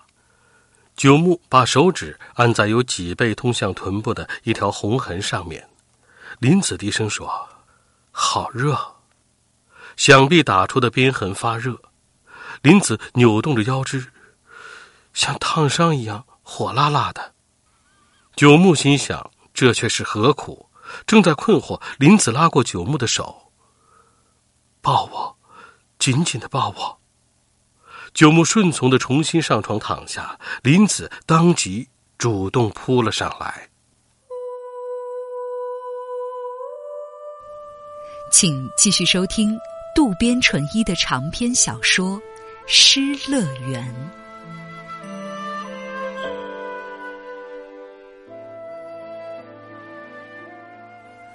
林子主动要求鞭打，是出于狠狠伤害自己身体的愿望。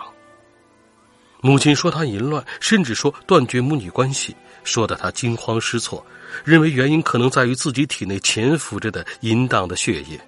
于是急中生智，要把他揪出来冲走，只有用鞭子抽打。实际上，挥鞭的九木也在抽打当中陷入了错觉，好像有无数淫虫从林子浑身上下冒了出来。然而打完一看，结果截然相反。鞭打之下，林子的确痛苦的呻吟挣扎，不安和羞耻也似乎随之消失。尝到的快感似乎比以前还要强烈，全身的淫虫不仅没有除掉，反而更强更深的钻进了快感的世界。这样一来，鞭打又有怎样的效果呢？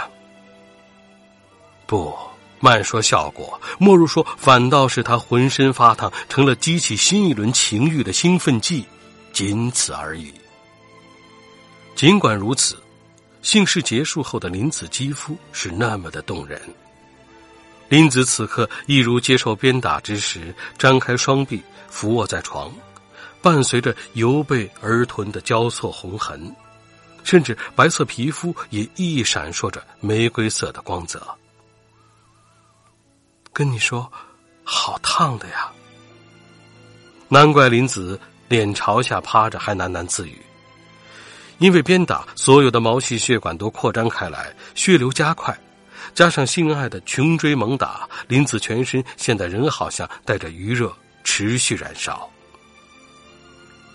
九木摸着那火辣辣的机体，再次陷入了沉思。女性到达极限时的快感究竟是怎样一个程度呢？对于未尝体验过女人之性的男人来说，那无非是空想而已。不过，远比男人强烈深厚这一点似乎毋庸置疑。当然，男人在那一瞬间也有强烈的快感，但为时极短，可谓近乎一瞬间。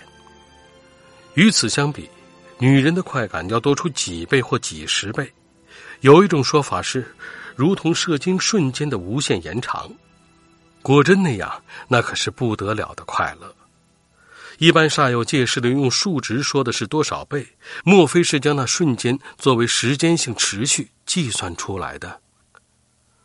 话虽这么说，也并非所有女性都能切切实实感受到这所有的快乐，其中有的尚未得到充分的开发，即使有感觉，也是浅尝辄止，甚至有人感觉到的，好像只是对性本身的厌恶和屈辱。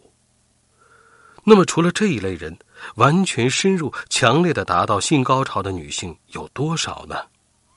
正确比例不得而知。不过，能够绝到的人，或可说是性精英才对。现在，林子恰恰作为被选中之人，躺在床上，沉浸在快乐的余韵中。那随波逐流般的形态，似乎洋溢着彻底知晓性高潮的女人的丰饶、自信与满足。九木嘀咕了一句：“不可思议呀！”林子轻轻的贴近上肢。什么不可思议？水口死了，在为他守灵回来的夜晚，我们两个干这种事。你是说不合适？不是那个意思，而是生死就像一指之隔。九木想起灵坛上摆放的还健康时的水口遗像，去了那种地方，谁的感觉都好像一样吧。什么一样？虽说现在活蹦乱跳，但也迟早难免一死，不过是或早或迟之差罢了。仍背对九木的林子点了下头，然后忽然抓住九木的手，贴在自己的胸口。哎，一起死吧，一起。反正都是一死，那么还是一起死好吧。我现在已经足够了。不知什么时候开始，林子身上好像有了对死的向往之心。不过，林子向往的是在满足顶点的死，相比之下，九牧的则是出于参加朋友守灵之夜后的虚无感。同是死，但两人之间似有微妙的差异。九木放不下这一点，进一步问：“刚才你是说，现在就已经足够了，是吧？”“是的，什么时候死都行。”“就是说，再想多活，活着当然也可以，但感觉上，现在最为幸福，每天和你这样爱的不能自拔，是吧？”不过。继续活着，有更好的事也不一定啊。那同样程度的糟糕的事，也可能有啊。往下再清楚不过的事，只有上年纪吧。不要紧的，来日方长。没有的事儿，上次也说了，往下只能一天比一天皮肤松弛，皱纹增多，一天比一天衰老了。林子的话固然不无悲观，可是毫无疑问，九牧也要老，出版社的工作也要失去，无可避免的成为不为人需要的人。与其那样，索性就这样包拢在林子这花瓣中，永远的消失，可能还是幸福的。现在，应该是我们的顶点呐。那还用说？没有哪两个人。像我们这样相爱，确实如此。九木点了点头，林子转过身来，哎，还想去一次哪里？一直守在这儿，心情都一塌糊涂的。这一点，九木也感同身受。要不去清景泽吧，那里有我父亲建的别墅，两个人单独待在那儿好了，没有人来。放心，总是空着的。若是在那里，做什么都没有人说三道四的。看样子，林子的心已经飞向了林木森森、四下寂寂的清景泽。失乐园，欢迎您继续收听。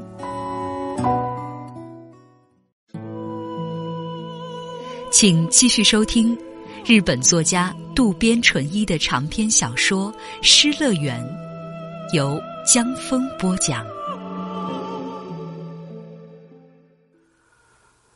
七月的第二个星期，九木为去清景泽请了两天假。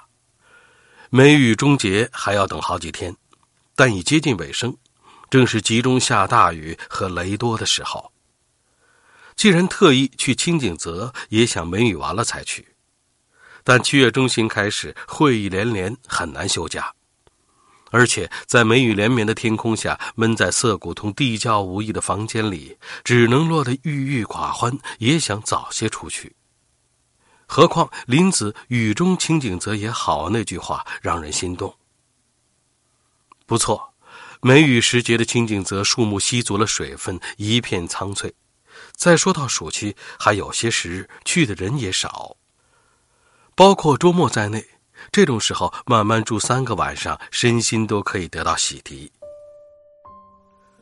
老实说，这段时间无论九木还是林子，精神都有些萎靡不振。首先是九木这方面，女儿之家的话总是想在耳畔，别老是拖拖拉拉，痛痛快快离了好不好？其实不用女儿说，时至现在，九木虽然无意回到妻子身边，却又没心思在离婚协议书上盖章。这一是出于婚姻生活已持续多年之人独有的优柔寡断，二是因为后来妻子也没有再就离婚协议说什么。从孩子之家的角度来看，可能觉得父母这方面的做法拖泥带水，让人着急。总之，就连女儿也逼自己离婚。九木愈发觉得远离了家庭，或者说更感到孤立了，这一点无可否认。其次，林子近来也表现的多少有些反常，而这同她相隔许久回了一次丈夫所在的家似乎不无关系。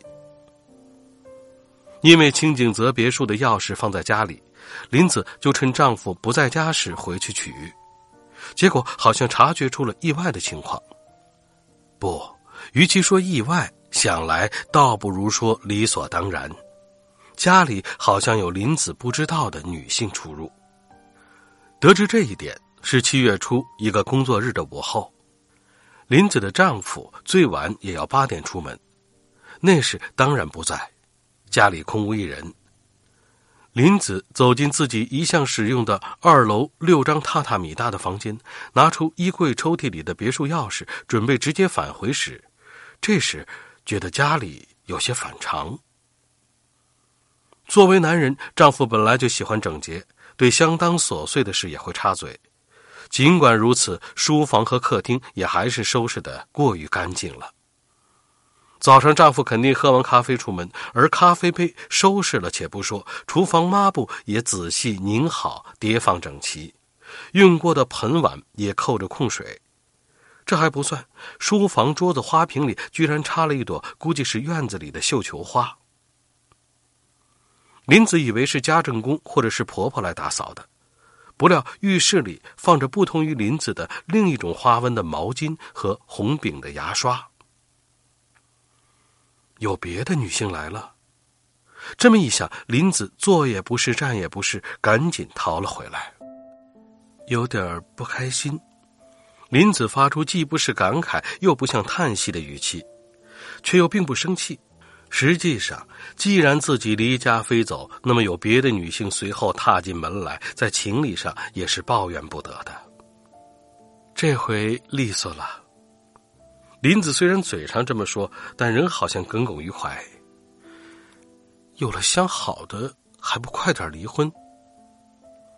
如果一如林子推测的，那么莫非是说林子丈夫尽管有了相处的女性，却还是不肯和林子离婚？这样一来，我就再没什么好留恋的了。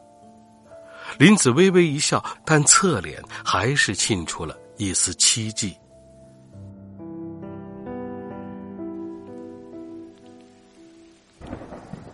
以为侥幸会晴，但去清景泽的那天还是雨天。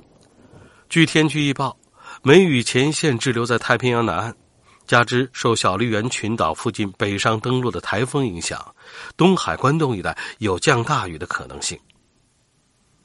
两人在如此的状况中吃罢晚饭，早早的赶往清景泽。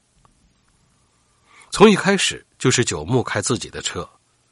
不过，清景泽周边道路好像还是林子更熟悉一些。开出首都高速之前，相当的拥堵，而进入关越高速后，开始畅通无阻。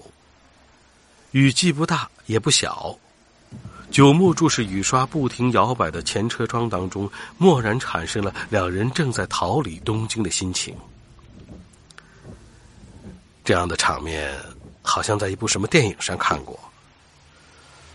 不至于是暴力片吧？他不是那种杀人犯，而是相爱的两个人逃离城市，跑去陌生的地方。林子略一沉吟。可我们，没准和杀人犯一个样。杀了谁？不是杀了谁，可我们是在折磨很多很多人的吧？比如你太太、小孩，周围的人也。林子还是第一次触及九牧的家人。不过，这点你的家也，是啊，我周围的人也被伤害的不轻啊。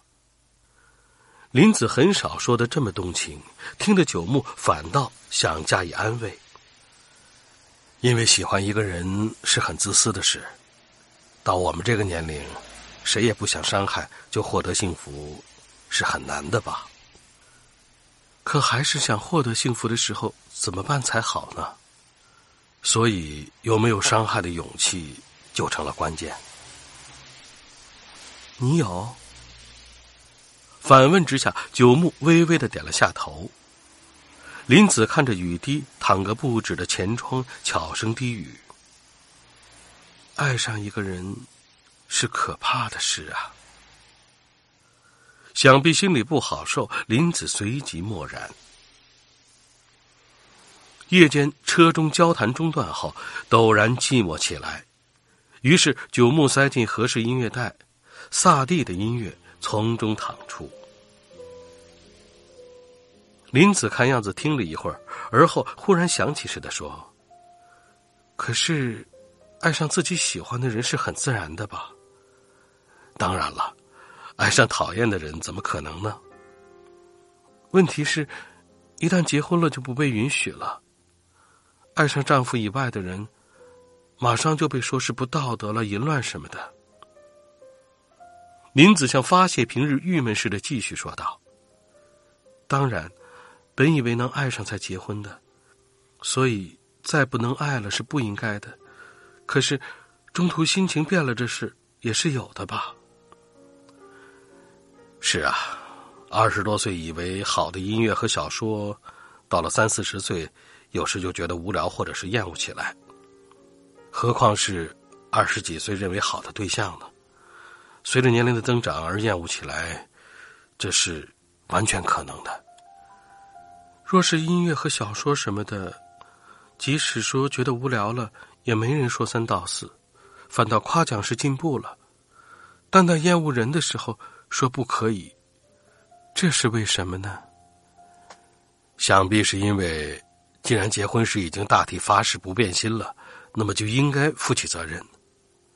可另一方面，觉得勉强的时候，就只能老老实实的道歉，酌情付给慰谢金什么的，两相分手。本来想那样做的，可为什么周围人还是斥责欺负呢？如此刨根问底，九牧也答不上来，因为男女或者是夫妇之间是不能仅凭好恶来决定的吧？但是勉强和不喜欢的人在一起，反倒要欺骗、背叛对方，是吧？与此相比，同喜欢的人在一起才是正理啊！可一旦这样，这回又要被说是伤害、折磨别人。萨蒂低语般的旋律，似乎使得林子更加闷闷不乐。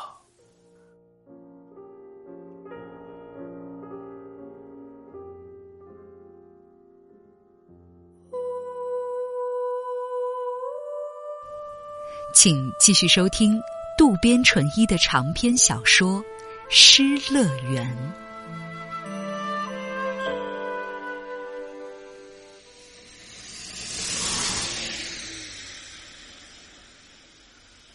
车从花园往本庄儿玉和岐玉县北部驶去，雨仍无止息的景象。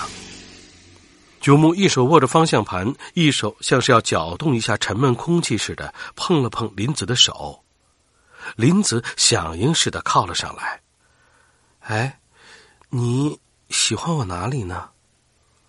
刚才谈的都是严峻的现实，或许唯其如此，林子才想说点轻松浪漫的。哪里？全部啊？可总该有特别中意的地方吧？那一句话很难概括。说嘛。这不无麻烦的提问，使得九木想多少玩点坏心眼儿，非常的中规中矩，而又给人以钻牛角尖想不开的感觉。一时放心不下，凑近一看，那会如何呢？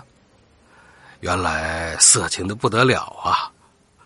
林子用拳头咚咚捶打着九木的膝盖，都怪你，怪你！嗯，越是中规中矩，越是肆无忌惮。你中意的只是这个，那就趁机都说了吧。总是认认真真、勤勤快快，意外大胆，却又是个鼻涕虫，漂亮却又不平衡，这种地方，我被人说有不平衡的地方，这可是头一回。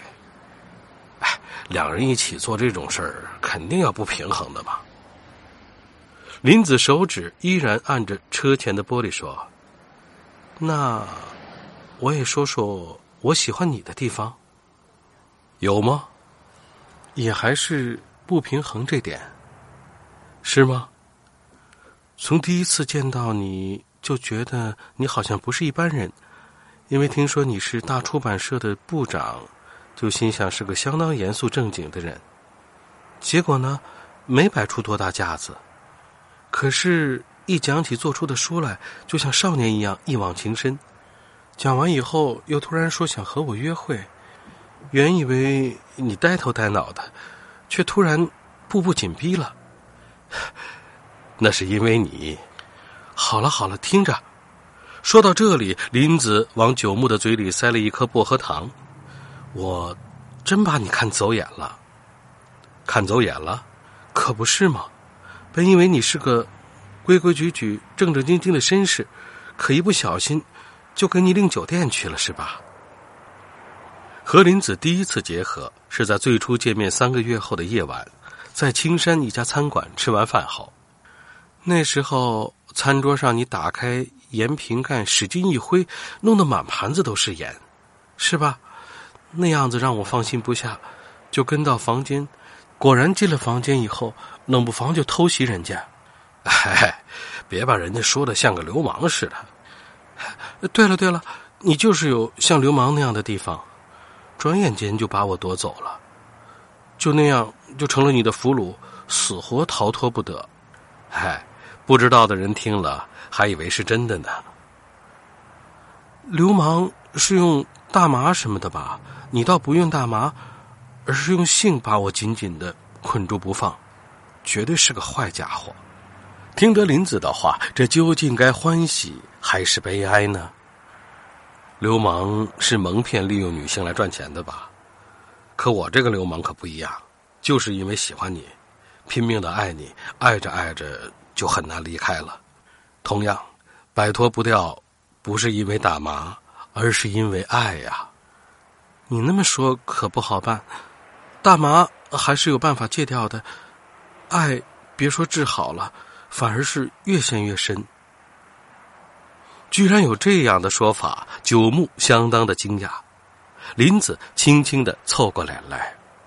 不过，虽然都是流氓，你是柔情流氓。车继续沿着上新月公路行驶，看样子快到对冰岭了。一直下个不停的雨，稍微变小了。却又上来了雾，前车灯的光也模糊不清起来。路拐来拐去，盘旋而上，九木不声不响的小心开车。穿过几条隧道后，雾迅速变薄，清景则到了。看表十点，离开东京是七点半，差不多用了两个半小时。大概是因为距暑假还有些时日，又是平时的夜晚，路面空空荡荡，只有自动售货机在雨天里闪着凄寂的光。林子从小就常来清景泽，路也非常熟。在站前，由他开车从新道开进万平路，开了五六百米右拐，这里算是旧清景泽的老别墅区，四周全是桦树林，一片沉寂。林子说：“终于到了。”把车停进座树林前面停车场，出来一看，黑黢黢的林木前闪出三角房脊的洋楼。门灯已经亮了，想必已经跟管理别墅的名叫丽媛的人联系，说今晚过来，所以灯被提前打开。房子不大，小巧玲珑，是吧？如林子所说，建筑面积并不大，但外面占地有纵深感，四周簇拥着黑黝黝的树木。这儿建了快二十年了，很旧了，不过还是相当漂亮。夜晚看不大清楚，但还是看得出外墙是浅驼色的墙砖。走进门厅，马上看到彩色玻璃装饰窗。父亲说：“青顶泽还是西洋风格的房子好，就做成了这个样子。”听说林子的父亲在横滨做过进口贸易，想必是按他的喜好建造的。过了门厅，有一间有木纹感的起居室，约略狭长的房间左端有一个火炉。围炉摆着沙发和椅子，往里是厨房，厨房另一侧摆着橡木餐桌，右边一角是家庭酒吧。林子领着九木看其他房间，门厅右侧有一间合适和放两张床的西式房间，二楼有放着大写字台兼做书房的西式房间，还有一间放着立柜和双人床的卧室。最近一直没人住，潮乎乎的。林子边说边打开左右的窗口，放进夜间的空气。你母亲不来吗？母亲有轻度的风湿症，梅雨季节是不来的。林子掀掉了床罩，我们在这儿不会被任何人打搅的。的确，躲在这里，谁都不可能知道。看罢房子的大致情况。折回起居室，林子马上给炉子点火。虽说七月都已经时近中旬，但或许是梅雨寒气的关系，有些凉森森的。火炉四周堆着一大堆木柴，看样子这也是管理人提前准备好的。木柴燃烧起来后，马上就暖和了，加上火焰摇曳不定，更让人觉得置身避暑胜地。哎，没有替换衣服吧？说着，林子拿来他父亲穿的一套西式睡衣。下回啊，要把你的准备好才行。九木顺从的穿上林子父亲的睡衣，笑道：“有点大。”那我也去换衣服去。九木直接坐在沙发上，眼望炉火的时间里，林子身穿白色丝绸睡袍出现了。喝香槟吧。林子从家庭酒吧前的橱里取出了酒瓶。往罗贝迈尔玻璃杯里倒了酒，总算和你一起来了。说着，林子递过酒杯。为了两人的清景泽之夜，干杯。那今晚在哪里休息呢？二楼卧室可以的吧？的确，二楼卧室放有黑漆立柜和大双人床。那个房间，父亲来时常用来着，但是已经有三年没来了。床单、床罩也都换过了，不是当时的。不喜欢那里？啊，不是不喜欢，只是两人躺在一起，不会被你父亲责怪。放心好了，父亲和母亲不同的，他很通达。我结婚的时候他就说，如果不愿意，随时回来就是了。去年年底，林子父亲突然去世时，林子的情绪那么低落。或许他们父女之间有着外人难以想象的特别的亲情。我父亲死的时候很受打击，那以前一直任性的很。倏然，九木想起守灵之夜以淫乱的姿势强求林子的情形，林子也似乎想了起来。那时，给你叫去酒店了吧？所以，真的对不起父亲。不过，也可能因为有你，我才能振作起来。你父亲要是知道我们两个人一起来，会怎么想呢？父亲会理解的，因为他总是说和喜欢的人在一起是最幸福的。我要是和他说和你单独从东京跑来这里的，他很可能说好啊，一直待在这儿好了。想必回想父亲的时间里难过起来，林子的声音开始哽咽。两人就那样看着炉火，林子嘀咕着。火也有各种各样的形状啊。确实，即使从同一柴火堆燃起来的，也有红红的大火焰，又有稍稍泛黄的小火苗。林子用手指着说道：“我就是那个大火焰。”银子的额头映着火光，微微带些朱红色，摇曳的光彩。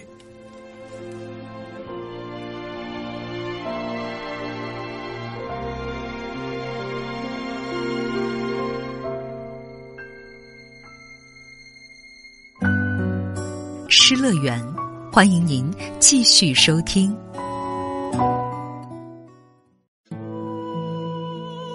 请继续收听日本作家渡边淳一的长篇小说《失乐园》，由江峰播讲。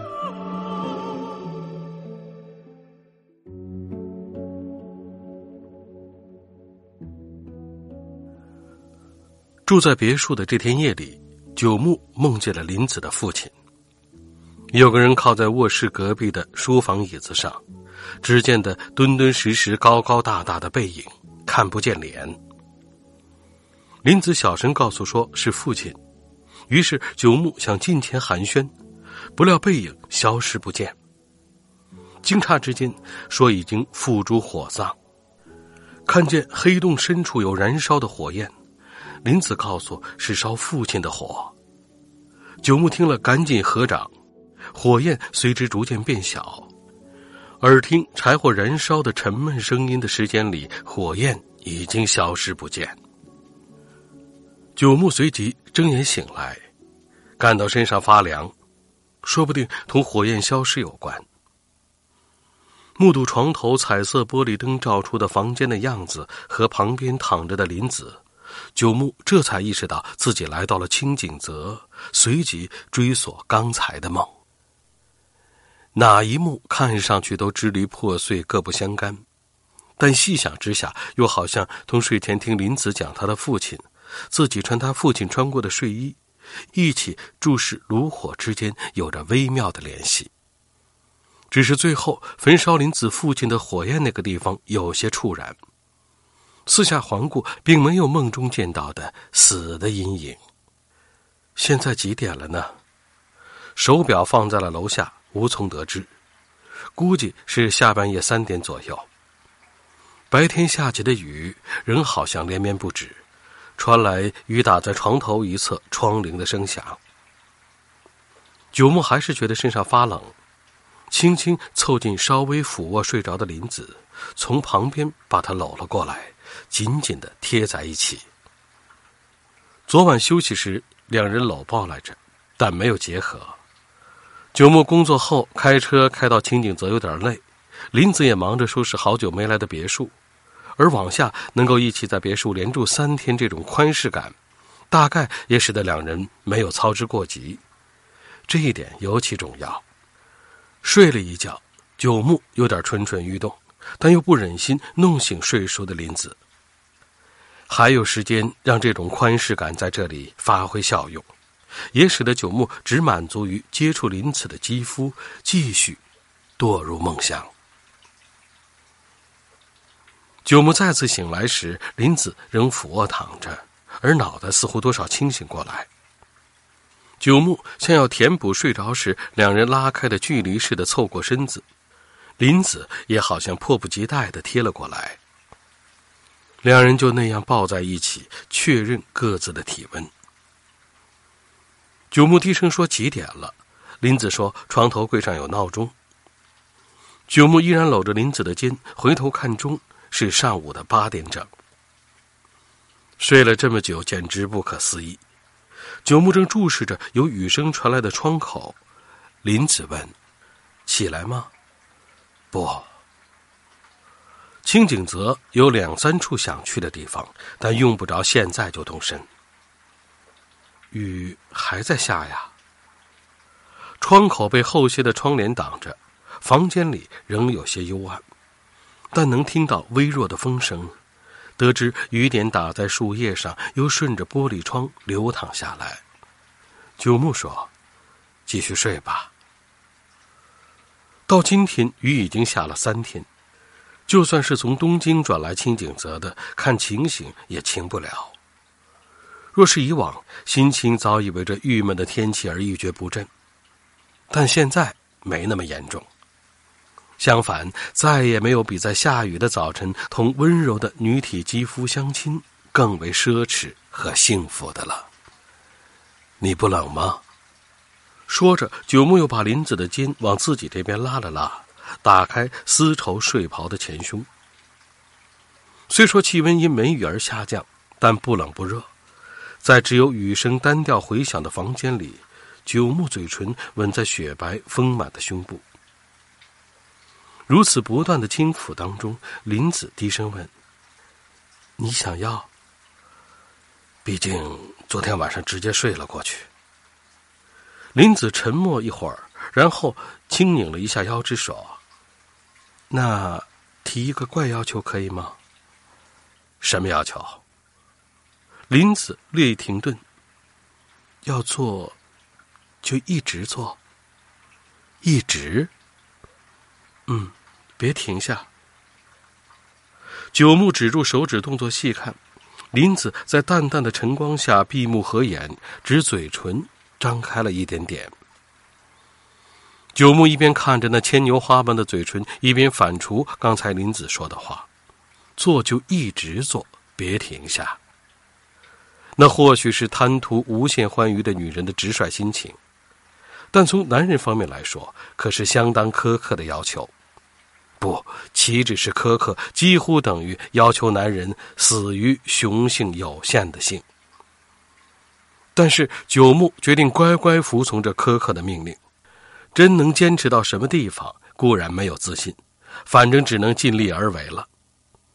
既然一见钟情成了俘虏，那么只好死心塌地的在女王面前俯首称臣，这也许是雄性的宿命。虽说雨日清晨的静寂和密室感能分外激起亢奋，但一个小时过后，男人已经弹尽粮绝，折戟沉沙。趴在余温犹存的女方身上，按兵不动，而后黯然撤退。林子说：“你不会以为我是色情狂吧？哪里？我自己也觉得下流，可是感觉真的上来了，就欲罢不能。男女快乐的深度是否相同，姑且不论。”反正和所爱之人在不断做爱中互增快感是千真万确的。林子说：“如果有什么希望我做的，什么都行，只管说。现在再好不过了，没有比你更好的女人了。真的。”林子丁问，而这无需九木回答。老实说，九木过去并不讨厌做爱。但如此充实和感受之深的不曾有过。以前的也并不坏，但觉得那只是男人所感觉的极普通的快感。相比之下，认识林子后，自己的快感一下子变强了、加深了，也知道久久忍耐了。在这个意义上，完全可以说，九木也在被林子刺激、开导和大大的开发出来。我再也离不开你了。我也是，没有你，活不下去。林子的声音被清晨的雨柔柔的吸了进去，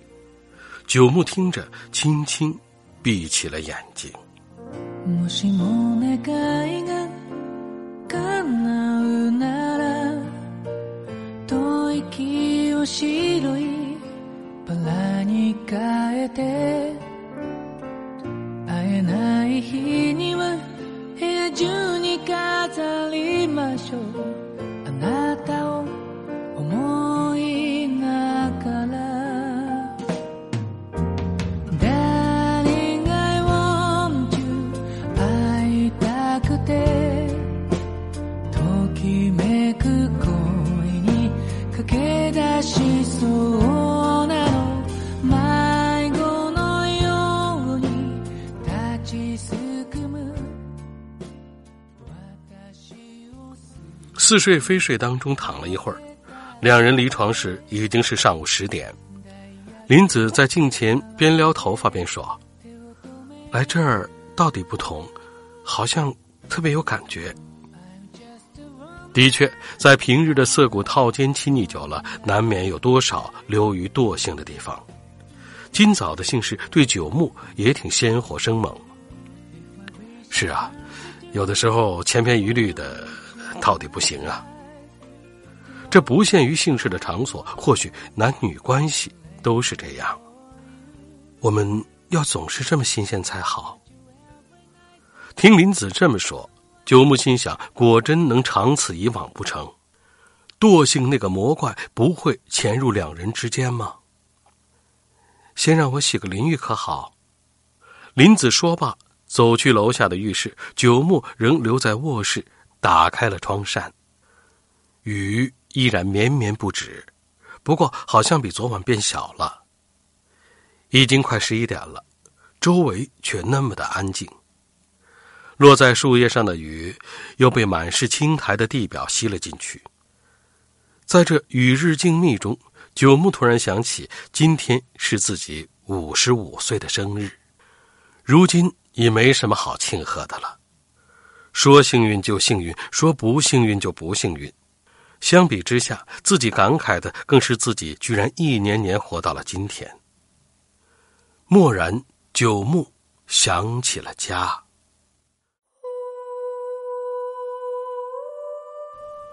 请继续收听渡边淳一的长篇小说《失乐园》。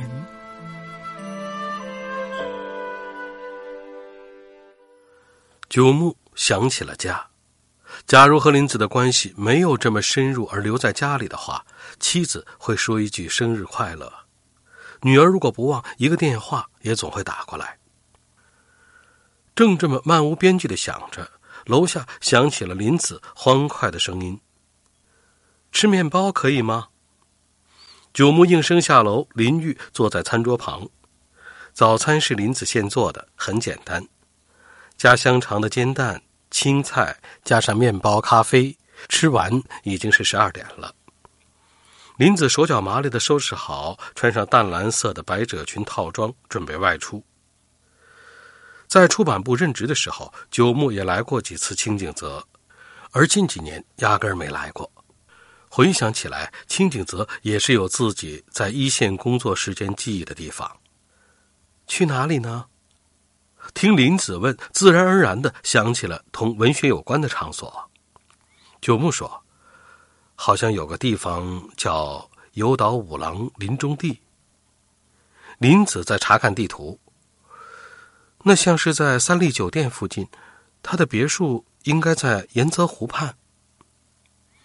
那边好找，去了一看，湖畔仍剩有一座老式的日本风格的别墅。导游指南册上写的是静月庵，上面介绍说，由于长期无人居住，形同弃屋，当地有志之士着手重建之后移来这里。现在倒是位于湖畔风景好的位置，不过特意来一次，还是想去建筑物旧址看看。看着地图折回旧址，沿西侧排列的白桦树的三立路往北行驶。路上从前田乡前面往右一拐，很快就是一片林木苍翠的斜坡。分开雨中淋湿的小路，前行不久，丰茂的杂草丛中竖有一块方碑，勉强看得出“有岛五郎林中之地”的字样。大正十二年，当时的文坛宠儿有岛五郎同富人公论漂亮的女记者波多野秋子在这里曾经有的别墅中双双殉情。那时有岛五郎四十五岁，妻子已经亡故，留下还小的三个孩子。秋子三十岁，没有孩子，但已为人妻。两个人是自缢的，并排吊颈身亡。六月下半月至七月下半月，整整一个月梅雨时节，没有任何人发觉。发觉时，两人的遗体已经腐烂。发现者说，已经全身生了蛆虫。有岛五郎和波多野秋子殉情事件，不仅是当时的文坛，而且是整个社会为之哗然的桃色新闻，而其实况却这般的悲惨。发现蛆虫的说法似乎让林子感到惧怕，他惶惶然的四下打量，对着石碑合起双手。的确，在这大白天人光线昏暗的树林中淋雨而来，感觉上真好像要被直接领去死亡的世界。林子说：“这回领你去我喜欢的地方。”林子开车沿三里路南下，进入鹿岛林地前方的小径，一湖池水闪了出来。池叫云场池，不大，但似乎颇有纵深。这里嘛，下雨也别有风情。正如林子所说。茂林修竹簇拥下的池水，烟雨迷蒙，荡漾着蜜沼般的妖气。喏，那边有白天鹅。林子指了方向，漂浮着几只野鸭，其中还混进了一只白天鹅。怎么是一只呢？为什么会在这儿呢？真想不明白。看样子不是一对这点颇让林子在意。而白天鹅却毫不知晓的神情，犹如一件放置物浮在水面上。没有你担心的那么寂寞，也不一定啊。九木撑起伞，把林子罩在里面，沿湖畔往里走去。雨小了一些，但没有停下的样子。几乎没有人来看这无声无息的水池。走到半路，因路湿，再不能走了。于是两个人返回，走进看得见水池的餐馆喝咖啡。林子说：“不过死了一个月才被发现，够可怜的。”林子好像再次想起了优岛五郎和波多野秋子的死，那期间就一直死在那么凄清的地方。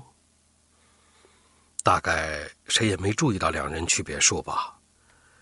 哪怕再是两个人一起，也不愿意上什么吊啊。林子眼望雨中迷离的密沼，悄声自语。这天夜晚，九木和林子两人在临近别墅的一家酒店吃晚饭。这家酒店在清景泽也是很有历史的，双层建筑，正面由木框分割开来的白墙同周围林木的绿色相映生辉。有着避暑地酒店特有的典雅。薄暮时分，两人面对面坐在这里的望得见庭院的餐桌旁边。林子身穿夏令丝绸罩衫和白色的肥腿裤，都是适合避暑的轻装。饭前，林子说先喝香槟，于是点了库克香槟。片刻，酒店服务生为两人斟入浅琥珀色的液体。林子先举起香槟杯，同九木碰杯，祝你生日快乐。九木一瞬间为之困惑，赶紧笑脸相迎。原来你知道的，当然，以为我忘了。今天早晨想起自己的生日来着，但因林子什么都没说，就以为他没意识到。九木说：“谢谢。”没以为能在这种地方让你为我祝贺生日。离开东京的时候就知道是今天。接着，九木也举起了杯，回敬了一杯。也不知道什么对你合适。林子边说边从手袋里取出了一个小纸包，喏，给你的礼物。打开一看，出来一个小黑盒子，里边装着白金戒指。或许你不中意。可还是希望你戴上。九木往左手无名指上一戴，像测试过的一样，正好吻合。知道你手指粗细，就连同我的定制了一对儿。说着，林子抬起左手，无名指戴着同一款式的戒指。你可得总是和我一起戴着才行哟。九木第一次戴戒指，有点难为情，但这么贵重的礼物不可能摘掉。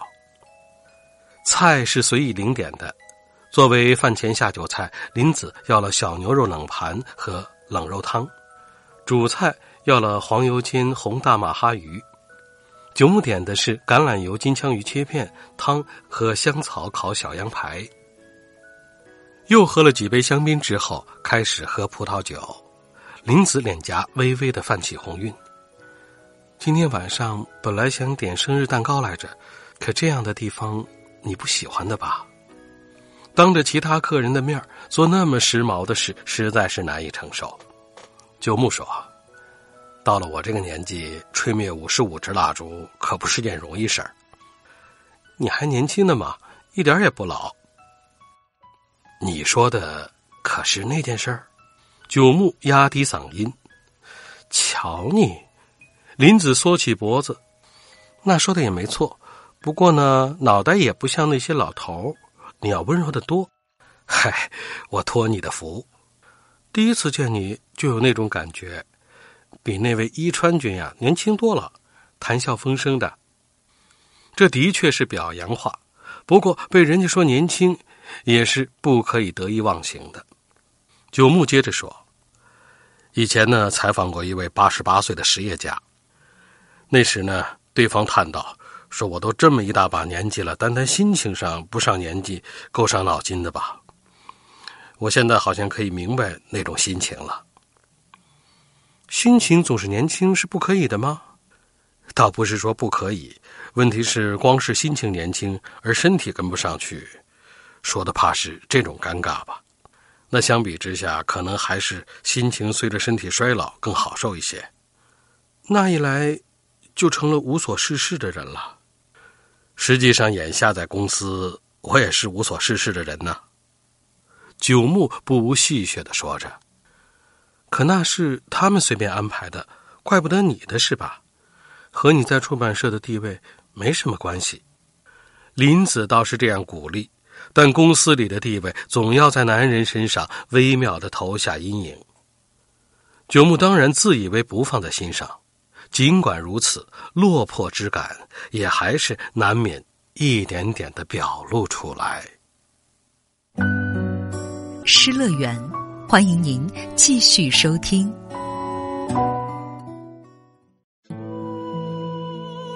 请继续收听日本作家。渡边淳一的长篇小说《失乐园》，由江峰播讲。倏然降临的郁闷在喝葡萄酒当中忘去了一边，食欲重新上来。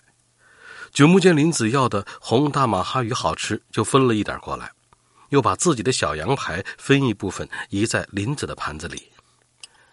两人在一起能吃好多东西。真是难得呀！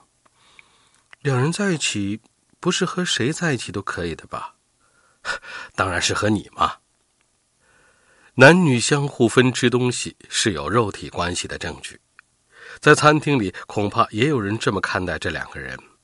但时至现在，九木已经无意遮掩。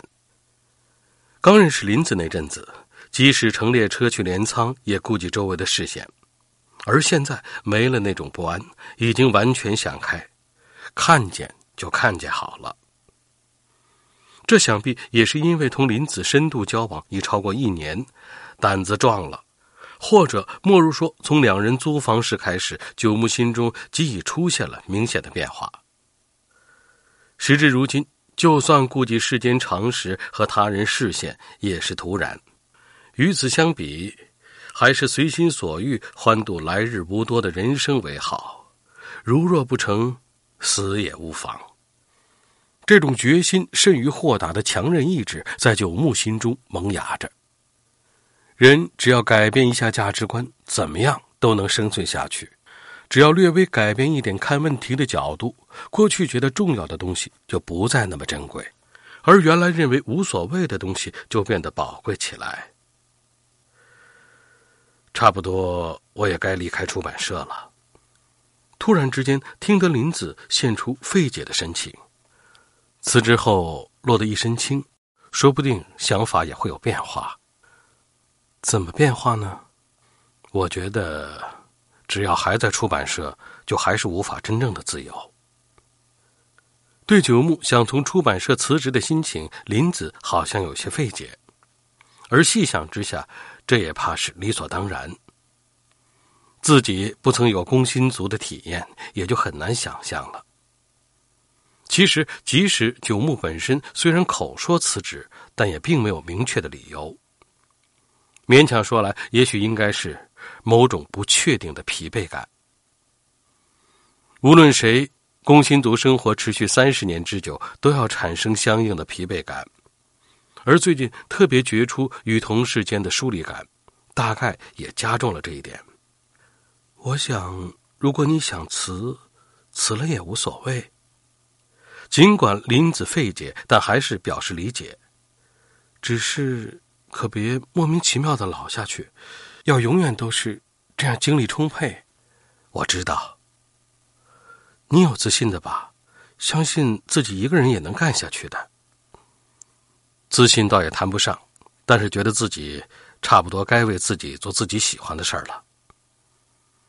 说到底，迄今做的编辑工作总是幕后的，只是躲在幕后，把谁写的东西和一时一时的报道归纳起来，自己从不登台亮相，也就是所谓的后台人物。那种心情，我也明白。的确，林子迄今为止的人生也是躲在丈夫背后的一种后台活动。这么说，也许不知天高地厚，我也不愿意就这样下去。这并不是不知天高地厚。透明玻璃杯中的红色葡萄酒，或许因为同血色相通，注视当中自有勇气从体内涌出。林子说：“哎。”两人做一件震撼性的事情可好？震撼性，是啊，就让大家啊一声惊叫的，或者是惊呼“怎么了？怎么了？不得了”那样的。察觉到时，林子也目视手中玻璃杯中的红色葡萄酒，两眼闪闪放光。同时上来勇气喝干葡萄酒时，已经是九点多了。之后吃完甜食，起身走去服务台。变小的雨已经停了。林子说：“咱们稍走一会儿吧。”从酒店到别墅走路也不过二十分钟。九木点头，拿起伞，同林子并肩走到了外面。忽然间，雨后的夜气掠过发烫的脸颊，心里一阵舒坦。街灯照出的水泥路黑乎乎、湿漉漉的。大概夜空仍被厚厚的云层遮掩，星月皆无。穿过酒店前面的广场，走上桦树路，林子悄然跨上了九牧的胳膊。夜晚十点，想必因为到盛夏还有几天，四周一片寂静，点点处处时有灯光忽然响起似的，从茂密的林木之间闪出。莫非那是看中暑期前的寂静而约略提前来到别墅的人们？九牧一边看着，一边把林子的胳膊拽得更紧。这时间根本不会碰见谁，啊，就算碰见，也已无需介意。两人走在雨后路上的足音被夜空吸了进去。不大功夫，桦树路断了，出现了一条左拐的小径，那前面也应有别墅区。但现在远处只有街灯一点光亮，那两个人是在这么凄清的地方死的。听得死，九牧马上知道林子说的是有岛五郎和波多野秋子，是在那么深的深处的别墅里。林子似乎想起白天看到的被雨淋湿的那片桦树林斜坡，那应该很冷的吧。在鸦雀无声的夜路行走之间，林子好像对有岛五郎与秋子的殉情越来越放不下。树林的前方又出现了一点小小的光亮，林子问道：“那里的别墅，本来是他的别墅？”九牧查阅昭和史当中读过同有岛五郎殉情相关的报道，多少记得。起初呢，像是他父亲的别墅，后来由他继承下来了。那么，两人去的时候，谁也没用过，是吧？他太太呢，已经病故了，孩子们都还小，他不去，应该就空在那里。前方有车灯出现，车临近驶过的时候，林子又问：“他们是死在七月初？遗体被发现是在七月六号，所以可能是在一个月前的六月九号死的。怎么能知道是那天呢？”啊，秋子呢？直到前一天的八号还在上班来着，而且有人看见九号呢，两人一起从清景泽站去别墅来着。那么说是走着去的，也应该开车的吧？但反正有人看见他们是走着的。到那里有四五公里吧？的确是有那么远的距离，走路差不多要一个小时。所以，怕是在别墅里住了两三天的吧？那就不太清楚了。不过呢，临死是把腰带拴在上门框，下面放椅子，两个人悬挂在上面，然后把椅子踢开，好可怕呀！林子紧紧的抱住九木，隔一会儿才怯怯的放开，低声说：“可是，他们的意志力真惊人呐！意志力，你看他们走一个钟头到别墅。”然后绑好了绳子，摆好椅子，人再踩上去去上吊，这一切都是为了死啊！林子认为自杀需要惊人的意志力，九牧也有同感。姑且不提病痛缠身的时候，在身体健康无碍时要把自己弄死，还真需要相当的集中力和对死亡的强烈愿望。可是，他们为什么要死呢？林子向着夜空嘀咕。为什么非死不可呢？林子的声音被吸入夜幕下的落叶松林。没有什么非死不可的理由吧？确实，当时有岛五郎是文坛最畅销的作家，波多野秋子才三十岁，美女记者，即使当女演员都不会相形见绌。两人十足是为所有人羡慕的一对儿。无论作为男人、女人，都处于人生的巅峰，可为什么选择一死了之呢？如果说两人和普通人不同的地方，那只有一个，只有一个。那时呢，两人都处于幸福的顶点。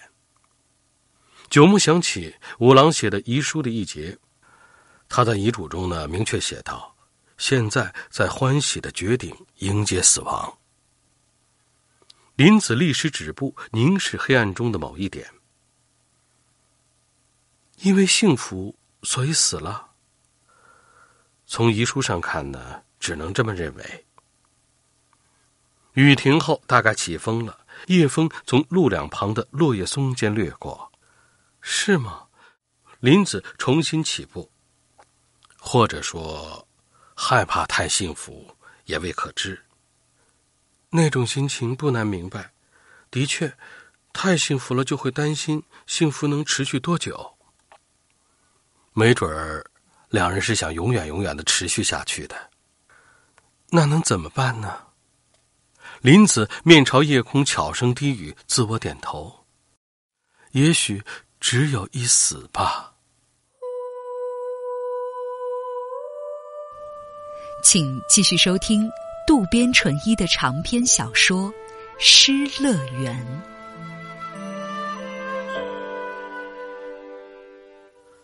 返回别墅后，两人又喝了一点白兰地。回来路上说的话都在脑海里挥之不去。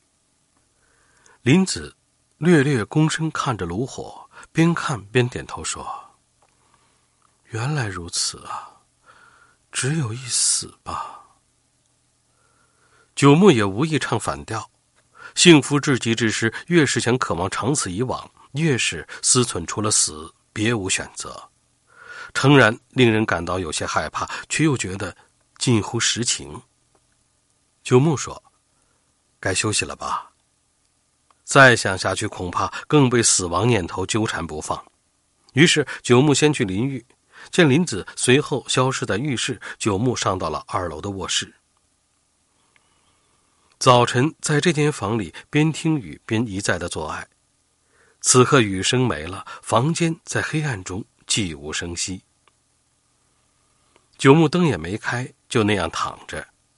正躺着，身穿睡袍的林子开门进来，在门口不无困惑的站了一会儿，而后蹑手蹑脚的凑到床边，九木一把搂过，林子紧紧的扑在九木怀里，以这样的姿势小声说道：“只有一死吧。”听起来似乎是确认刚才说的话，但同时又像是自言自语。为了让幸福持续下去，只有那样做的吧。幸福也是多种多样的，像他们俩那样永远深深相爱，绝不变心。林子如此追求的心情自然理解，但发誓永不变心，反倒觉得伪善。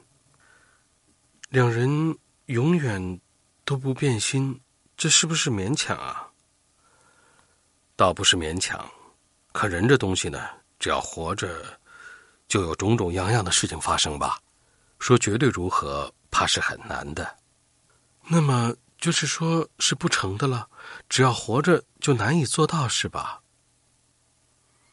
林子的话声渗入夜色之中，忽然远处响起大约是鸟叫的声音。深夜还有鸟没睡，或是别的活物。九木追随着声音的去向，林子却嘀咕道：“那个人的心情，感同身受呢。”那个人。林子缓缓转身仰卧，叫阿布定的那个人，不是把吉藏杀了吗？阿布定杀吉藏那个男人的事，上次去修善寺旅行时讲过。那时候你说阿布定。是因为不想把心上人交给任何人才杀了他的，就那么活着，对方还是要回到太太身边。如果认定现在深深的相爱，不想放弃这幸福的话，那么就只有杀死，对吧？是的，杀了就一命呜呼，再不至于背叛呢。爱上一个人，爱到极点，势必会杀死的啊。九木近乎痛切的理解林子的心情。一个男人喜欢上一个女人，如果喜欢的发狂，除了杀死别无选择。倘若就那样让他活着，很难说女方不会喜欢上别的男人，投怀送抱。为了避免那种放荡而永远作为自己的女人保留下来，杀死是最佳的选择。同样，女人要想把所爱男人永远作为自己的男人，也只能杀死他，把他从这世上消除了事。爱这种事儿太可怕了。林子好像这才意识到爱是怎么回事。一旦喜欢上对方，就想独占，可是为了完全独占，光靠同居或者结婚是很难做到的吧？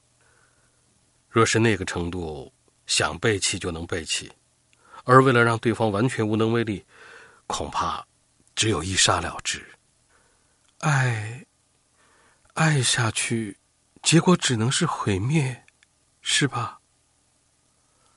林子这时才似乎得知，“爱”这一舒心惬意的字眼，其实暗藏着一副极为自私、破坏或毁灭的剧毒。由爱说到死。说这个说那个的过程中，九木居然精神起来，林子也好像同样，再次转过身，手指顶着九木的胸口问：“你会永远不变吗？”“当然，永远爱我，永远只喜欢我一个，绝不喜欢别的女人。”刚想再说“当然”的一瞬间，林子的两只纤细的手指朝喉头卡来，九木当即憋得透不过气来。而林子在黑暗中瞪着眼睛问：“你是在说谎吧？什么永远爱我？你是在说谎？不，不是说谎。刚才不是说很难做到，说勉强的吗？确实，极致万劫不变，九牧也没有自信。那你呢？这回九牧稍稍沉下身子，手指贴在林子左侧的锁骨上。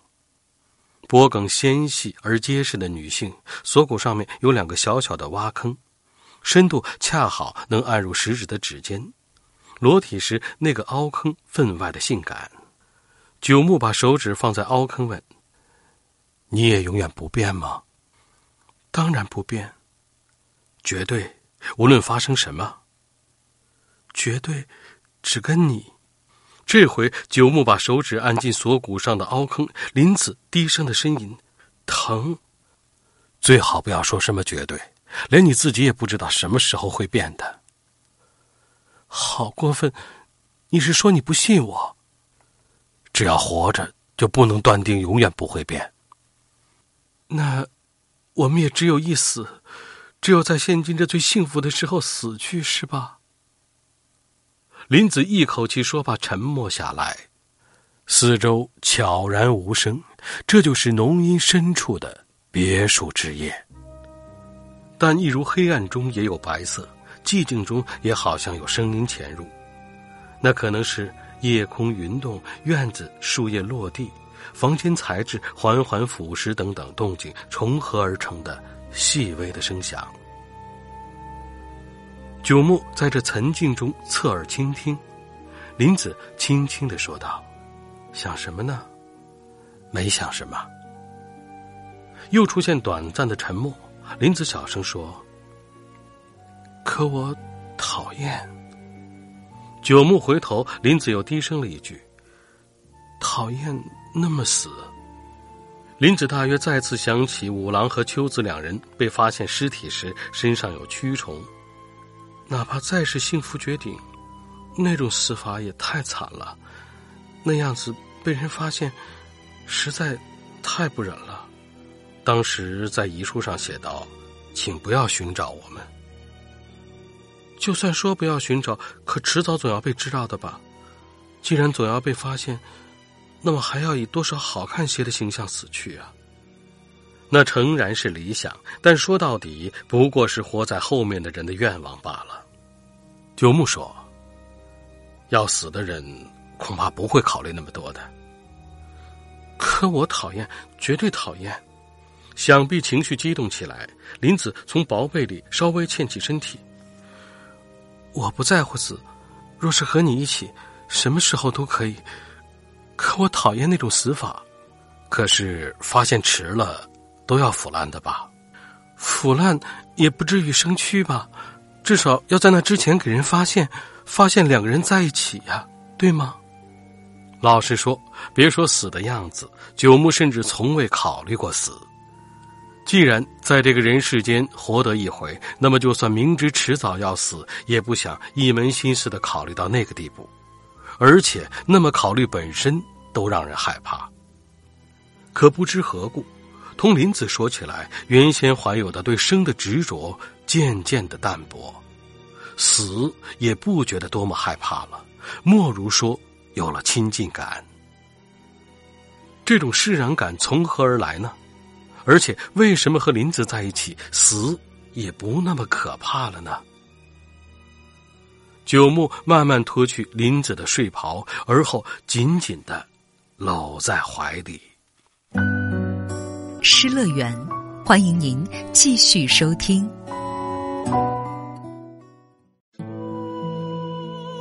请继续收听日本作家渡边淳一的长篇小说《失乐园》。由江峰播讲。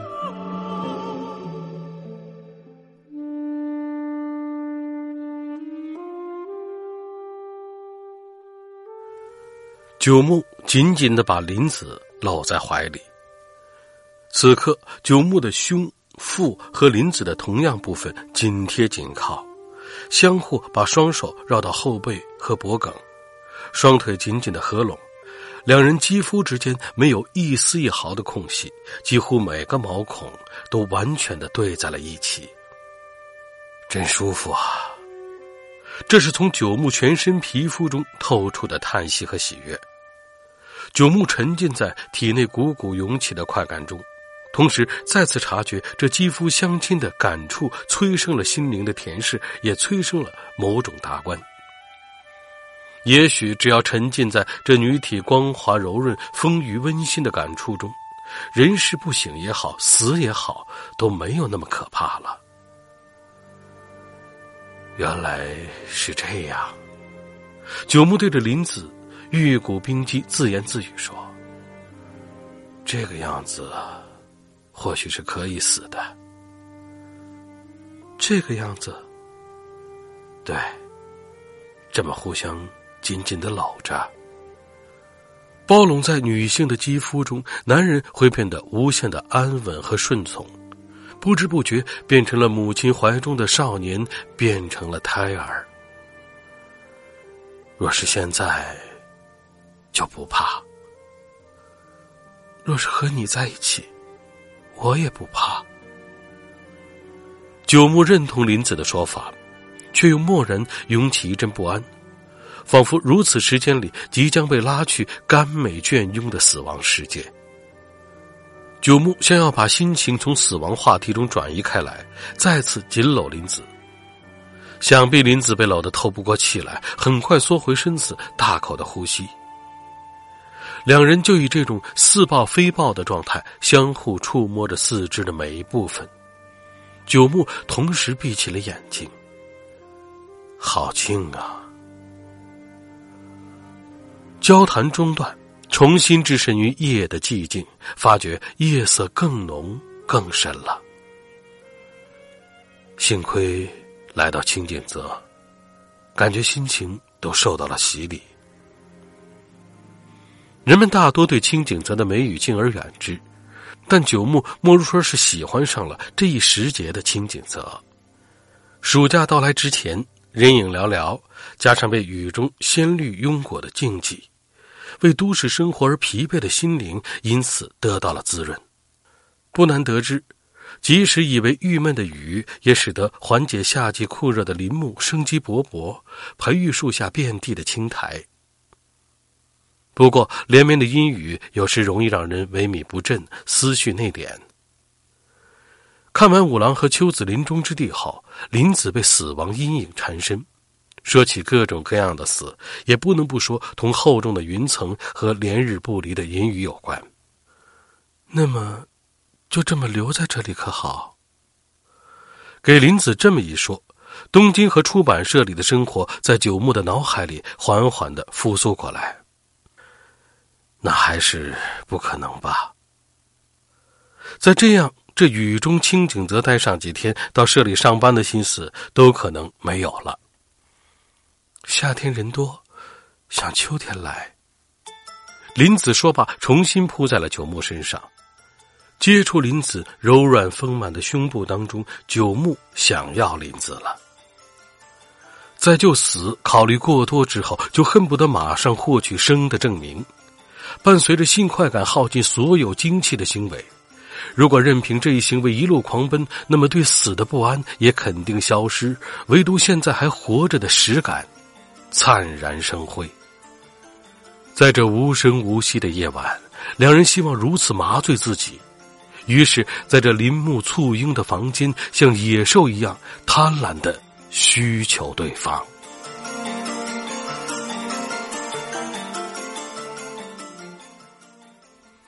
常言说：“梅雨过后十日晴。”梅雨过后，接下来的十天，酷暑一举攻上门来，连日晴空万里。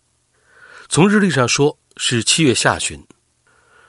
从桐树开始结花，到土地湿润、入热难耐之间，这正是所谓的大暑节气。这时，到处铺满沥青的东京城，一大早就阳光刺眼。中午气温轻松超过三十度，即使到了深夜也不低于二十五度。此前为梅雨的郁闷长吁短叹的人们，在突如其来的盛夏阳光面前不知所措，气喘吁吁，一边擦拭着汗珠，一边像拈花一样低眉垂首。虽说同是夏天，但居然有梅雨和大暑这两个差异如此之大的时节，说不可思议也是不可思议，难怪人们的心情随之大变。理所当然，梅雨时节阴雨连绵，使得心情也郁郁寡欢；而在梅雨过后，太阳光芒四射的一瞬间，人们一扫以前的郁闷，陡然变得欢快好动起来。不过，心情和行动变化如此明显的，只是孩子和年轻人。大人们就算盛夏艳阳高照，也没有变得截然不同。大部分工薪族换穿半袖衫，一只手拎着西装，一只手用手帕擦着额头的汗珠，乘满员电车摇晃着赶往公司。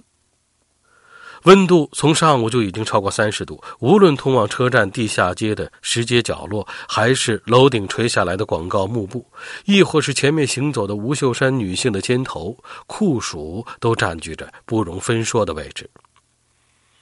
如此炎热的一天即将结束的傍晚，九木被叫去出版社的董事室，当值常务董事小田给他看了一封信，请你来呢。是因为这样的东西突然从天而降。九木把扔在桌面上的信拿在手里，几页信签的开头用电子文字处理机打出的黑体字这样写道：“关于九木祥一郎的身世书。”这究竟是什么呢？所谓身世，即是自身的背景，意思莫非是关于九木自身的报告书？可问题是，为什么现在才非写自己的身世不可呢？匪夷所思。打开一看，近两年间最壮的字眼最先跳进了眼帘。九木一时屏住了呼吸，随即迅速的读了起来：贵社原出版部长九木祥一郎，前年底利用被聘为东日文化中心临时讲师的机会，强行接近当时是该中心书法讲师的松原林子。尽管明知对方已是人妻，然而仍多次往其家里打电话，花言巧语，百般诱惑。读信当中，九木心跳加速，掌心渗出汗来。这东西到底是谁写的呢？显然别有用心，造谣重伤。九木慌忙抬起眼睛，小田常务董事兀自坐在桌前的椅子上，佯作不知的喷云吐雾，越怕。越想看，九木继续往下看。去年正月以来，当事人频繁的找林子幽会，同年四月，终于将其诱入城内的一家酒店，强行发生关系，进而发展为淫乱行为。看到这里，九木不由得攥紧了拳头。如此寡廉鲜耻的文章，实在不忍卒读。如果可能，恨不得当场撕毁烧掉。但一来常务就在眼前，二来后面的内容也放心不下。其后，当事人利用对方乃纯情人妻这点，倘优惠要求被拒，即向其丈夫告密相威胁，强行要求本不情愿的对方同自己发生五花八门的性关系。不仅如此，还在今年四月令对方身穿红色贴身长衫，做出变态行为，拍摄种种相片，软禁对方不许回家。到了这个地步，较之重伤，简直成了咄咄逼人的威胁。具体哪个人写的另当别论，反正是对自己深恶痛绝之人写的卑劣至极的挑战书。一种几乎致使浑身颤抖的愤怒和惊惧朝九木袭来。他继续往下看。申世书继续写道。九木欺骗、胁迫人妻与之同居，现今租得城区公寓一室，扮作夫妻入住其内。又写道，人妻的家庭因之解体，忠厚老实的丈夫蒙受巨大的身心痛苦。最后以这样的话语结尾，让这种卑鄙无耻之徒居于要职、委以重任的贵社经营姿态亦属疑问，要求明确责任所在。独臂。九木的眼睛从信笺移开，常务董事迫不及待的从桌前移了过来，坐在对面的椅子上。九木见了，首先低下头去。对不起。不管怎么说，这样的信飞进出版社，让常务董事看到，即使自己失德所致。内容如何，姑且不说，以无聊私事扰乱常务董事的心情，这点就必须道歉。啊，毕竟是突然寄到我这里来的。常务一开始似乎是在为自己打开信加以辩解，不过信封上的确写道：“调查室分管董事手。”当然，啊，我也没有就这样相信信上的内容。常务董事再次点燃一支烟，我想，是哪个对你怀有个人恩怨的人干的吧？确实没有寄给九牧本人，而寄给出版社，而且寄给社里分管董事这一点。就别有意味。可有什么想得起来的人？询问之下，九牧想起身边人的面庞。清楚自己和林子之事的只有伊川一人，但很难认为他会做这种事情。此外，调查室同伴也略有所知，但一来知道的没这么详细，二来追杀已然落魄之人也没多大意思。倒也不是没有。对自己和林子关系了解如此之深，并加以重伤的，只有两个人，那就是自己的妻子或林子的丈夫。九牧正在沉思，常务董事低声说道：“我本人呢，自认为事情无聊，但既然信寄到社里来，那么也不可能完全置之不理。这是什么意思呢？”九牧不禁抬起脸来。常务董事略略移开视线。不用说，这是你的个人隐私问题，不该由我呢这方面插手。问题是，居然问社里的态度，啰啰嗦嗦的。那么，您的意思，想先问一下，你对这内容怎么看呢？当然。说罢这两个字，九牧开始梳理思绪。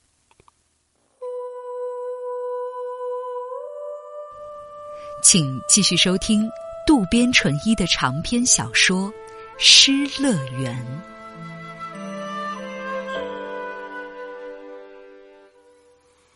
这封信的内容卑劣至极，言过其实，而且充满恶意，这一点毫无疑问。现在即可断然否定，甚至可以和林子一起否定。但是，若问这样的事实有还是没有，就不容易解释了。像信上写的那样，强人所难等等固然全是谎言，而同林子这个人妻要好，却是不折不扣的事实。我觉得呢，完全是为了抹黑我而单方面夸大其词、危言耸听。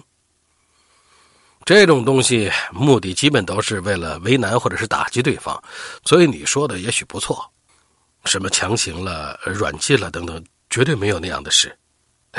这我明白，很难认为你有做那种事的勇气。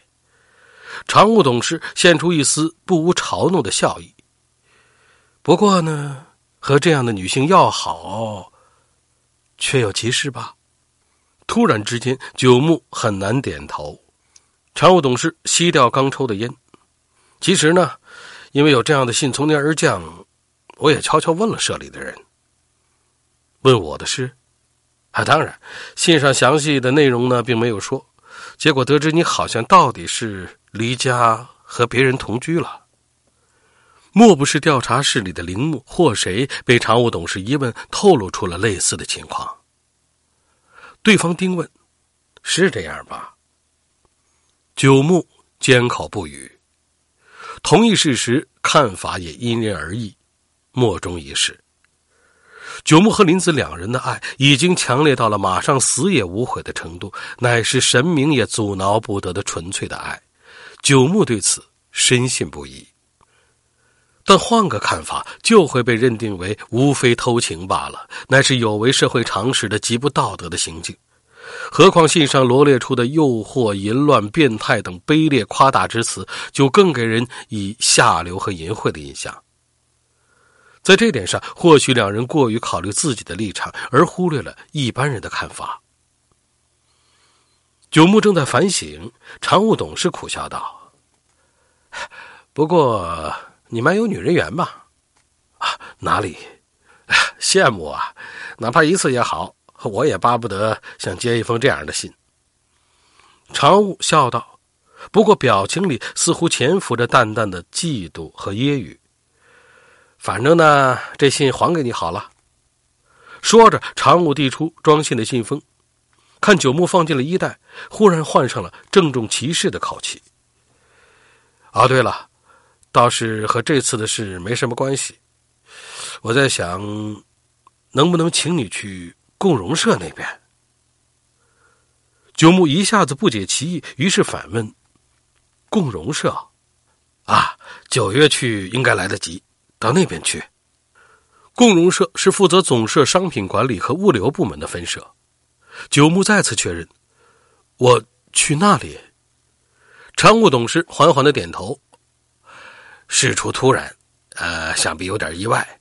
问题是，你手上的昭和史的出版呢，有了些难度。这是真的，啊，昭和史的工作没了，我想你也可以多少腾出点手来了。常务董事的话恰如晴天霹雳，全然始料未及。为了让自己的心情镇静下来，九木一度把视线投向窗外飘移的夏云，然后重新转向常务董事。那昭和史的策划有难度是怎么回事呢？啊，当然了，作为社里是想做的，你制定的出版计划呢也大致研究了，但毕竟在这种形式啊，能卖出去多少，这也好像是有点焦头烂额的事，所以是不是最好推迟？这样的意见占到了上风。不错，时至眼下这种疏离文字的时代，出版二十卷本的全集确实是一场冒险。但九牧策划的是以人物为中心回顾昭和史的，比之其他社的内容很不一样。那终止出版完全定下来了。很遗憾呐，上次董事会上形成了这种情况。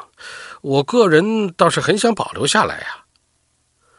常务董事的口气诚然显得遗憾，但究竟坚持到怎么样的程度了呢？听着听着，九牧渐渐的上来了火气。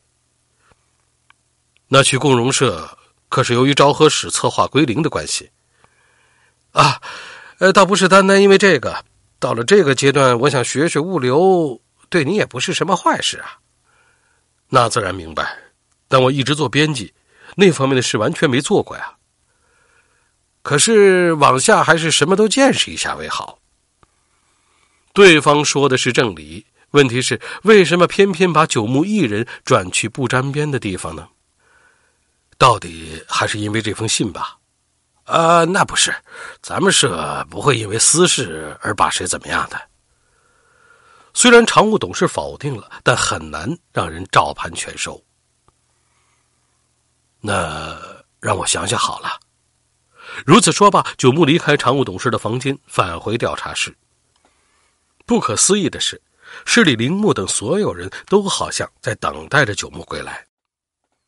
九木好像要反抗着静得出奇的气氛，用分外爽朗的语调说道：“诸位，在下要告辞了。”刹那间，村松和横山都回过头来，但身为市长的铃木仿佛没有听见，兀自低头不理。九木径直走到铃木跟前，鞠了一躬：“刚才被叫到常务董事那里，让我九月开始去共融社。”铃木缓缓抬起头来，眼睛仍往一边看着。理由呢，似乎是董事会决定终止昭和史出版计划。九木一边感觉大家视线转向了自己，一边静静的询问：“那您林木君已经知道了吧？”“啊，哪里？”铃木一度摇了下头，然后似乎抱歉的说：“计划有可能终止这一点倒是听说了。”但没想到这么快，反正呢，既然是董事决定的事。九木从衣袋里断然掏出那封信，放在了铃木面前。有这么奇妙的信寄到社里，铃木瞥了一眼，重新收回视线。说起来不太好意思，私事也好像添了好多麻烦。啊，那我可不知道。确实，铃木或许真没看到。但作为调查室的负责人，想必被问到这个那个的时候，回答了不少。九木说：“男女问题以这种形式暴露出来，这次调动说不定与此有关。即使心想这种事自不必说，但不说，心情平复不下来。失乐园，欢迎您继续收听。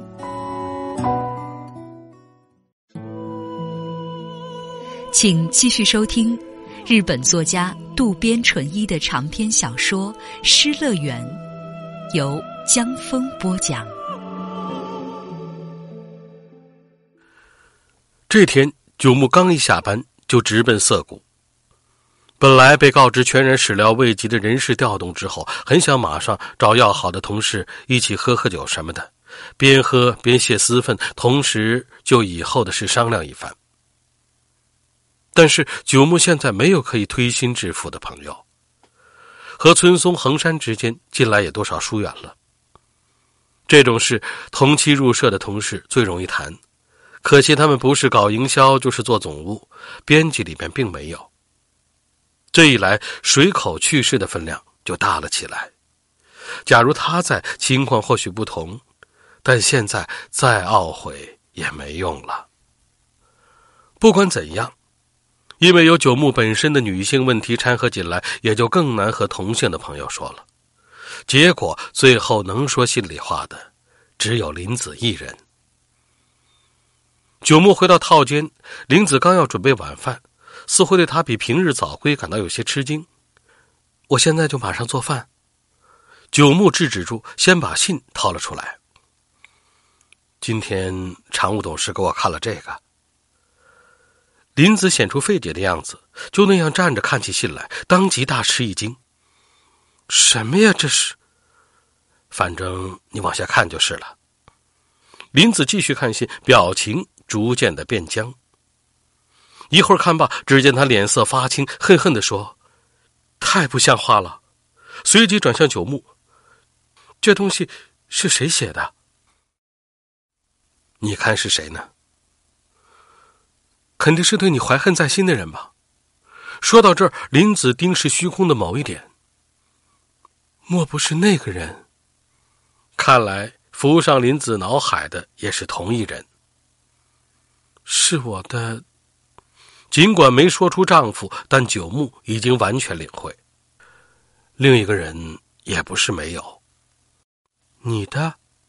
林子同样没说太太，但现出远望的眼神，但马上说道。不，不会吧？确实，妻子也怨恨九木，不过较之怨恨，更多的还是目瞪口呆。已经主动提出了离婚，这样的妻子，即使现在向社里告密丈夫有外遇，也一无所得。可是林子的丈夫至今仍好像对林子情有不舍，唯其如此，笃定对夺走妻子的九木满怀怒火和憎恶之情。你去文化中心等等。还有和我要好的起因之类，了解的非常详细，而且红长山也只有他才知道。说什么你拍照，本来拍照的是他。从写法和内容来看，我想也是他寄的。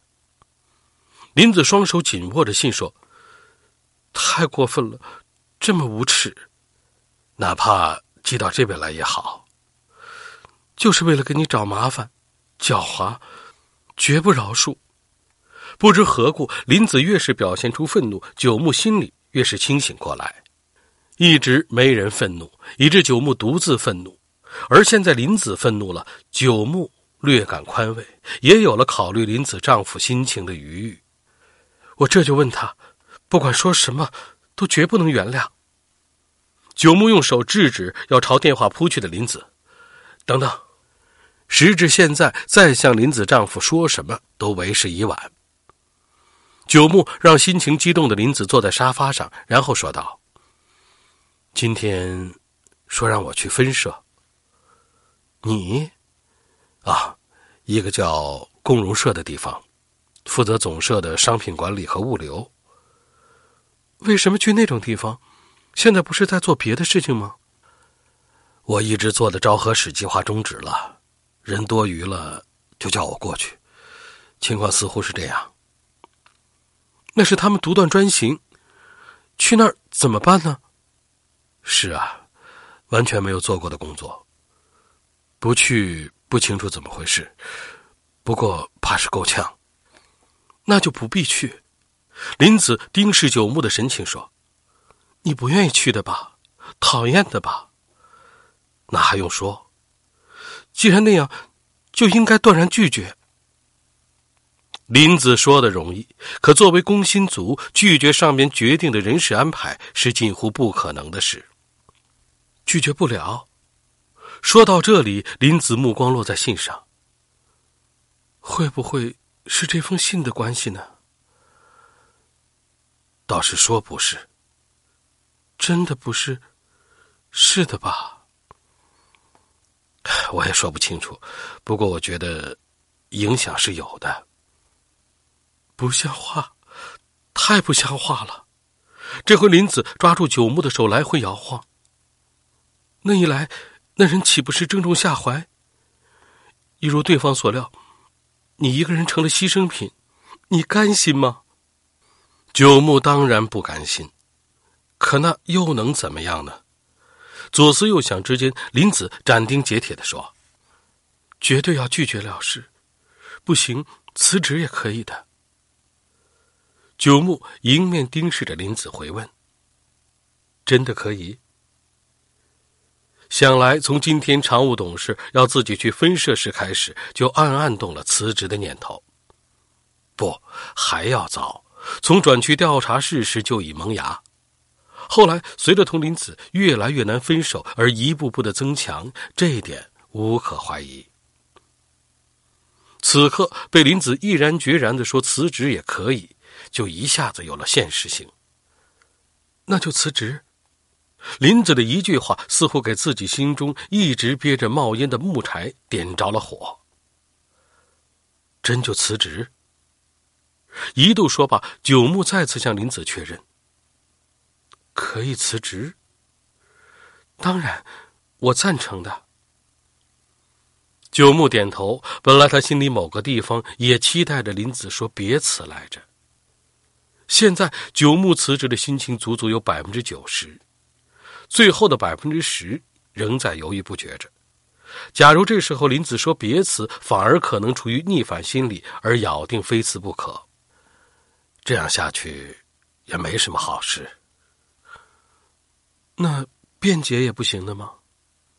怎么辩解？即使我去找那位常务董事说明情由，不，不行。那一来反而等于公开自己同林子的关系非同一般。公司这种地方，一旦有了这种事，就不可能再被重用了。对不起，林子突然深深的低下头去。都是因为我，才变成这样子的。不，不是。时至如今，再说怪谁也无济于事。相比之下，如果真有导致事情变糟的原因，那么只能是两人爱得太深了。决定辞职之后，九牧的心情仍摇摆不定。这次的事诚然使得他对社里忍无可忍，上班的心绪也荡然无存。但是，一个工薪族离开了工作近三十年的公司，相应的感慨也还是有的。特别是如果因退休离开倒也罢了，而若五十刚刚过半，还差几年就辞职离开，觉得可惜或惋惜那样的心情，也并非没有。整个七月间，九牧都处于这种动摇的心情中，而没有明确表示辞职。这也是因为心中暗想，反正辞职随时可以一辞了之。但进入八月，去分社的日期。越来越近了，加之负责人告以具体的条件，如此一来二去，九牧的心情愈发的低落。要他去工农社之初，九牧以为是以总社派出的形式前往，但细问之下，不仅完全成为那里的职员，而且工资也要降为现在的七成左右。受到如此的冷遇，难道还要死活赖在这里不成？心情上固然朝一辞了之的方向倾斜。而之所以尚未迈出最后一步，到底是因为担心今后的生计。迄今九牧有近百万日元的收入，一半送给妻子，但辞职那一瞬间就没了收入。当然，辞职时有一定的退职金的，但那也是一时性的，迟早了无踪影。如此状态之下，往下真能和林子生活下去吗？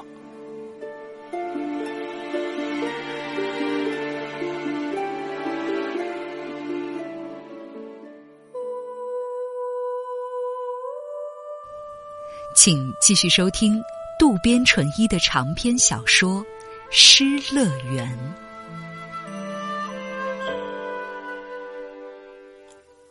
如此状态下，往下真能和林子生活下去吗？前思后想之间，辞职的勇气也就失去了。林子似乎察觉到了，问道：“是钱让你担心吧？”一下子说中心事，九木一时语塞。林子爽快的说：“钱不用担心，我多少有些存款。”去年年底，他父亲去世时，莫非多少分得了若干遗产。辞就辞好了，总有办法可想。这种时候，林子表现的远为坚强和有气魄。虽说不是为林子拖拽，但林子的话的确成了支柱。八月初，在大家即将休假之前，九木一咬牙走进了常务董事的房间，告知辞职。啊，这是因为什么呢？常务董事当即表现出难以置信的表情。九木见对方为之吃惊，顿觉原先的郁闷不翼而飞。往后继续给社里添麻烦，会让我深感歉疚。九木分外郑重的说道。对方慌忙说道：“哎，那不至于。呃，你这样有能力的人去了那边，我想一定会在商品管理和物流方面拿出新的方案的。”对此，我们还满怀期待呢。恕我顶撞，我这人呢，只能做编辑，去那边，我只能落得碍手碍脚。我说，你不该这么小看自己的啊！哪里，小看自己的可不是我。常务董事瞠目结舌，九木不予理会。长期以来多蒙关照，谢谢了。哎。可你别这么一锤子定音呢，再冷静冷静，考虑一下如何？这已经是深思熟虑的结果。再怎么说，我还是要辞职的。九木感觉自己相当的激动，但事已至此，有进无退。他说罢起身，微致一礼，随即把目瞪口呆的常务董事撇在眼角，出门而去。剩得一人，九木在走廊里大大的呼了口气。在迄今漫长的工薪族生活当中，对常务董事粗声大气，这是第一次，想必也是最后一次。此刻，九木陶醉于爽快感之中，同时心中的一角又有一丝悔意。毕竟做的可是无可挽回的事。啊，也罢。如此自语完毕，九木再次回头看了一眼董事室。而后朝走廊前面的电梯走去。在九木向社里提交辞职申请书的同时，林子身边也发生了很大的变异。林子首先就寄到九木出版社的信这件事追问了自己的丈夫，但结果似乎不了了之。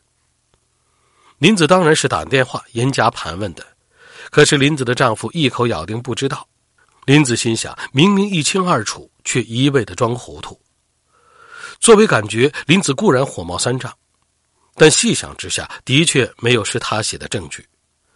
不错，无论从动机上看，还是从内容上看，明显是他干的。问题是，字是用电子文字处理机打印的，无法从字体上断定。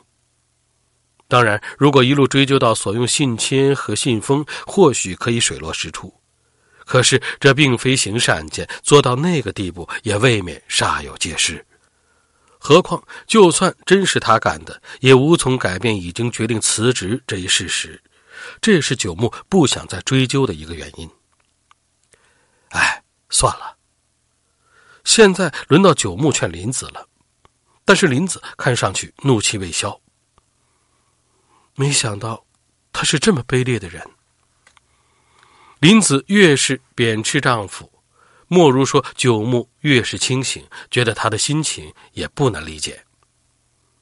诚然，写信给出版社是够卑劣的，但自己毕竟夺了人家的妻子，甚至与之同居，不放弃回家。即使对方恨这样的男人，想把他从出版社抹除，也并不奇怪。林子断然说道：“和那个人离婚，可他不答应的吧？不答应也无所谓。”由我寄送离婚协议书就是了。不过单单那样，区政府不认可也没关系，反正我是想用来表示两相分手。一如往常，林子的决断总是干脆利落，理由也简洁明快。理所当然，一旦林子提出离婚协议书，九牧也必须做出决断。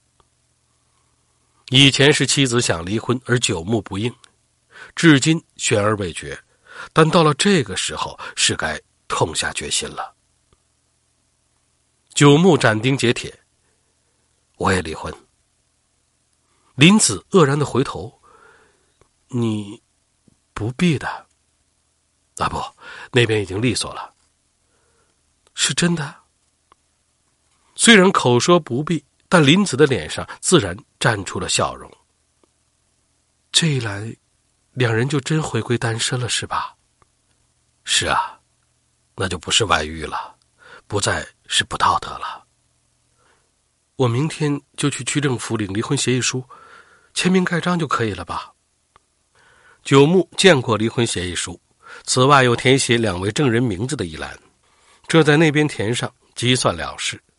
反正只要送过去，离婚意志就已经表明了，是吧？一旦定下，林子雷厉风行。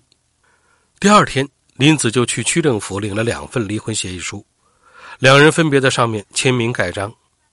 往下，林子寄给丈夫，九牧寄给妻子，手续即告完成。九牧连同离婚协议书附了一封写给妻子的短信，因为还没把辞职的事告诉妻子。九牧写明八月底辞职，进而为拖延离婚表示歉意。之后补充了一行：“添了很多麻烦，但不会对不住你，请保重。”不知为什么，写到这里，同妻子度过的漫长岁月倏然萦回脑际。九牧眼角一热。心の隅の胸のあたりがいつでも悲しいその訳は。若いと言われたあの頃は。もう少し自分を好きだったし。何かを夢中でしていたからかもしれない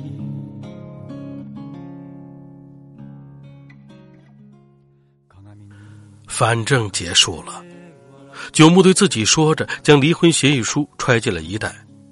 就在这一瞬间，九牧涌起了一股如释重负的解脱感。不管怎么说， 家庭这一束缚因之排除，丈夫的身份随之消失，得以回归一个单身男人。也并不是说过去的家庭就是重负，丈夫这一身份多么难以忍受。就算稍微觉得麻烦，但这种程度的事，大家都或多或少有所感觉。但是，想到现在离婚成为现实，家庭了、妻子了，通通不再考虑了，就忽然觉出一种如同羽翼已丰的小鸟那样的轻松。当然。作为解脱感赖以产生的背景，从常年供职的出版社辞职，这点也有很大的影响。从明天开始，再也无需争分夺秒的出门上班了，自不待言，无需同讨厌的上司见面，无需对上不来兴致的话题随声附和。往下，无论和林子跨胳膊单独去哪里，也都无需顾及谁了。一种仿佛腾云驾雾的浮游感，倏然。俘虏了九牧，如此轻而易举获得的自由，让他惊愕，让他困惑。说起此前自己做的事，无非对上司说一句辞职和把离婚协议书寄给妻子而已，而这就使得自己从世间桎梏中逃离出来，享受自由与洒脱。如此容易的事，过去为什么就没意识到呢？九木如梦初醒的为自己的不智惊诧不已，但下一瞬间就察觉到了一个无比孤独的世界在自己的眼前敞开。的确，从今往后，不管几点起床，不管穿多么邋遢的衣服，不管去怎样的地方游逛，都无所谓了。可另一方面，可以如此自由自在、为所欲为，反过来说，也就意味着失去社里的同事，失去与之相连的所有朋友，进而同妻子、孩子各奔东西，孤家寡人喽。九木情不自禁的嘟囔了一句，同时深感刚刚获得的自由，让自己同社会无限疏离开来，而变得孤立无援。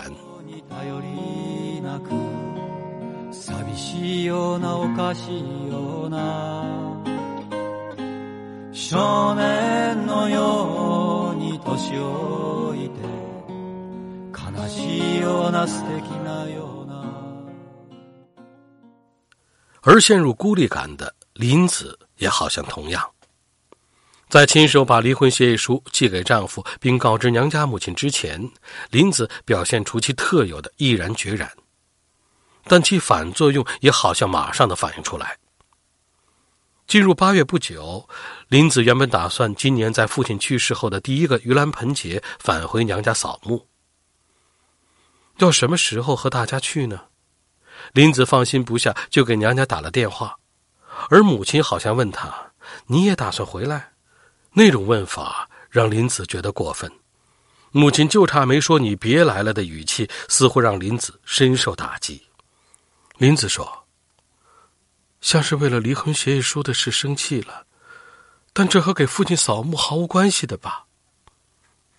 的确，如果仅仅是因为交了离婚协议书，就连给父亲扫墓都遭到限制，那是够可怜的。现在，全都把我排除在外。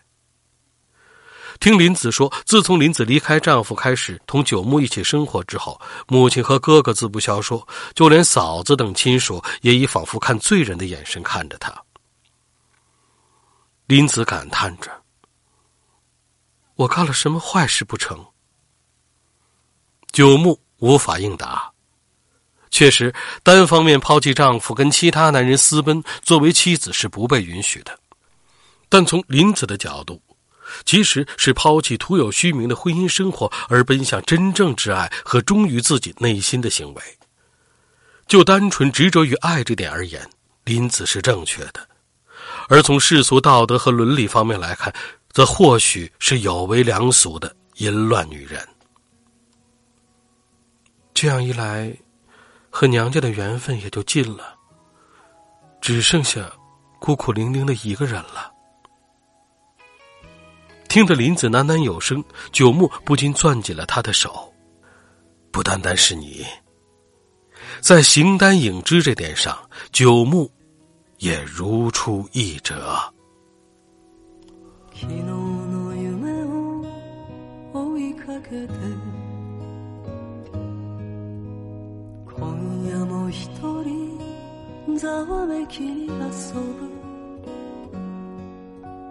昔の自分が懐かしくなり酒を煽る。騒いで飲んでいるうちに。こんなに早く時は過ぎるのか。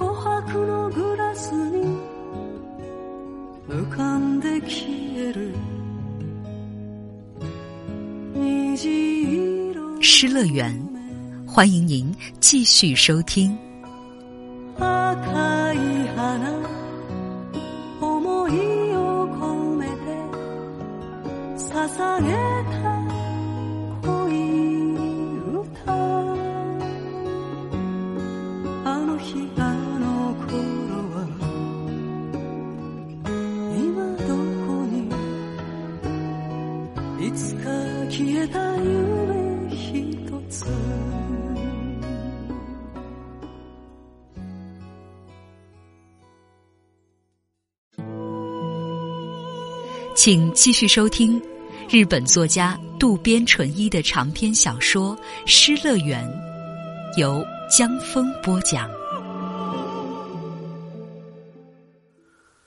从盂兰盆节到八月末，九木是在咀嚼自由与孤独的两种滋味中度过的。社里决定他八月底退职，除了盂兰盆节假期，还有没用完的带薪假，实质上几乎处于天天休假的状态。盛夏正中，九木过了一段久违的舒心日子，但与此同时，又是同出版社、同家人彻底诀别的孤独日夜。从早到晚，只和林子两个人待在房间里，九木再次察觉自己在漫长的工薪生活中已然心力交瘁。夜里，自不用说，早上也好，中午也好，只要想睡，任凭多少都能睡。贪睡当中，有时甚至忘了吃饭时间。尽管如此，早上倏然醒来，还是心想得赶快起来去社里，而下一瞬间，就对自己说：“已经不用去了。”这种时候，自然由衷品味获取自由的喜悦，而下一瞬间就生出仿佛唯独自己一人被社会开除的疏离感。当每天早上从窗口望见了工薪族们步履匆匆赶往车站的洪流，这种感慨尤其强烈。再怎么说三道四，而只要尾随其后上班，一天的生活和家庭的安泰就得到了保障。如此心动的刹那间，九木再次察觉自己失去的东西的巨大分量。甜视与不安。两种完全相反的东西在心中纷纭交错，而一天天便在这当中白白的流失。在如此一味内向的日日夜夜里，九木仅仅外出了一次，那就是去见文化中心的伊川的时候。以前都是伊川打来电话，唯独这次是九木主动叫他出来见面。从社里辞职的事也好，向妻子寄送离婚协议书也好。九木都还没有告诉伊川，尽管心想迟早是要解释，但老实说又懒得解释。不可思议的是，一旦决定辞职，就连去上班时常去的餐馆、酒吧也不好意思去了。付账固然是一分不少，原本不需要顾虑，却总觉得自己好像不受欢迎了，没了那份心绪。这一天也一再犹豫，才把伊川叫去以往和伊川一起去过的银座数据屋街的一家小餐馆，在台前并排坐下。八月已是月底，盛夏的酷热也似乎告一段落。餐馆里人很多，两人用啤酒干杯后，九木一咬牙，先开口了：“这回我从社里辞职了。”伊川顿时把刚要喝的酒杯放了回去，九木不予理会，讲了前因后果。伊川默默的听着，九木刚大致讲完，伊川就迫不及待的问：“你这样可以的？可以的，不后悔？说不后悔是谎言，可事至如今，后悔也没有用。”九木微笑点头。伊川陡然压低嗓音：“那往下可有什么地方去呀？”“倒也没有。”“那你怎么活下去呀？”“啊，总有办法可想吧。”说罢，发觉和林子说的是同一句台词。往下离婚正式定下了，那慰谢金什么的也需要的吧？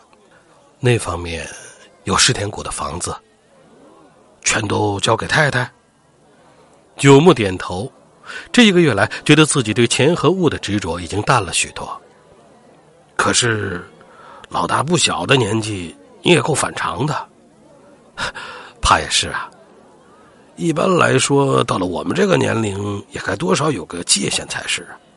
不错，是想恋爱，看见女人是想引诱，但是要为此血冲头顶。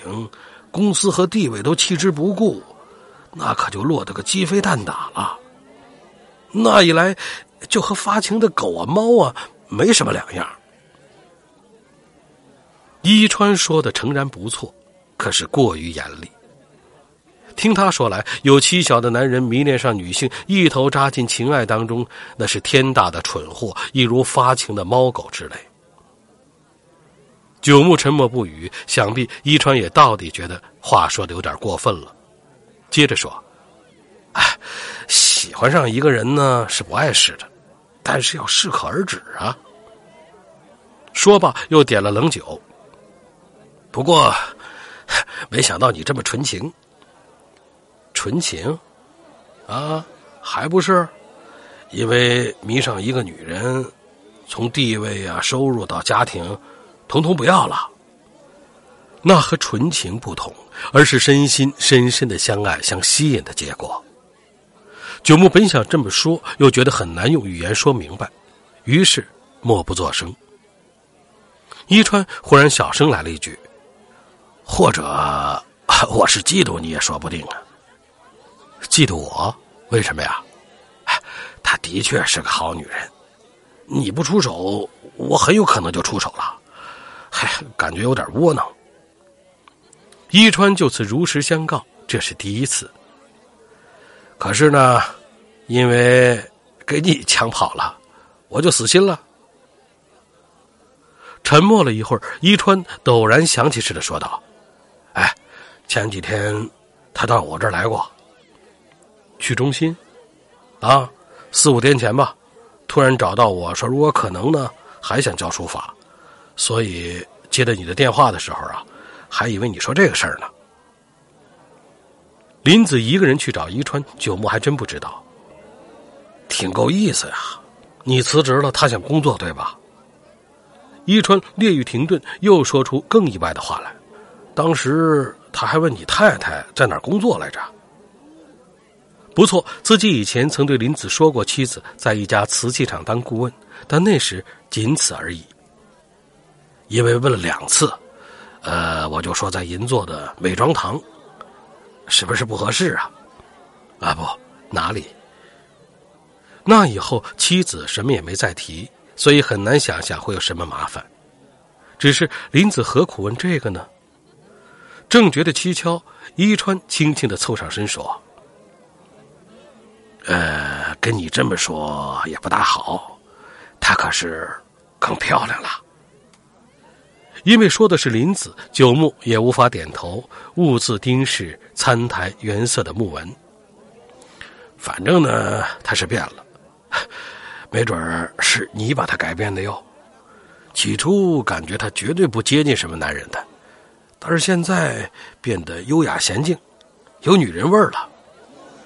开始喝冷酒后，伊川也许有点醉了，以注视远方的眼神说：“你每天看恐怕感觉不到，胸口那儿也白了。这本说你可能骂我，皮肤要像吸附什么似的。”林子究竟是穿什么衣服去的呢？平时一般穿素色的连衣裙，莫不是因是夏天而穿了多少低胸衣服去的不成？啊。传达室的女孩都说了，与其说是漂亮，倒不如说是性感或者妩媚什么的。即使女人看了，呃，都好像心惊肉跳。给一川这么夸奖是头一次，九木像自己被夸似的低下了头。不过呢，好像比以前瘦了，脖子那儿细了，那也挺好的。确实。也许近来天气热的关系，林子的食欲有点下降。所谓红颜薄命，恐怕就是这个样子吧。薄命，啊！告别时呢，悄悄低下头回去的，背影呢，多少有点飘忽感，感觉呢不是特别好。说到这儿，伊川拿起冷酒一饮而尽，自暴自弃的说：“哎，不过好好珍惜吧。”在小餐馆吃罢喝完，又转了一家酒吧。回过神时，伊川已讲起了自己的工作。九木成了一位倾听的角色。看来男人没了工作，能交谈的话也少了。九木在这种寂寞心情中走出了酒吧。分别时，伊川小声说道：“多保重哟。”和刚才的说法不同，伊川口中的这几个字具有奇妙的侵入感。九木点头，伊川伸过手来，轻轻的握手告别。九木这才察觉，和他握手还是第一次，觉得很有些不可思议。这握手到底是怎么回事呢？伸手极为自然，而多保重这个说法也分外的关切，唯独这个在心底留了下来。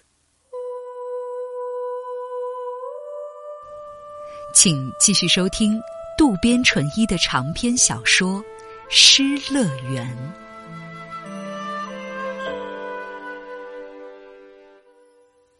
回程的车中。九木继续思考不止，但仍然百思莫解。就这样回到了涩谷的套间时，已经十一点了。先去浴室，泡进林子放好的洗澡水，然后换穿睡袍，歪倒在沙发上。电视正播着新闻，九木调低音量，喝了口啤酒，对着站在厨房里的林子的背影小声说：“刚才和伊川在一起来着。”林子顿时回过头来，又很快若无其事的泡茶。他说：“你变得漂亮了，漂亮的不得了。”那个人一开口就说那种话。你求他给事做了？上次求过，没有下文，心想不行就不行吧。林子拿来咖啡，并坐在同一沙发上。我一说辞职。伊川马上说我是蠢货，那也太过分了。是不好听，可以理解他的意思。如此说罢，九木看着电视，果断的问：“你打听银座的店了？”想必林子有所预料，他淡淡的回答：“我见了你太太，可有什么事儿？没什么事儿，只是早想见见。”去见自己所爱男人的妻子是怎么一种心理呢？出于兴趣这一点不是不明白，但直接去见毕竟够大胆的。九木也对林子的丈夫有兴趣，却不具有主动去见的勇气。不过，我只是远远的瞥了一眼。现在妻子在银座一家瓷器店里帮忙，知道名字长什么样，或许能看得到。是一个相当好的人，给林子这么一说，九木不知怎么应答好，好像明白了你喜欢的理由了。现在都还那么苗条，工作干脆利落。妻子在外面工作以来，多少年轻了些，但终究年过五十，和林子相差一轮，就算年轻也可想而知。和那样好的人也分别了。林子自言自语的低声说：“当然，事情成这个样子，都怪我不好。不过看你太太的时间里，心里怕了起来。怕，岁月的可怕，十年、二十年一过，那期间人的心情也要变的吧？结婚之初，想必你也爱着太太，一心想构筑美好美满的家庭来着。”然而，现在就变了。何苦现在说起这个？九木正感到费解，林子眼看窗帘挡住的夜色的窗口，说：“早早晚晚，我也可能被你嫌弃的。那怎么会？绝对不会，会的。即使你不嫌弃我，我也没准嫌弃你。”顿时，九木觉得像有一把匕首。插进了喉头。的确，一如男人的心情摇摆不定，女人的心情恐怕也不是一成不变的。当下一往情深、海誓山盟的爱，也不能保证不会在岁月的腐蚀下迟早崩塌。刚遇到太太时，你也是这样的吧？这虽然不能同对现在的林子的心情相比。但在神前发誓相爱，则确有其事。我也同样，那时没想到会变成这样。林子也好像想起了决心结婚时的情景。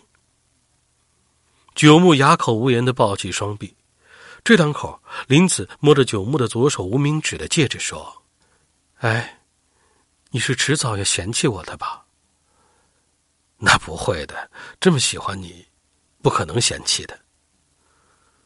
就算你不嫌弃，我也要上年纪的。每天每日，都在切切实实的变老，变成老太婆。”或许他嘴上夸九木妻子年轻漂亮，而实际上到底在自己的身上感觉出了衰老。我跟你说，所谓永远不变，那是绝无可能的吧？与此同样的话，在清景泽也听他说来着。正想着，林子扑进了九木的怀里，抱我，死死的抱住我。由于整个身子扑了上来，九木在沙发上身子一歪，林子额头继续顶着九木说：“我怕，好怕。”九木搂紧梦一般喊叫的林子，片刻，林子在他怀里低语：“我们现在肯定是最幸福的，现在是顶点，往下，哪怕再形影不离，也只能走下坡路。”那不会的，九木尽管否认，但心中还是涌起一念：说不定现在对两人是最幸福的时候。能相信的，只有现在。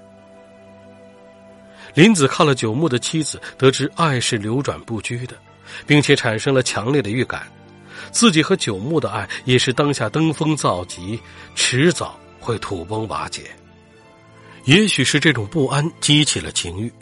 或者，原本两人心中隐而未发的情欲，以这一刺激为契机而一举熊熊燃烧。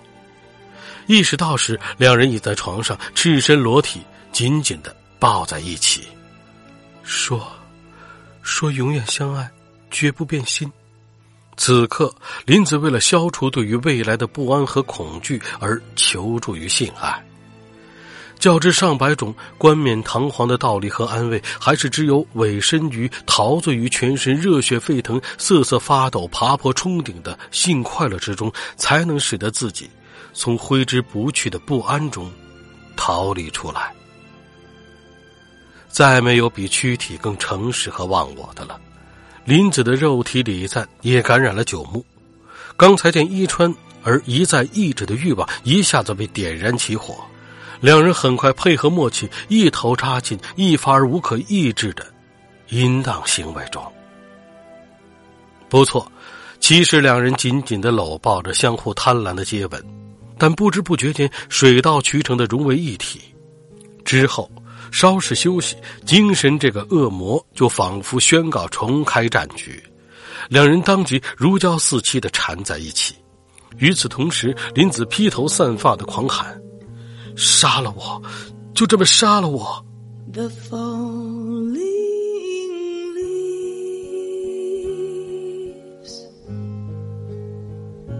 Drift by my window.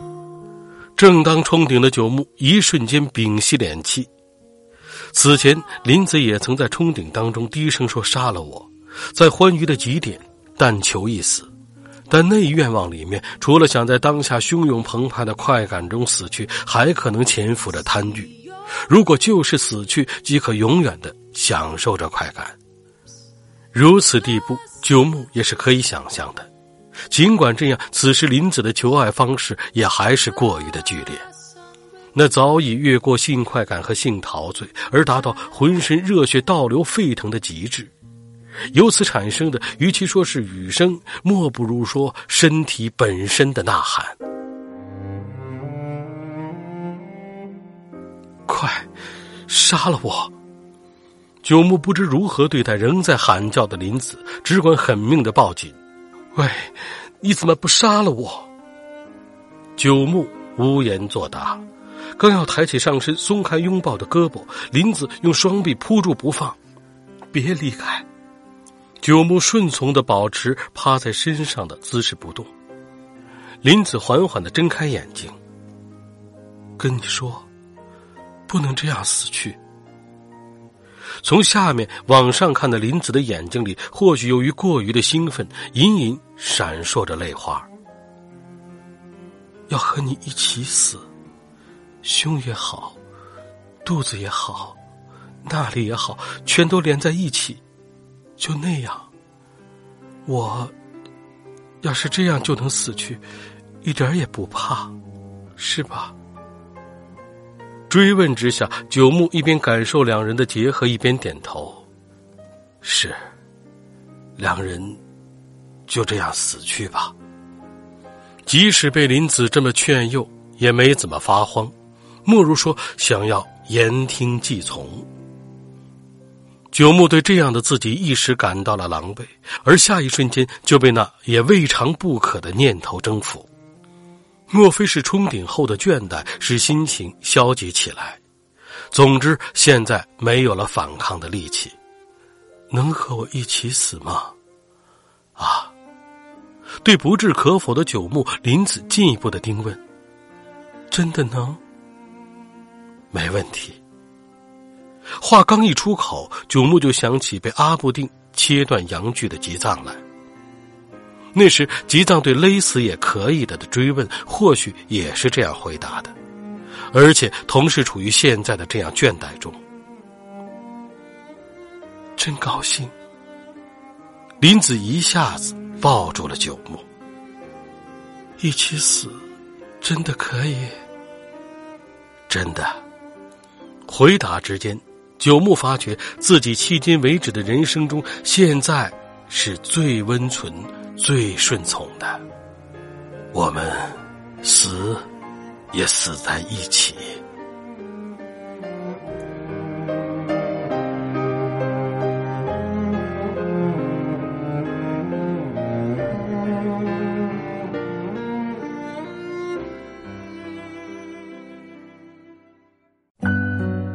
失乐园，欢迎您继续收听。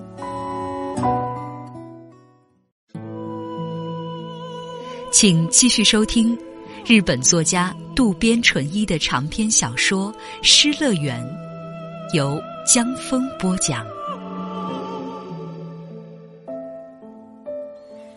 听得九牧说：“我们死也死在一起。”林子知道自己是引诱男人赴死的恶魔鸟，却又觉得骑在鸟翅上飞往死亡世界也并不坏。那么，咬这里作为约定记号。林子挺起仍有余热的胸部，九牧在那上面留下了几乎渗血的牙印。林子随后咬在九牧的胸口。九牧一边忍耐着轻微的疼痛，一边对自己说：“再也无法从林子的身边逃脱了。总带着，弄掉可不行。”仰卧当中，胸口牙印隐隐的作痛，好像咬得相当用力，但这也只能作为爱的证据接受下来。九牧正闭目合眼，林子悄声嘀咕：“我们。”到底现在最幸福啊！的确，若是现在九牧经济上有余地，年轻活力还多少剩有一点而且有为林子这位不可再得的女性无比爱着的自信，就算再多活下去，也很难认为会有比现在还幸福的辉煌时代。日后必然到来的任何的一种死，都不可能比得上同林子一起死这般。华丽壮美。我年轻时，就梦想在人生最幸福的时候死去。听着林子唱歌般的语言，九牧想起将诱导五郎诱往死路的波多野秋子。和那两个人的情况固然有别，但在人生最佳时刻被女性拉着赴死这点上，林子与自己的关系或许与之相似。我们一起死了，会怎么样呢？会怎么样？周围人会怎么说？大家会怎么震惊呢？一瞬间，九牧想起了妻子和女孩，单单一想，都砰砰的心跳。看样子，较之自杀愿望，林子眼下似乎更从自杀这一行为本身发现了快乐。跟你说，两人要紧紧的抱在一起，绝不分离。可那怎么才能做到呢？往下，两个人要一起想办法呀。林子这种说法，好像两人要去秘密的地方找宝，大家肯定会大吃一惊的。听林子欢呼雀跃般的话声的时间里，九木心中也萌发出想象令周围人大为震惊的场景，那隐秘的快感。还没有人知道我们的死。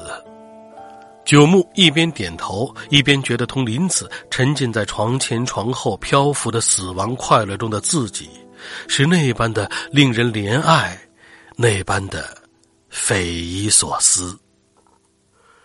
街头比季节抢先一步迎来了秋天。九木此刻所在的银座街头，女性服饰专卖店的陈列窗内，带有秋日气息的红葡萄酒色和黄褐色基调的服装多了起来。街上行人身上也多了与之相配颜色的衣着。虽然比街头气息迟了一步，但季节也还是稳扎稳打的向秋季倾斜。阳光再亮丽。好像也没了气力。五点刚过的现在，西边已经上来了暮色。在这样的秋日傍晚，九木走进了一家咖啡馆，要了一杯热咖啡。咖啡馆在二楼，透过玻璃窗可以俯视渐渐沉入暮色的银座街头。正是五点前后。结束一天工作的工薪族，那颜色沉稳的西装裙里点缀着年轻的 office lady 的彩色身影。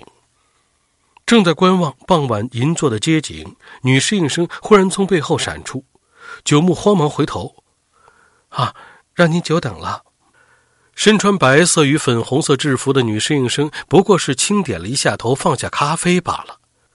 而九木不知为何，就好像做了什么坏事似的，低眉垂首。对方离开后，才舒了口气。九木坐的是靠窗两人坐长椅的一端，前面只有一桌四人和一对客人，很空。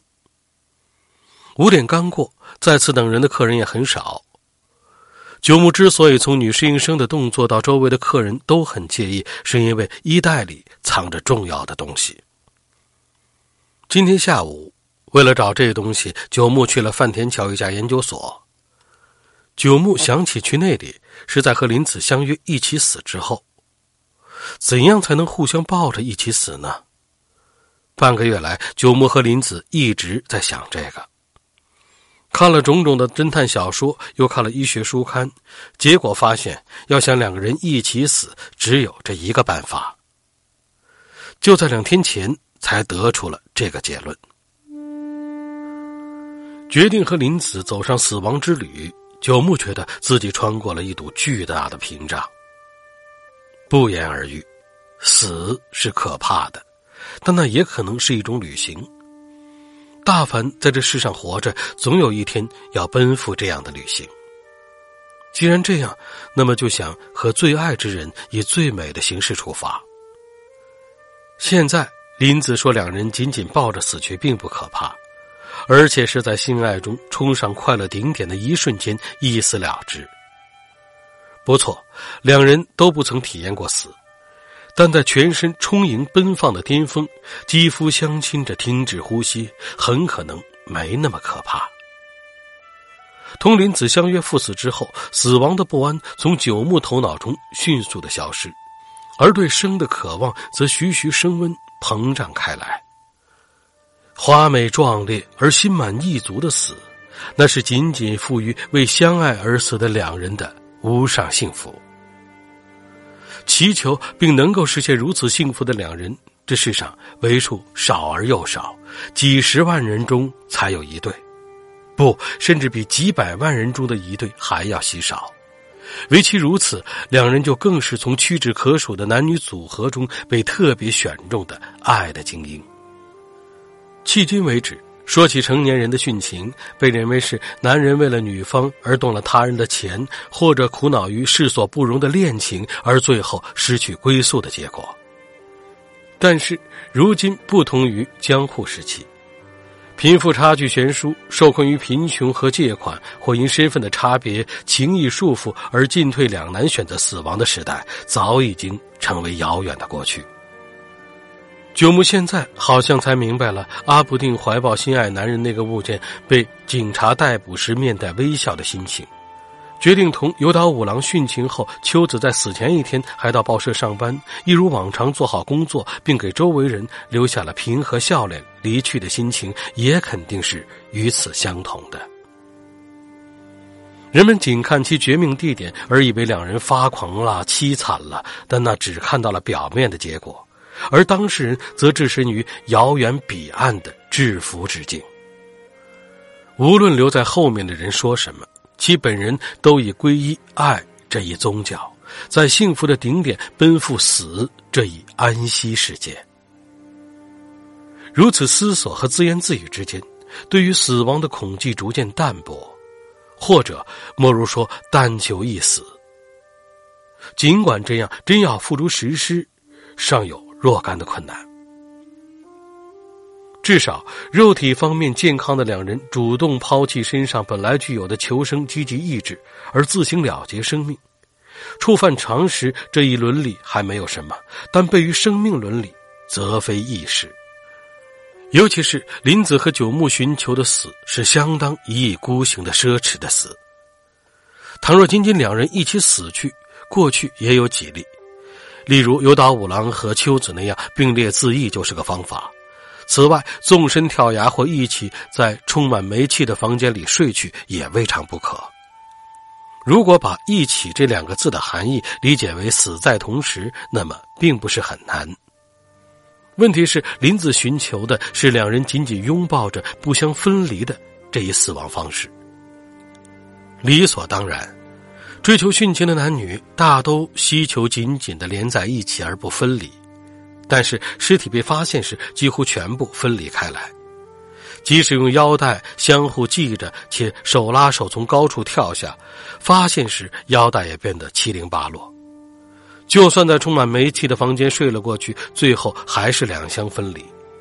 倘若点火，不仅殃及左邻右舍，而且自己也可能烧黑烧焦。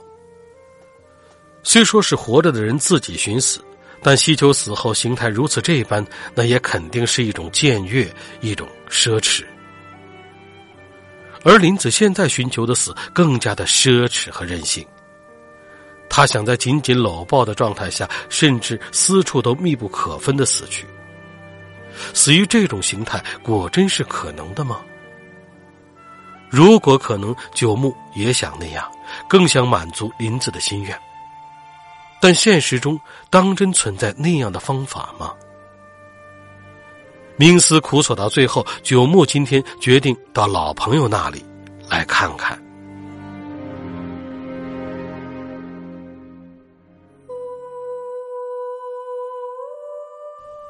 请继续收听渡边淳一的长篇小说《失乐园》。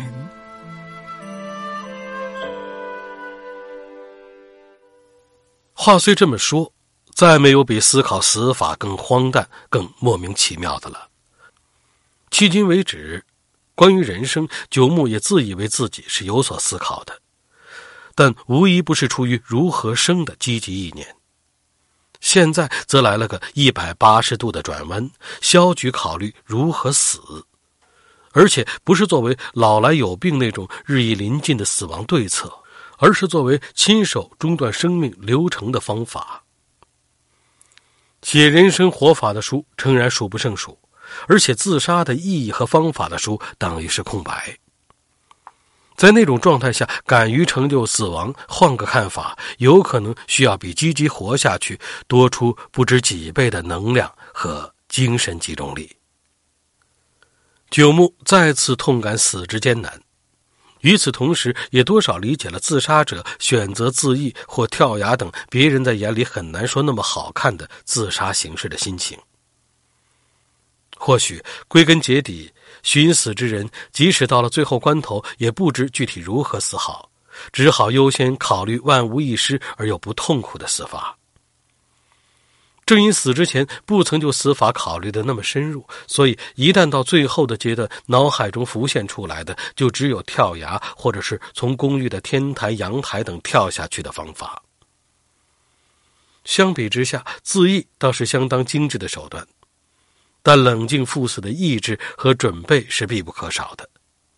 此外，煤气自杀也需要相应的筹划。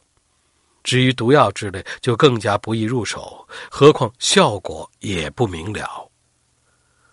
对于同林子一起死这件事，九牧已无任何的异议，但方法仍迟迟的定不下来。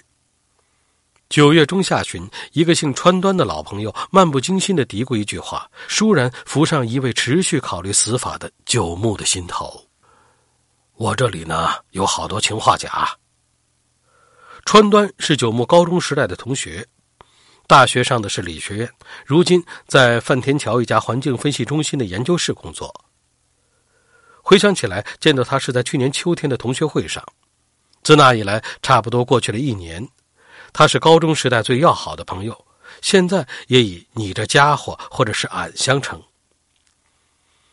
九牧想起后打电话过去，对方说下午在研究室，比较得闲。九牧当即讲好前往，没事前往有欠自然。就说一部小说里面有处理毒物的场面，不知从专业角度看是否妥当，想就此请教。川端的专业似乎是分析化学。现在是主任研究员，九木到了，被领去中心三楼他单独的房间。好久没见了。身着一身白大褂的川端轻松的和九木打着招呼，聊了一会儿共同的朋友之后，九木说明来意。九木问的问题内容是：用氰化钾毒杀的时候是放进红茶里让对方喝的，这样受害人会不会感觉出异样呢？如果感觉得出，那么掺什么合适？川端以为九牧仍在出版社工作，于是毫不怀疑的给予了回答。首先，放入毒物后会释放出又苦又酸的气味，这样红茶容易被察觉，所以恐怕最好的方法是在浓咖啡或者是甜果汁里。这时，九牧说想看看氰化钾，川端轻快的点了下头，从房间的一角的药品架上拿来了大约十厘米高的小瓶子。也许为了遮蔽阳光，瓶是褐色的，外面的标签写着“试剂”，还标明特级氰化钾。能倒出一点看看？川端把纸铺在桌子上，又放上包药的纸，戴上橡胶手套，取下瓶盖，然后把小瓶稍一倾斜，两个小豆粒大的和更小的颗粒，连同白色粉末倒了出来。这些够几个人用呢？这个纯度高，一小勺就足够了，四五个人怕是毒得死的。九牧重新瞪大眼睛看眼前的白色粉末，看上去非常的普通，说是白砂糖或研末都看不出异样。然而，只需要用指尖蘸着舔一点点，就会要命。这美丽的白色粉末的什么地方潜藏着那样的魔力呢？九牧正战战兢兢的看着，电话铃响了。川端欠身立起。房间用屏风隔开，进门就是待客的沙发。九牧就在这里，川端则在里面有桌子和书架的地方说话。刹那间，九牧脑海冒出了偷拿白色粉末的念头。两三小勺的分量即可，包在纸巾里带走足矣。机不可失，然而害怕，并不敢下手。犹豫之间，打完电话的川端折了回来。啊，我要去旁边的研究室一下，呃，你得等等。大概有什么急事，川端走出了房间。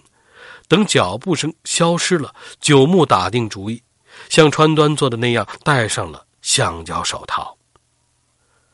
看好房间，谁也没在之后，把一部分白色的粉末于其旁边的包药纸上折起，又包了好几层的纸巾，赶紧揣进内侧的衣袋里。正若无其事的吸烟，川端回来了。哎呀，抱歉抱歉，久等了。说罢，川端问：“可以了吧？”随后把白色的粉末放回了瓶内。看样子他并未发觉。九木故作镇静的问：“这东西在哪儿才能买到？”“哦，一般人可不行。对我们呢是工作需要的试剂，一要呢就会送来。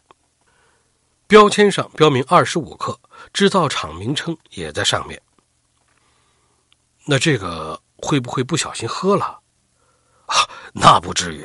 不过过去做研究当中啊，好像有人没有注意。”粘到手上了，一舔就死掉了。那么容易就死？在毒药里边啊，这个是最厉害的，损害呼吸中枢，几乎立刻致死，或者是一两分钟就不行了。听川端介绍当中，九木再也坐不住了，站起身来告辞。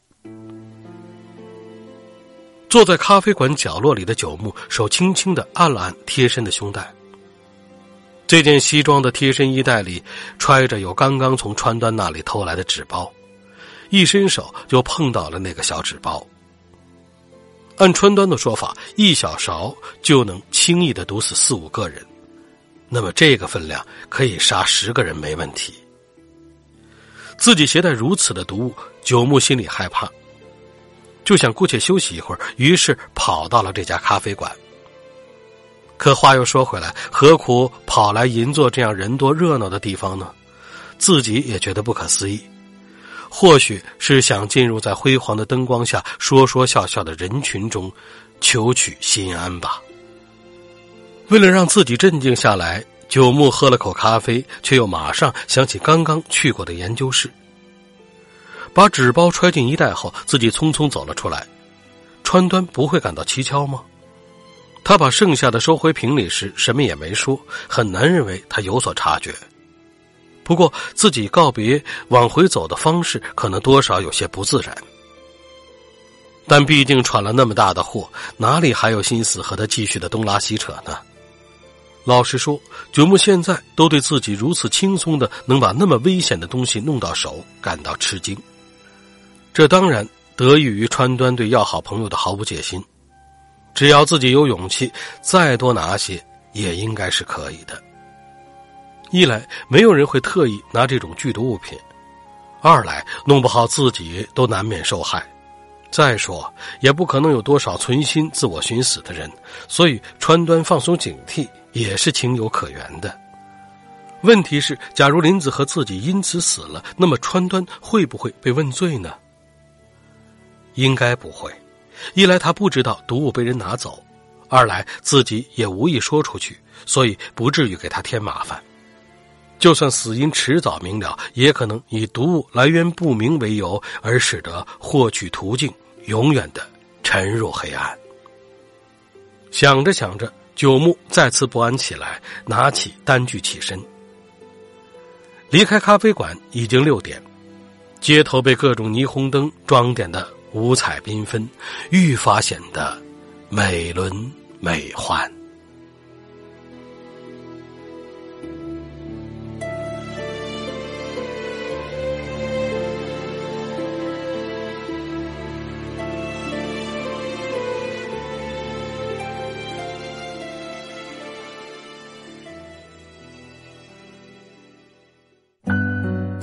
失乐园，欢迎您继续收听。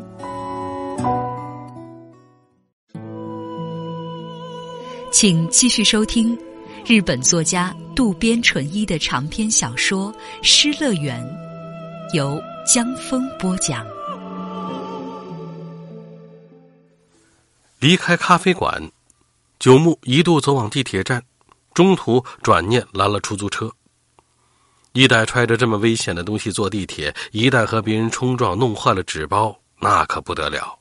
况且已经决心一死之人，根本用不着节约车费。转念上了出租车后，路上顺便走进了一家超市，买了手套和带盖的小容器，然后返回涩谷的套间。宝贝东西到手了。九木郑重其事的说了一句，随后讲了自己去研究所的经过，打开了茶几上的纸包。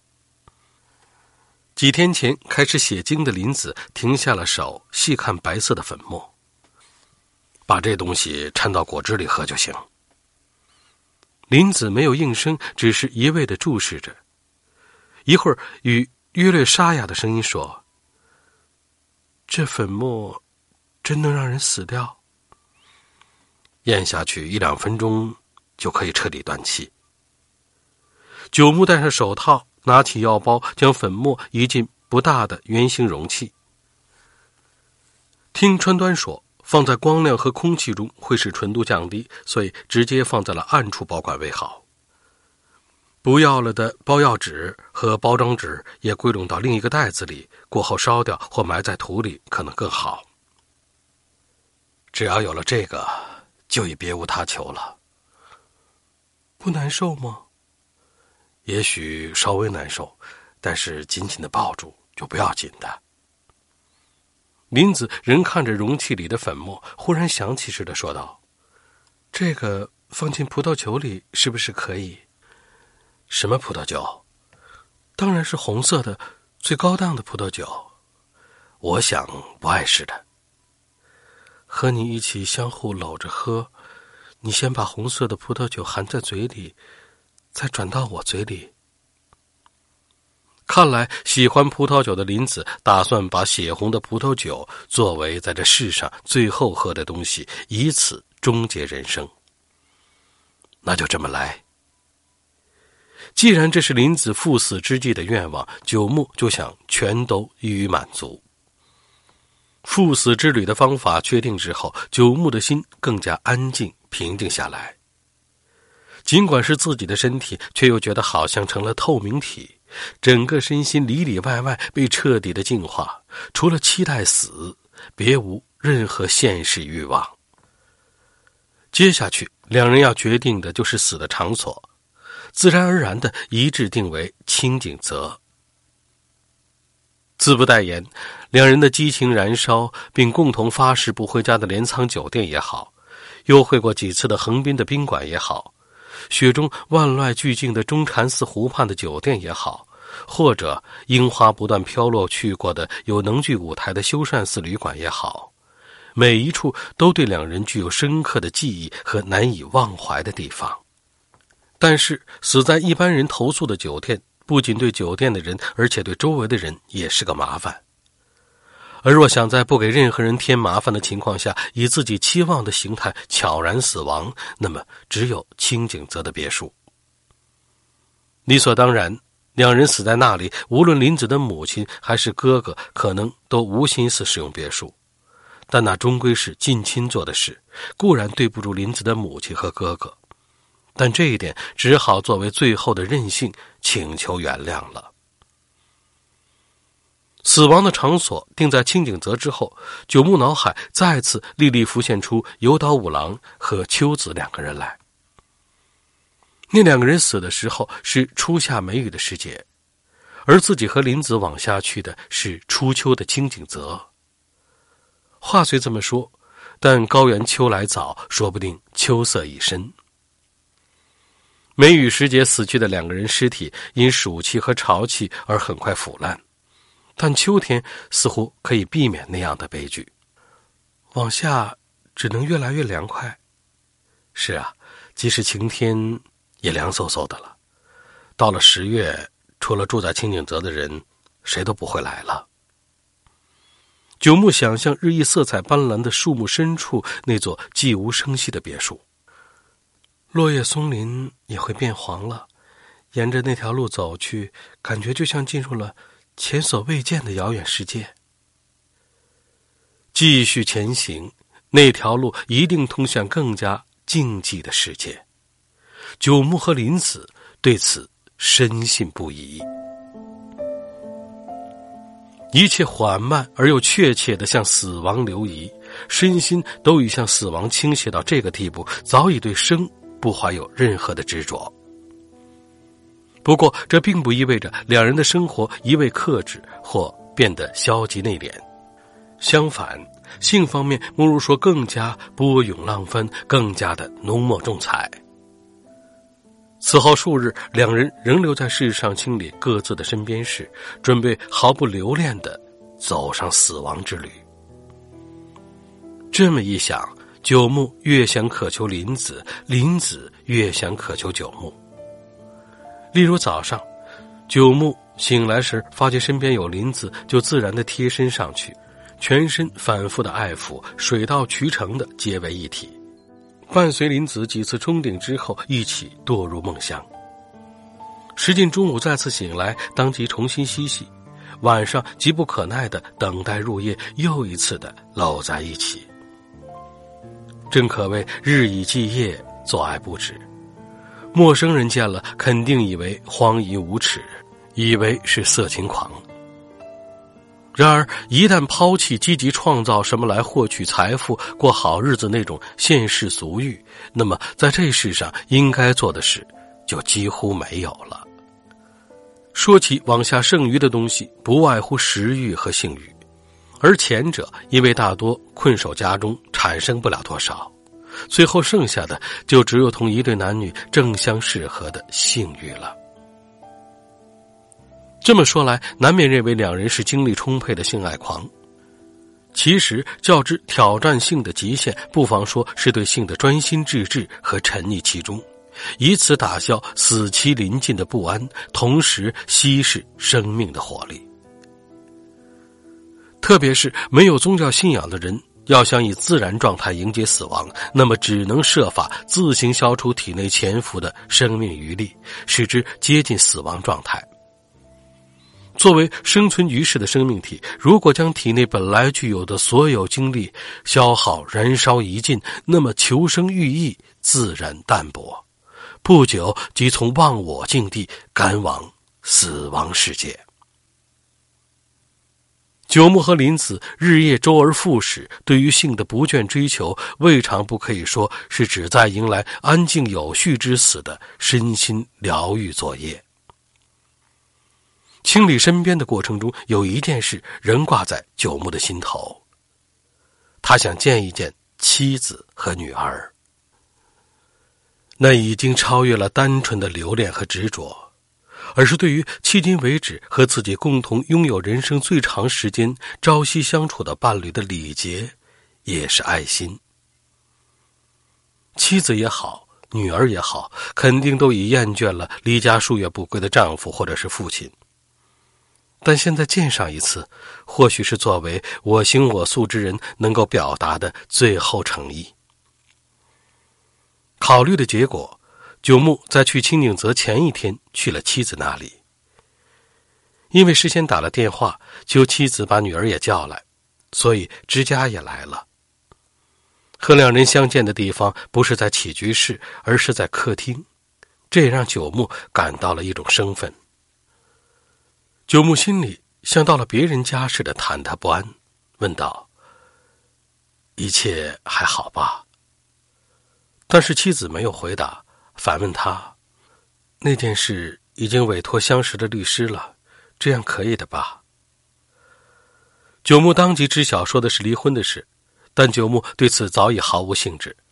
就算往下调停财产分割等条件定下来了，自己已经不在人世。只要身后之物全都给妻子和女儿，就满足了。九木点头，喝一口女儿递来的茶，就再也没什么好说的了。女儿说：“爸爸好像有点瘦了。”九木只应了一声：“你倒还挺精神的。”交谈又一次中断时，妻子拎了两个大纸袋出来。已经秋天了。一看，袋里装着叠好的九木的秋令西装和毛衣，原来都已经准备好了。本以为一味憎恨自己的妻子意外给自己归拢好了秋天穿的衣服，这让九木一时感到困惑。对于这就要返回别的女人身边的男人做到这个程度，不知是由于仍有恋恋不舍之情，还是出于多年来身为妻子的女人。单纯的习惯，谢谢了。对于很可能是最后一次的妻子的体贴，九木老老实实的低下头去。不过气氛也真是不可思议。尽管离婚尚未达成，但丈夫已经离家和别的女人同居。妻子尽管怨恨丈夫冷冷相待，但又准备好了丈夫秋天穿的衣服。女儿尽管对一意孤行的父亲怀有怒气，但居中撮合似的忙上忙下。然而，无论妻子还是女儿，都未察觉这位父亲已经下定了数日后寻死的决心。虽说三个人各自觉得有些尴尬，但都没有破坏现在的气氛，都盼望着再保持一会儿。就这样，又喝完一杯茶的时候，九木指了一下楼上，说：“我去一下。”上到二楼自己的书房。书房和今年初夏离家时一模一样，窗帘就那么拉着，笔筒的位置和不再用的公文盒的位置也都一动未动，桌面上薄薄的积了灰尘。九木觉得亲切，在这里吸了一支烟，然后下楼告辞。妻子似乎有点吃惊，但没有挽留的意思。女儿担忧的交错看着两个人。那，这个我拿走了。说罢，九木拎起装有秋令衣服的纸袋，站在门厅，回头看妻子和女儿。那么，本来打算接着说添了那么多麻烦，对不起，而要出口时，却又陡然觉得话语生分起来，只是目视两人，轻声说道：“保重吧。”以为是随口之言，结果自己一阵难受。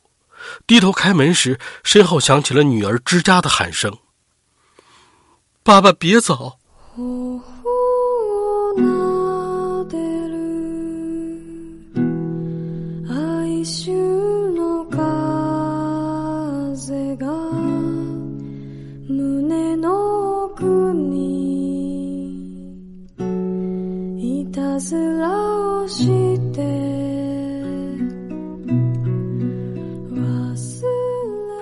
听着之家的话，应声回头，妻子背过脸去，之家以即将哭出来的神情瞪视着父亲。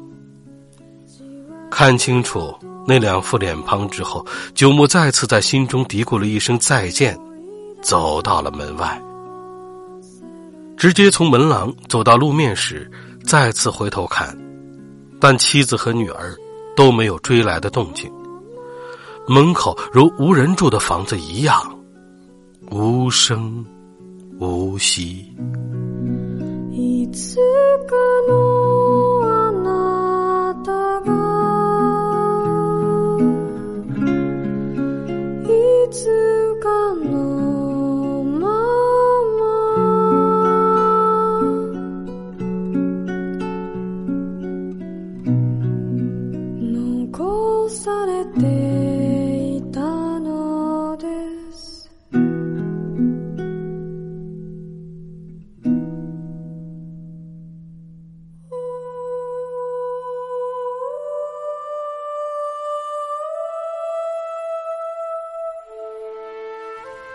樱花飘洒的车站，白雪覆盖的温泉。这是两个彼此痴缠忘我的身体，这是一双绝望灵魂的苦苦相恋。这段禁忌的爱恋是否能走到终点？请继续收听渡边淳一的长篇小说《失乐园》。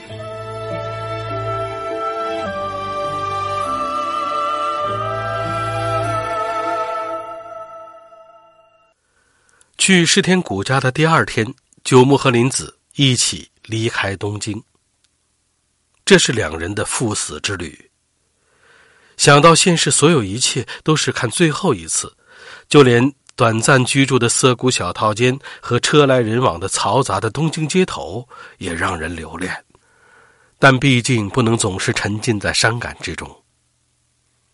好了，走吧。听得林子爽朗的声音。九木离开了房间。季节已是秋季，林子身穿驼绒西装，戴同色的帽子；九木身穿从妻子手中接过的浅褐色夹克和褐色的长裤，提一个宽底的旅行包。在旁人看来，感觉或许是略有年龄差的相亲相爱的两个人出去住一两个晚上。车由九木驾驶，穿过城市中心，进入关越高速。这样，东京也是最后的告别了。九木一时感慨万千，接过高速入口票，递给林子。林子嘀咕着说：“这是单程票啊。”确实，赴死之旅，单程足矣。这是开往乐园的吧？林子特意调侃，但眼睛直视着前方。九木手握方向盘，口中念道：“乐园。”林子似乎已经坚信来世就是两人永远相爱的乐园。曾经在天上的两人因偷食禁果而被逐出乐园，亚当和夏娃现在正要重返乐园。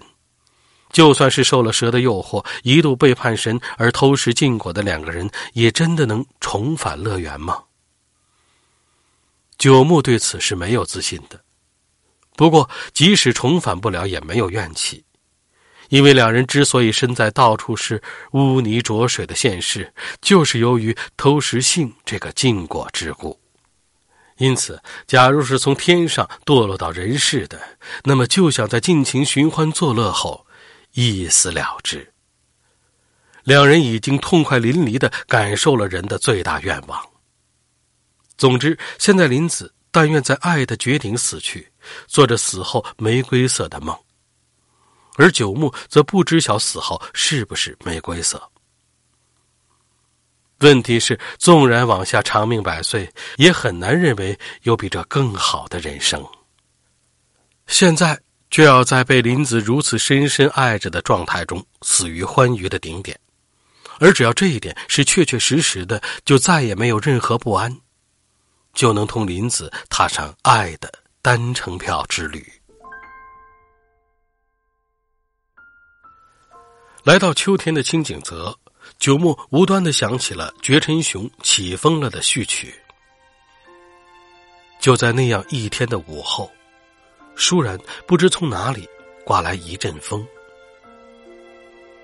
但这依稀记得的文章之前出现保罗·瓦莱里这样一句诗：“起风了，让我们迎风而生。”虽说起风了。未必代表秋天，但这句话的感觉非秋日风情莫属。可是，让我们迎风而生的意思，即是好了，让我们活下去吧。而这对正身在赴死旅途的两个人未必相符。不过，同这意思相反，较之生机，这咏叹词语之中蕴含的，更是静谧的达观或凝视生死的成熟的秋天气息。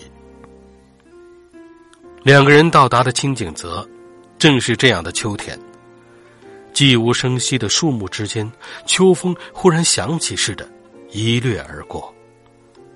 到的时候是午后，太阳还高，于是直接从中清景泽经千铺开到了鬼崖出，尽情领略高原的秋色。天气同七月的梅雨时节来的时候完全不同，正可谓快晴。辽阔的天空下，就连喷烟的浅见山也显得很小，山半腰有一部分已经开始染色，山路铺展的芒草也已抽穗，在秋阳下熠熠生辉。九牧也好，林子也好，都很少说话。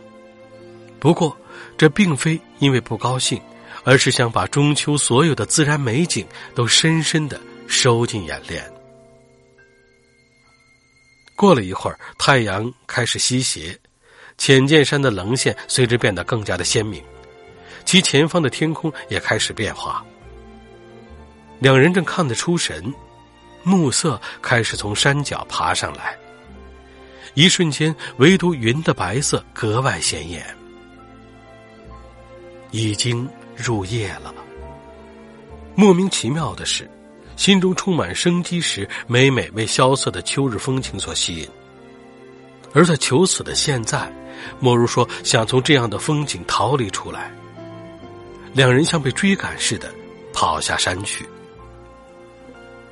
大约一个小时后，开到别墅时已经是夜间。管理人预先点亮的门厅灯，给人以夜色已深之感。我回来了，林子招呼道。九木也随着小声的说着走进了门内。两人讲好今天在此度过清景泽最后一夜，明天夜里两人喝血红色的葡萄酒，终了此世人生。这天夜晚，两人在附近酒店的餐厅用餐。明天一天哪里都不打算去，所以这对两个人来说是在外面吃的最后一次晚餐。七月初也是在这里用餐的，为祝贺九木的生日，那是用香槟干杯来着。做梦也没想到，那以来仅仅过了三个月，就在同一地方吃最后的晚餐。回想之下，那时。说不定就有了先兆。例如，当时九木虽然还不知道将被派去分社，但已萌发了想从社里辞职的念头，深深陷入再活下去也是徒劳的虚无情绪之中。与此同时，林子也由于爱的易变性和对于日后老年的隐约不安，而开始梦想在爱的汹涌漩涡中死去。水口的死。继之而来的怪信以及降格使用，都使得九木走投无路，直接导致他辞职了事。不过，那以前同林子过于深入的爱，以及觉得自己已在一定程度上尽了人生职责的想法，也无疑加速了他迈向死亡的心情。换句话说，春夏之间被充分校准的子弹，在秋高气爽的某日射向天空。两人随着一声枪响而永远的从这人世上消失。九木本身正在为这过分的困惑不解，侍应生走过来斟葡萄酒。红色的马克宝在又圆又大的葡萄酒杯里，一边涌动血一样的朱红色，一边散发着醇香。哎，这个到底好吧？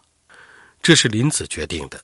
他说：“最后喝的葡萄酒一定要血红色的，贵的不得了的。”确实，往嘴里一含，但觉一股醇厚圆润、几百年培育而成的欧洲的丰饶和传统，以及蕴藏的逸乐魔性，沁人心脾。这酒，为了明天再来一瓶，同此刻开怀畅饮一样。明天只要把杯子稍微的一斜。两个人即可双双携手，动身去玫瑰色的死亡世界。失乐园，欢迎您继续收听。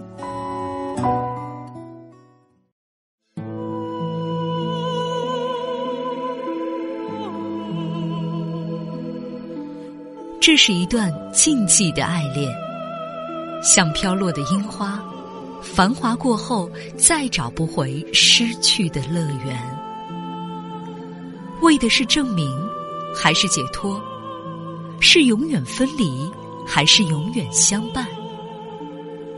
请听日本作家渡边淳一的长篇小说《失乐园》，由江峰播讲。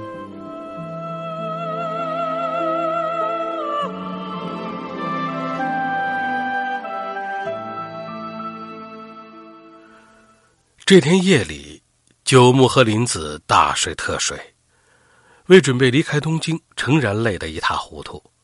但更主要的原因是，反正活到现在，这一生当中积累的所有身心疲劳，现在铅一样的压上身来，将两人一举逼入深睡之中。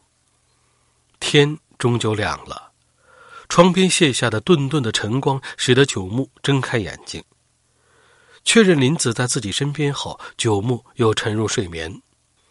同样，林子也忽然想起似的，时而睁开眼睛，想必得知九木就在自己的身边，而放下心来，再次贴近睡了过去。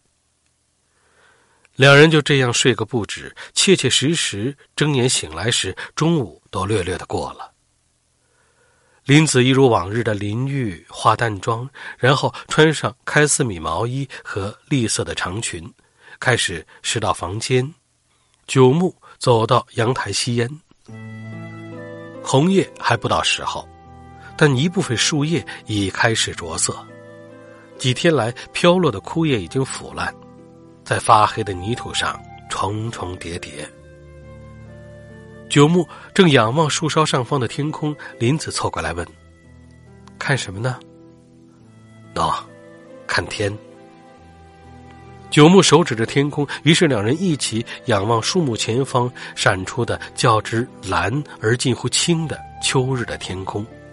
林子随即低声说：“我们得写遗书了。”这也是九木边看天边思考的事。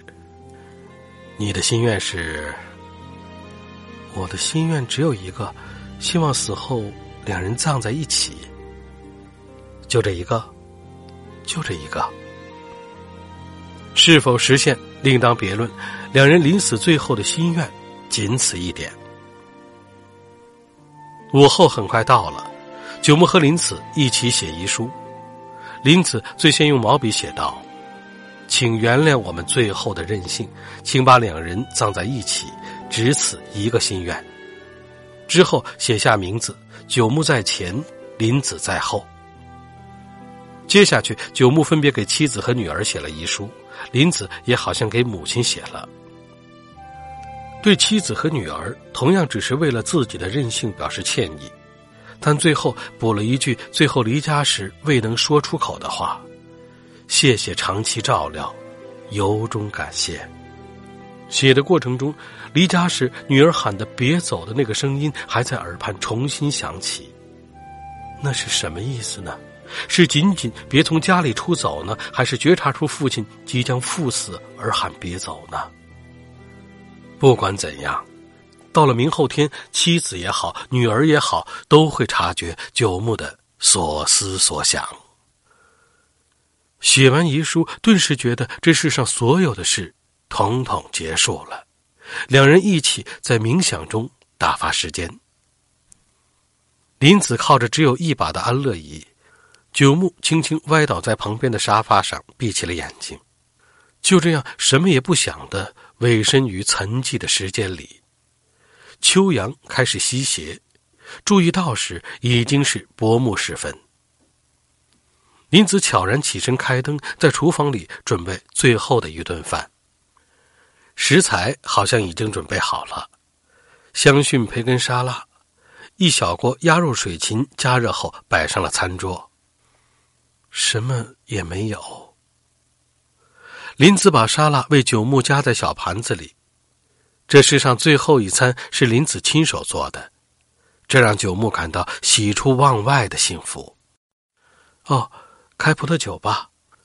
九木拔出昨晚在酒店购得的马格堡葡萄酒的瓶塞，慢慢的倒进两个杯子，拿起互相碰杯。九木随即低语：“为了我们的……”九木一时语塞，林子接道：“美好的旅行。”相互饮酒对视，林子深有感触的低声说道：“活着真好。”马上就要踏上死亡旅途，却又说活着真好，这是怎么回事呢？九木正为之费解，林子仍手持酒杯说道：“因为活着，才遇见了你，得以知道那么多美好的事情，有那么多宝贵的回忆。这在九木也一样。”九木满怀谢意的点头。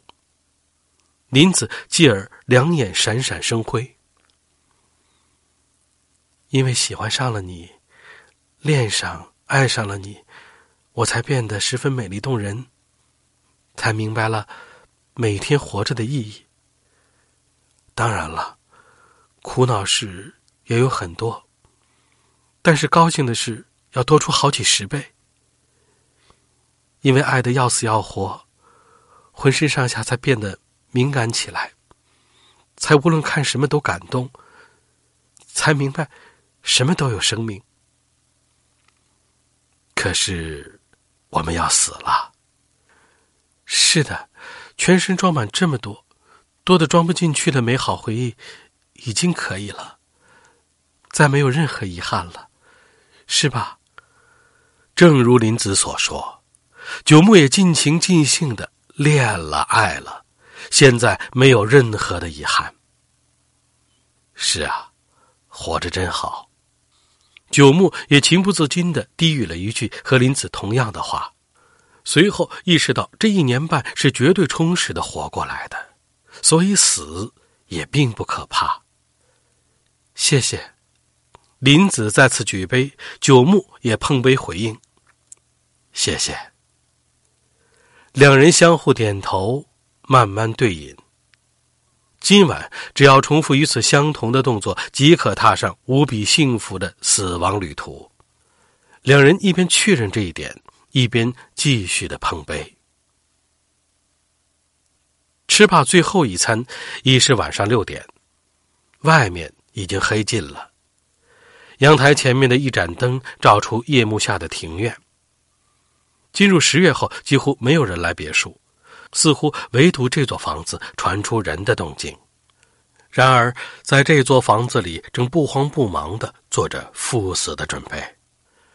首先，九牧把晚饭剩的马格堡葡萄酒往新葡萄酒杯倒入四分之一左右，再把藏在白色容器里的氰化钾粉末撒进了杯中。虽然分量只有两小勺，但因为一勺就能彻底夺走四五人的性命，所以这个分量已经是绰绰有余。九牧正在注视寒毒的葡萄酒，林子悄悄的走来身边坐下。喝下这个就完了。林子轻轻伸手拿起葡萄酒杯的柄，尝试似的凑在了脸上，好味道。气味已经给葡萄酒冲淡了一些，但是一喝呢，可能还会有点酸味儿。这话谁说的？倒是问了川端。不过尝过一喝即死的毒物的人，如果有的话，那的确够奇怪的。误喝极少量而得救的人，可能是有的。我们不至于吧？定死无疑。九牧斩钉截铁的说罢，往电话那边看着。让丽媛君明天中午过来这里可好？九牧就死亡的时间做了相应的估算。尸体被发现时，要像林子希求的那样，两人紧紧的抱在一起，不分不离。以这种形态死去，死后便用不久表现的最为强烈，必须在死后十几个至二十几个小时之间发现才行。如果说想要火炉烧柴，他肯定会来的。固然对不起管理人，而他来时应是两人紧紧搂着便僵的时候。该走了吧？九牧这随口之言，乃是赴死之旅的暗号。林子应声点头，手拉手爬上了二楼。二楼卧室白天朝庭院的窗口是开着的，但是现在已经关合，空调微微的送来暖气。九牧打开枕边的台灯，在床头柜上放一杯真有葡萄酒的玻璃杯，然后同林子在床边并肩的坐下。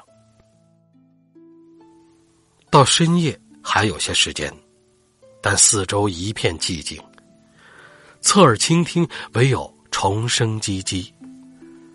静寂中仍有活物，这点让九牧感到释然。继续侧耳倾听，林子悄声耳语。不后悔吗？声音像柔板一样轻盈。九牧缓缓的点头。不后悔。你这一生，这个那个有很多事情，但最后能遇上你这位女性，真是万幸。我也什么遗憾都没有了，能遇上你，非常幸福。刹那间，对林子的爱。从九牧全身像奔流一样鼓涌而出，情不自禁的搂住林子接吻，嘴唇鼻子、眼睛、耳朵，林子大凡一切都那般的可爱。接吻的雨从天而降，吻着吻着，九木无论如何都想一睹为快。全都脱了好吗？临死之际，他想再好好的看看林子的身体，真真切切的烙在眼睛里。整个脱光。九木像少年一样央求，林子以母亲那样的眼神点头，轻轻的背过身去，脱去毛衣，拉掉长裙。又脱去内衣，回过头问：“这回可以了？”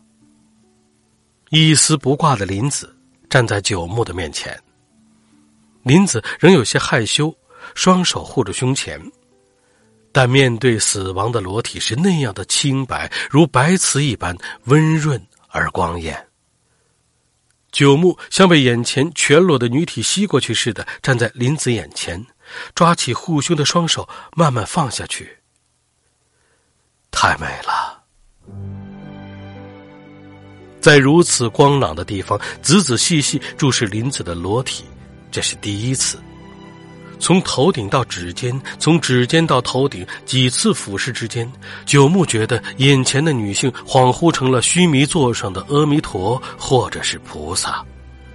九木这才发觉自己一路追逐到现在的，竟是名为美艳女体的佛像，竟是宗教。一如虔诚的信徒，用手抚摸佛像所有部位，从中感受制服。九木此刻伸出两手抚摸着，从女体纤细的脖颈摸到舒缓的肩头，从丰盈挺实的胸部摸到乳峰，继而顺着苗条的腰肢、形状姣好凸起的臀部摸到丰腴的大腿。九木瘫痪似的跪倒在地，近乎祈祷的说：“让我看这里。”此刻，九木所以率先一步迈向死亡世界，即是为了赎回曾踏进这丰饶肥沃的花园、无限寻欢作乐这以淫荡之名犯下的奢华的重罪。九木在作为对这人世的最后留恋，心满意足的看完女方的隐秘处之后，仿佛忍无可忍的尾随林子全部脱光。这是即将一起赴死之前最后的盛宴。女方仰卧，腰下轻轻塞入枕头，使胯间向上隆起。男人从上面像遮盖心爱女体那样趴了上去，相互以此位置紧紧的拥抱，以期地老天荒，永不分离。时至现在，早已无所畏惧，往下要做的只是向极乐世界一路迅跑。九牧的意志自行传递给了林子。太妙了！伴随着林子仿佛从身体底层渗出的欢叫声，九牧耗空所有的元气，化为灰烬。两人深有同感和由衷认可，于是九牧的右手朝床头柜边缘缓缓的伸去，在这天旋地转般的快乐余韵中，将毒物注入林子全身，致其死去，同时自己也在热浪中吞下毒物。这正是两人梦寐以求的幸福之旅。九木毫不迟疑的伸出五指，紧紧的握住玻璃杯，一下子拿到两人的嘴边，看准玻璃杯里鲜红的液体，卷起一团火焰，而后一气含在了口中。不可思议的是，苦味、酸味都没有感觉到。不，也许感觉到了，但九木脑袋里思考的只有吞咽而已。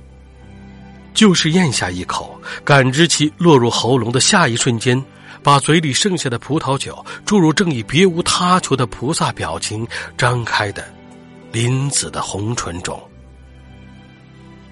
仰面被九木压在身下的林子，没有任何的拒绝反抗，只管像婴儿吮吸一样扑住九木。拼命的吸着，由口而口注入的鲜红葡萄酒很快溢出，从林子嘴唇两端顺着白皙的脸颊流淌下来。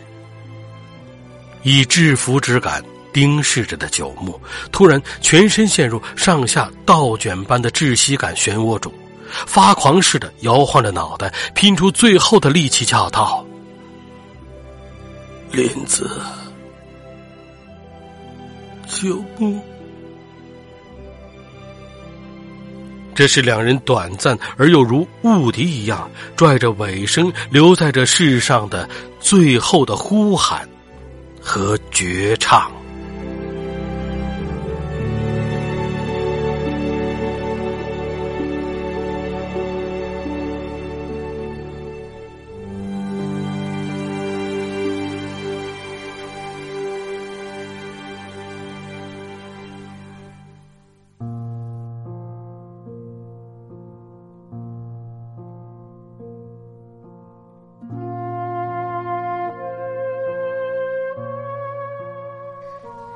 七岁时，在莲花田里迷了路，日落了，心里很害怕。九岁时，让爸爸给我买了一副拳击手套，我高兴的带着它睡着了。十四岁时，第一次穿丝袜，脚在低腰皮鞋里，感觉滑滑的。十七岁时。肯尼迪总统被暗杀，我在电视机旁呆住了。二十五岁相亲结婚，婚礼当日刚好遇上台风。二十七岁长女出生，工作很忙，连医院也没有时间去。三十七岁那年夏天，我遇到了你，我们相爱了。五十多岁，第一次为女人着迷。三十八岁，和你永远在一起，永远，永远，永远。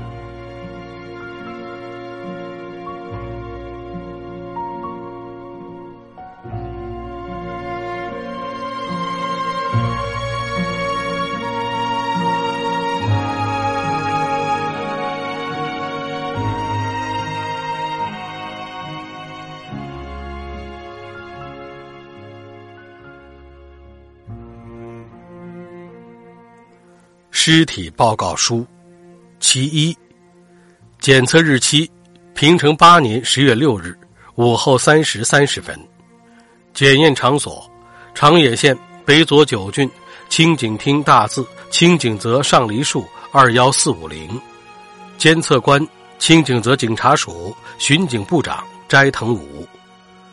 死者住所、职业、姓名、年龄。东京都世田谷区英新町三幺二幺幺五，九木祥一郎，原任职于现代书房，男，五十五岁，死亡时间平成八年十月五日午后七时三十分左右，身高一百七十三厘米，体格偏大，营养中等程度，死后推定约二十小时。检测所见，发现时本人全裸，同相对女子。另行记录，相互抱紧，胯间密切贴合，因是死后僵直最强时间段，故难以分离。两名警员勉强使之分开。皮肤为一般青白色，头发黑色稍粗，侧头部有部分白发。因本人已从上面拥抱女子的姿势俯卧，故胸部至腹侧出现死斑。死后僵直度以各关节为强。上肢取拥抱姿势，以臂肘为中心向内侧强烈弯曲，双手打女子背部部分嵌入皮肤，下肢骨、膝关节强烈弯曲，以拢合女性下腹至胯间的姿势处于僵直状态。面部因俯卧而成红褐色，强度淤血，眼结膜血管充盈，结膜下可见若干仿佛跳蚤咬痕的一些点。背部整体呈青白色，由肩至背两端已有女子指尖划痕，一部分由背部延及腰部。口唇同女子口唇紧密贴合，即处于接吻状态。口腔有少量血性异物流出，口唇黏膜为红褐色，呈强度糜烂状态。此外，口唇两端有异液吐出。氰化钾测试反应阳性，此外无特别外伤。死亡原因：毒物氰化钾致急性呼吸停止。死亡种类：自杀。检测报告结果如上：警一平田良介。尸检报告书其二。检测日期：平成八年十月六日午后三时三十分。检测场所：长野县北佐久郡清井町大字清井泽上梨树二幺四五零。监检官：清井泽警察署巡警部长斋藤武。死者住所、职业、姓名、年龄。东京都山病区九我山六幺三幺十，松原林子，无职业，三十八岁。死亡时间：平成八年十月五日午后七时三十分左右。身高一百五十八厘米，体格中等，营养中等程度。死后推定约二十小时。检测所见，发现时本人全裸，同相对男子，另行记录相互紧抱。局部密切贴合，因是死后僵直最强时间段，故难以分离。两名警察勉强使之分开。皮肤为一般青白色，头发黑色。本人已被男子从上面拥抱的姿势仰卧，故背部出现大面积死斑，呈深红褐色。死后僵直度以各关节为强，上肢取拥抱姿势，双臂从男子的肩搂至背部。相应部分已有指尖划痕，下肢骨膝关节强烈弯曲，双腿以拢合男性大腿部位的姿势贴在一起。背部因仰卧且受男子压迫，后胸及臀部为青白色，其他部位有红褐色死斑。另外，双肩至背部已有男子手指压痕，青白色，面部轻度淤血，部分呈红褐色，眼结膜轻度充血。见若干溢血点，口唇被男子口唇掩住，即保持接吻状态。舌尖位于齿列后方，口腔有少量血性溢液流出，口腔黏膜明显糜烂，口唇两端至脸颊有溢液流出，造成红色线状糜烂。氰化钾测试反应阳性，此外无特别外伤。死亡原因：毒物氰化钾致急性呼吸停止。死亡种类。自杀，检验结果如上。警官平田良介。关于九木祥一郎、松原林子死亡前后状况及检验所见的推断。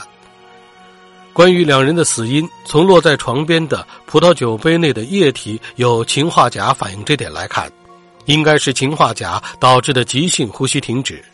至于毒物入手途径，现在尚不清楚。但可以认为，葡萄酒中混有超过致死量的量相当大的氰化钾。发现时，二者相互紧抱，难以分离。第一发现者在被特定指定的时间来到别墅，遭遇殉情现场，也就是别墅管理人立原健次前一天接的电话，为火炉烧柴没了，要他当天午后一时送来。于是他午后一时来访，因无回音，遂进入里边，这才目击异常，当即报警。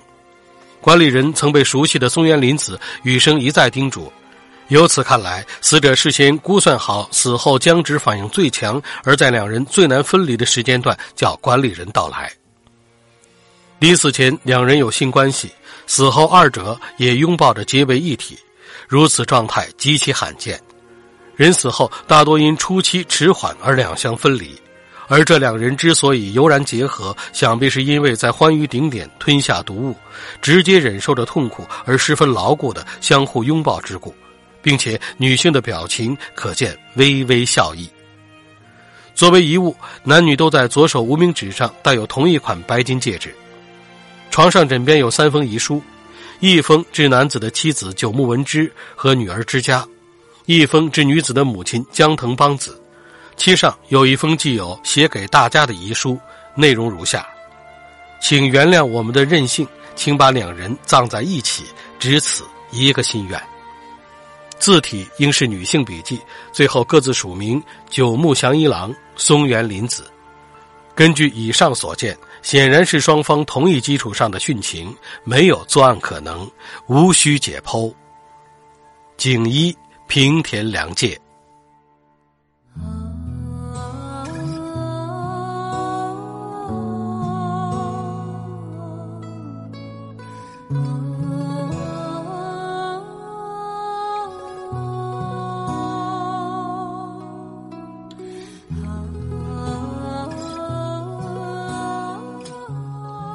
听众朋友。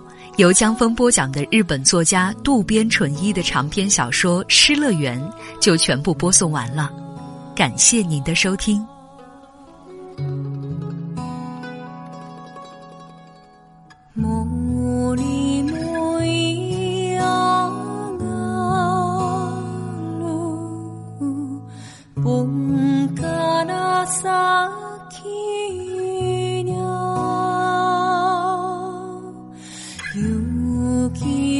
痩せ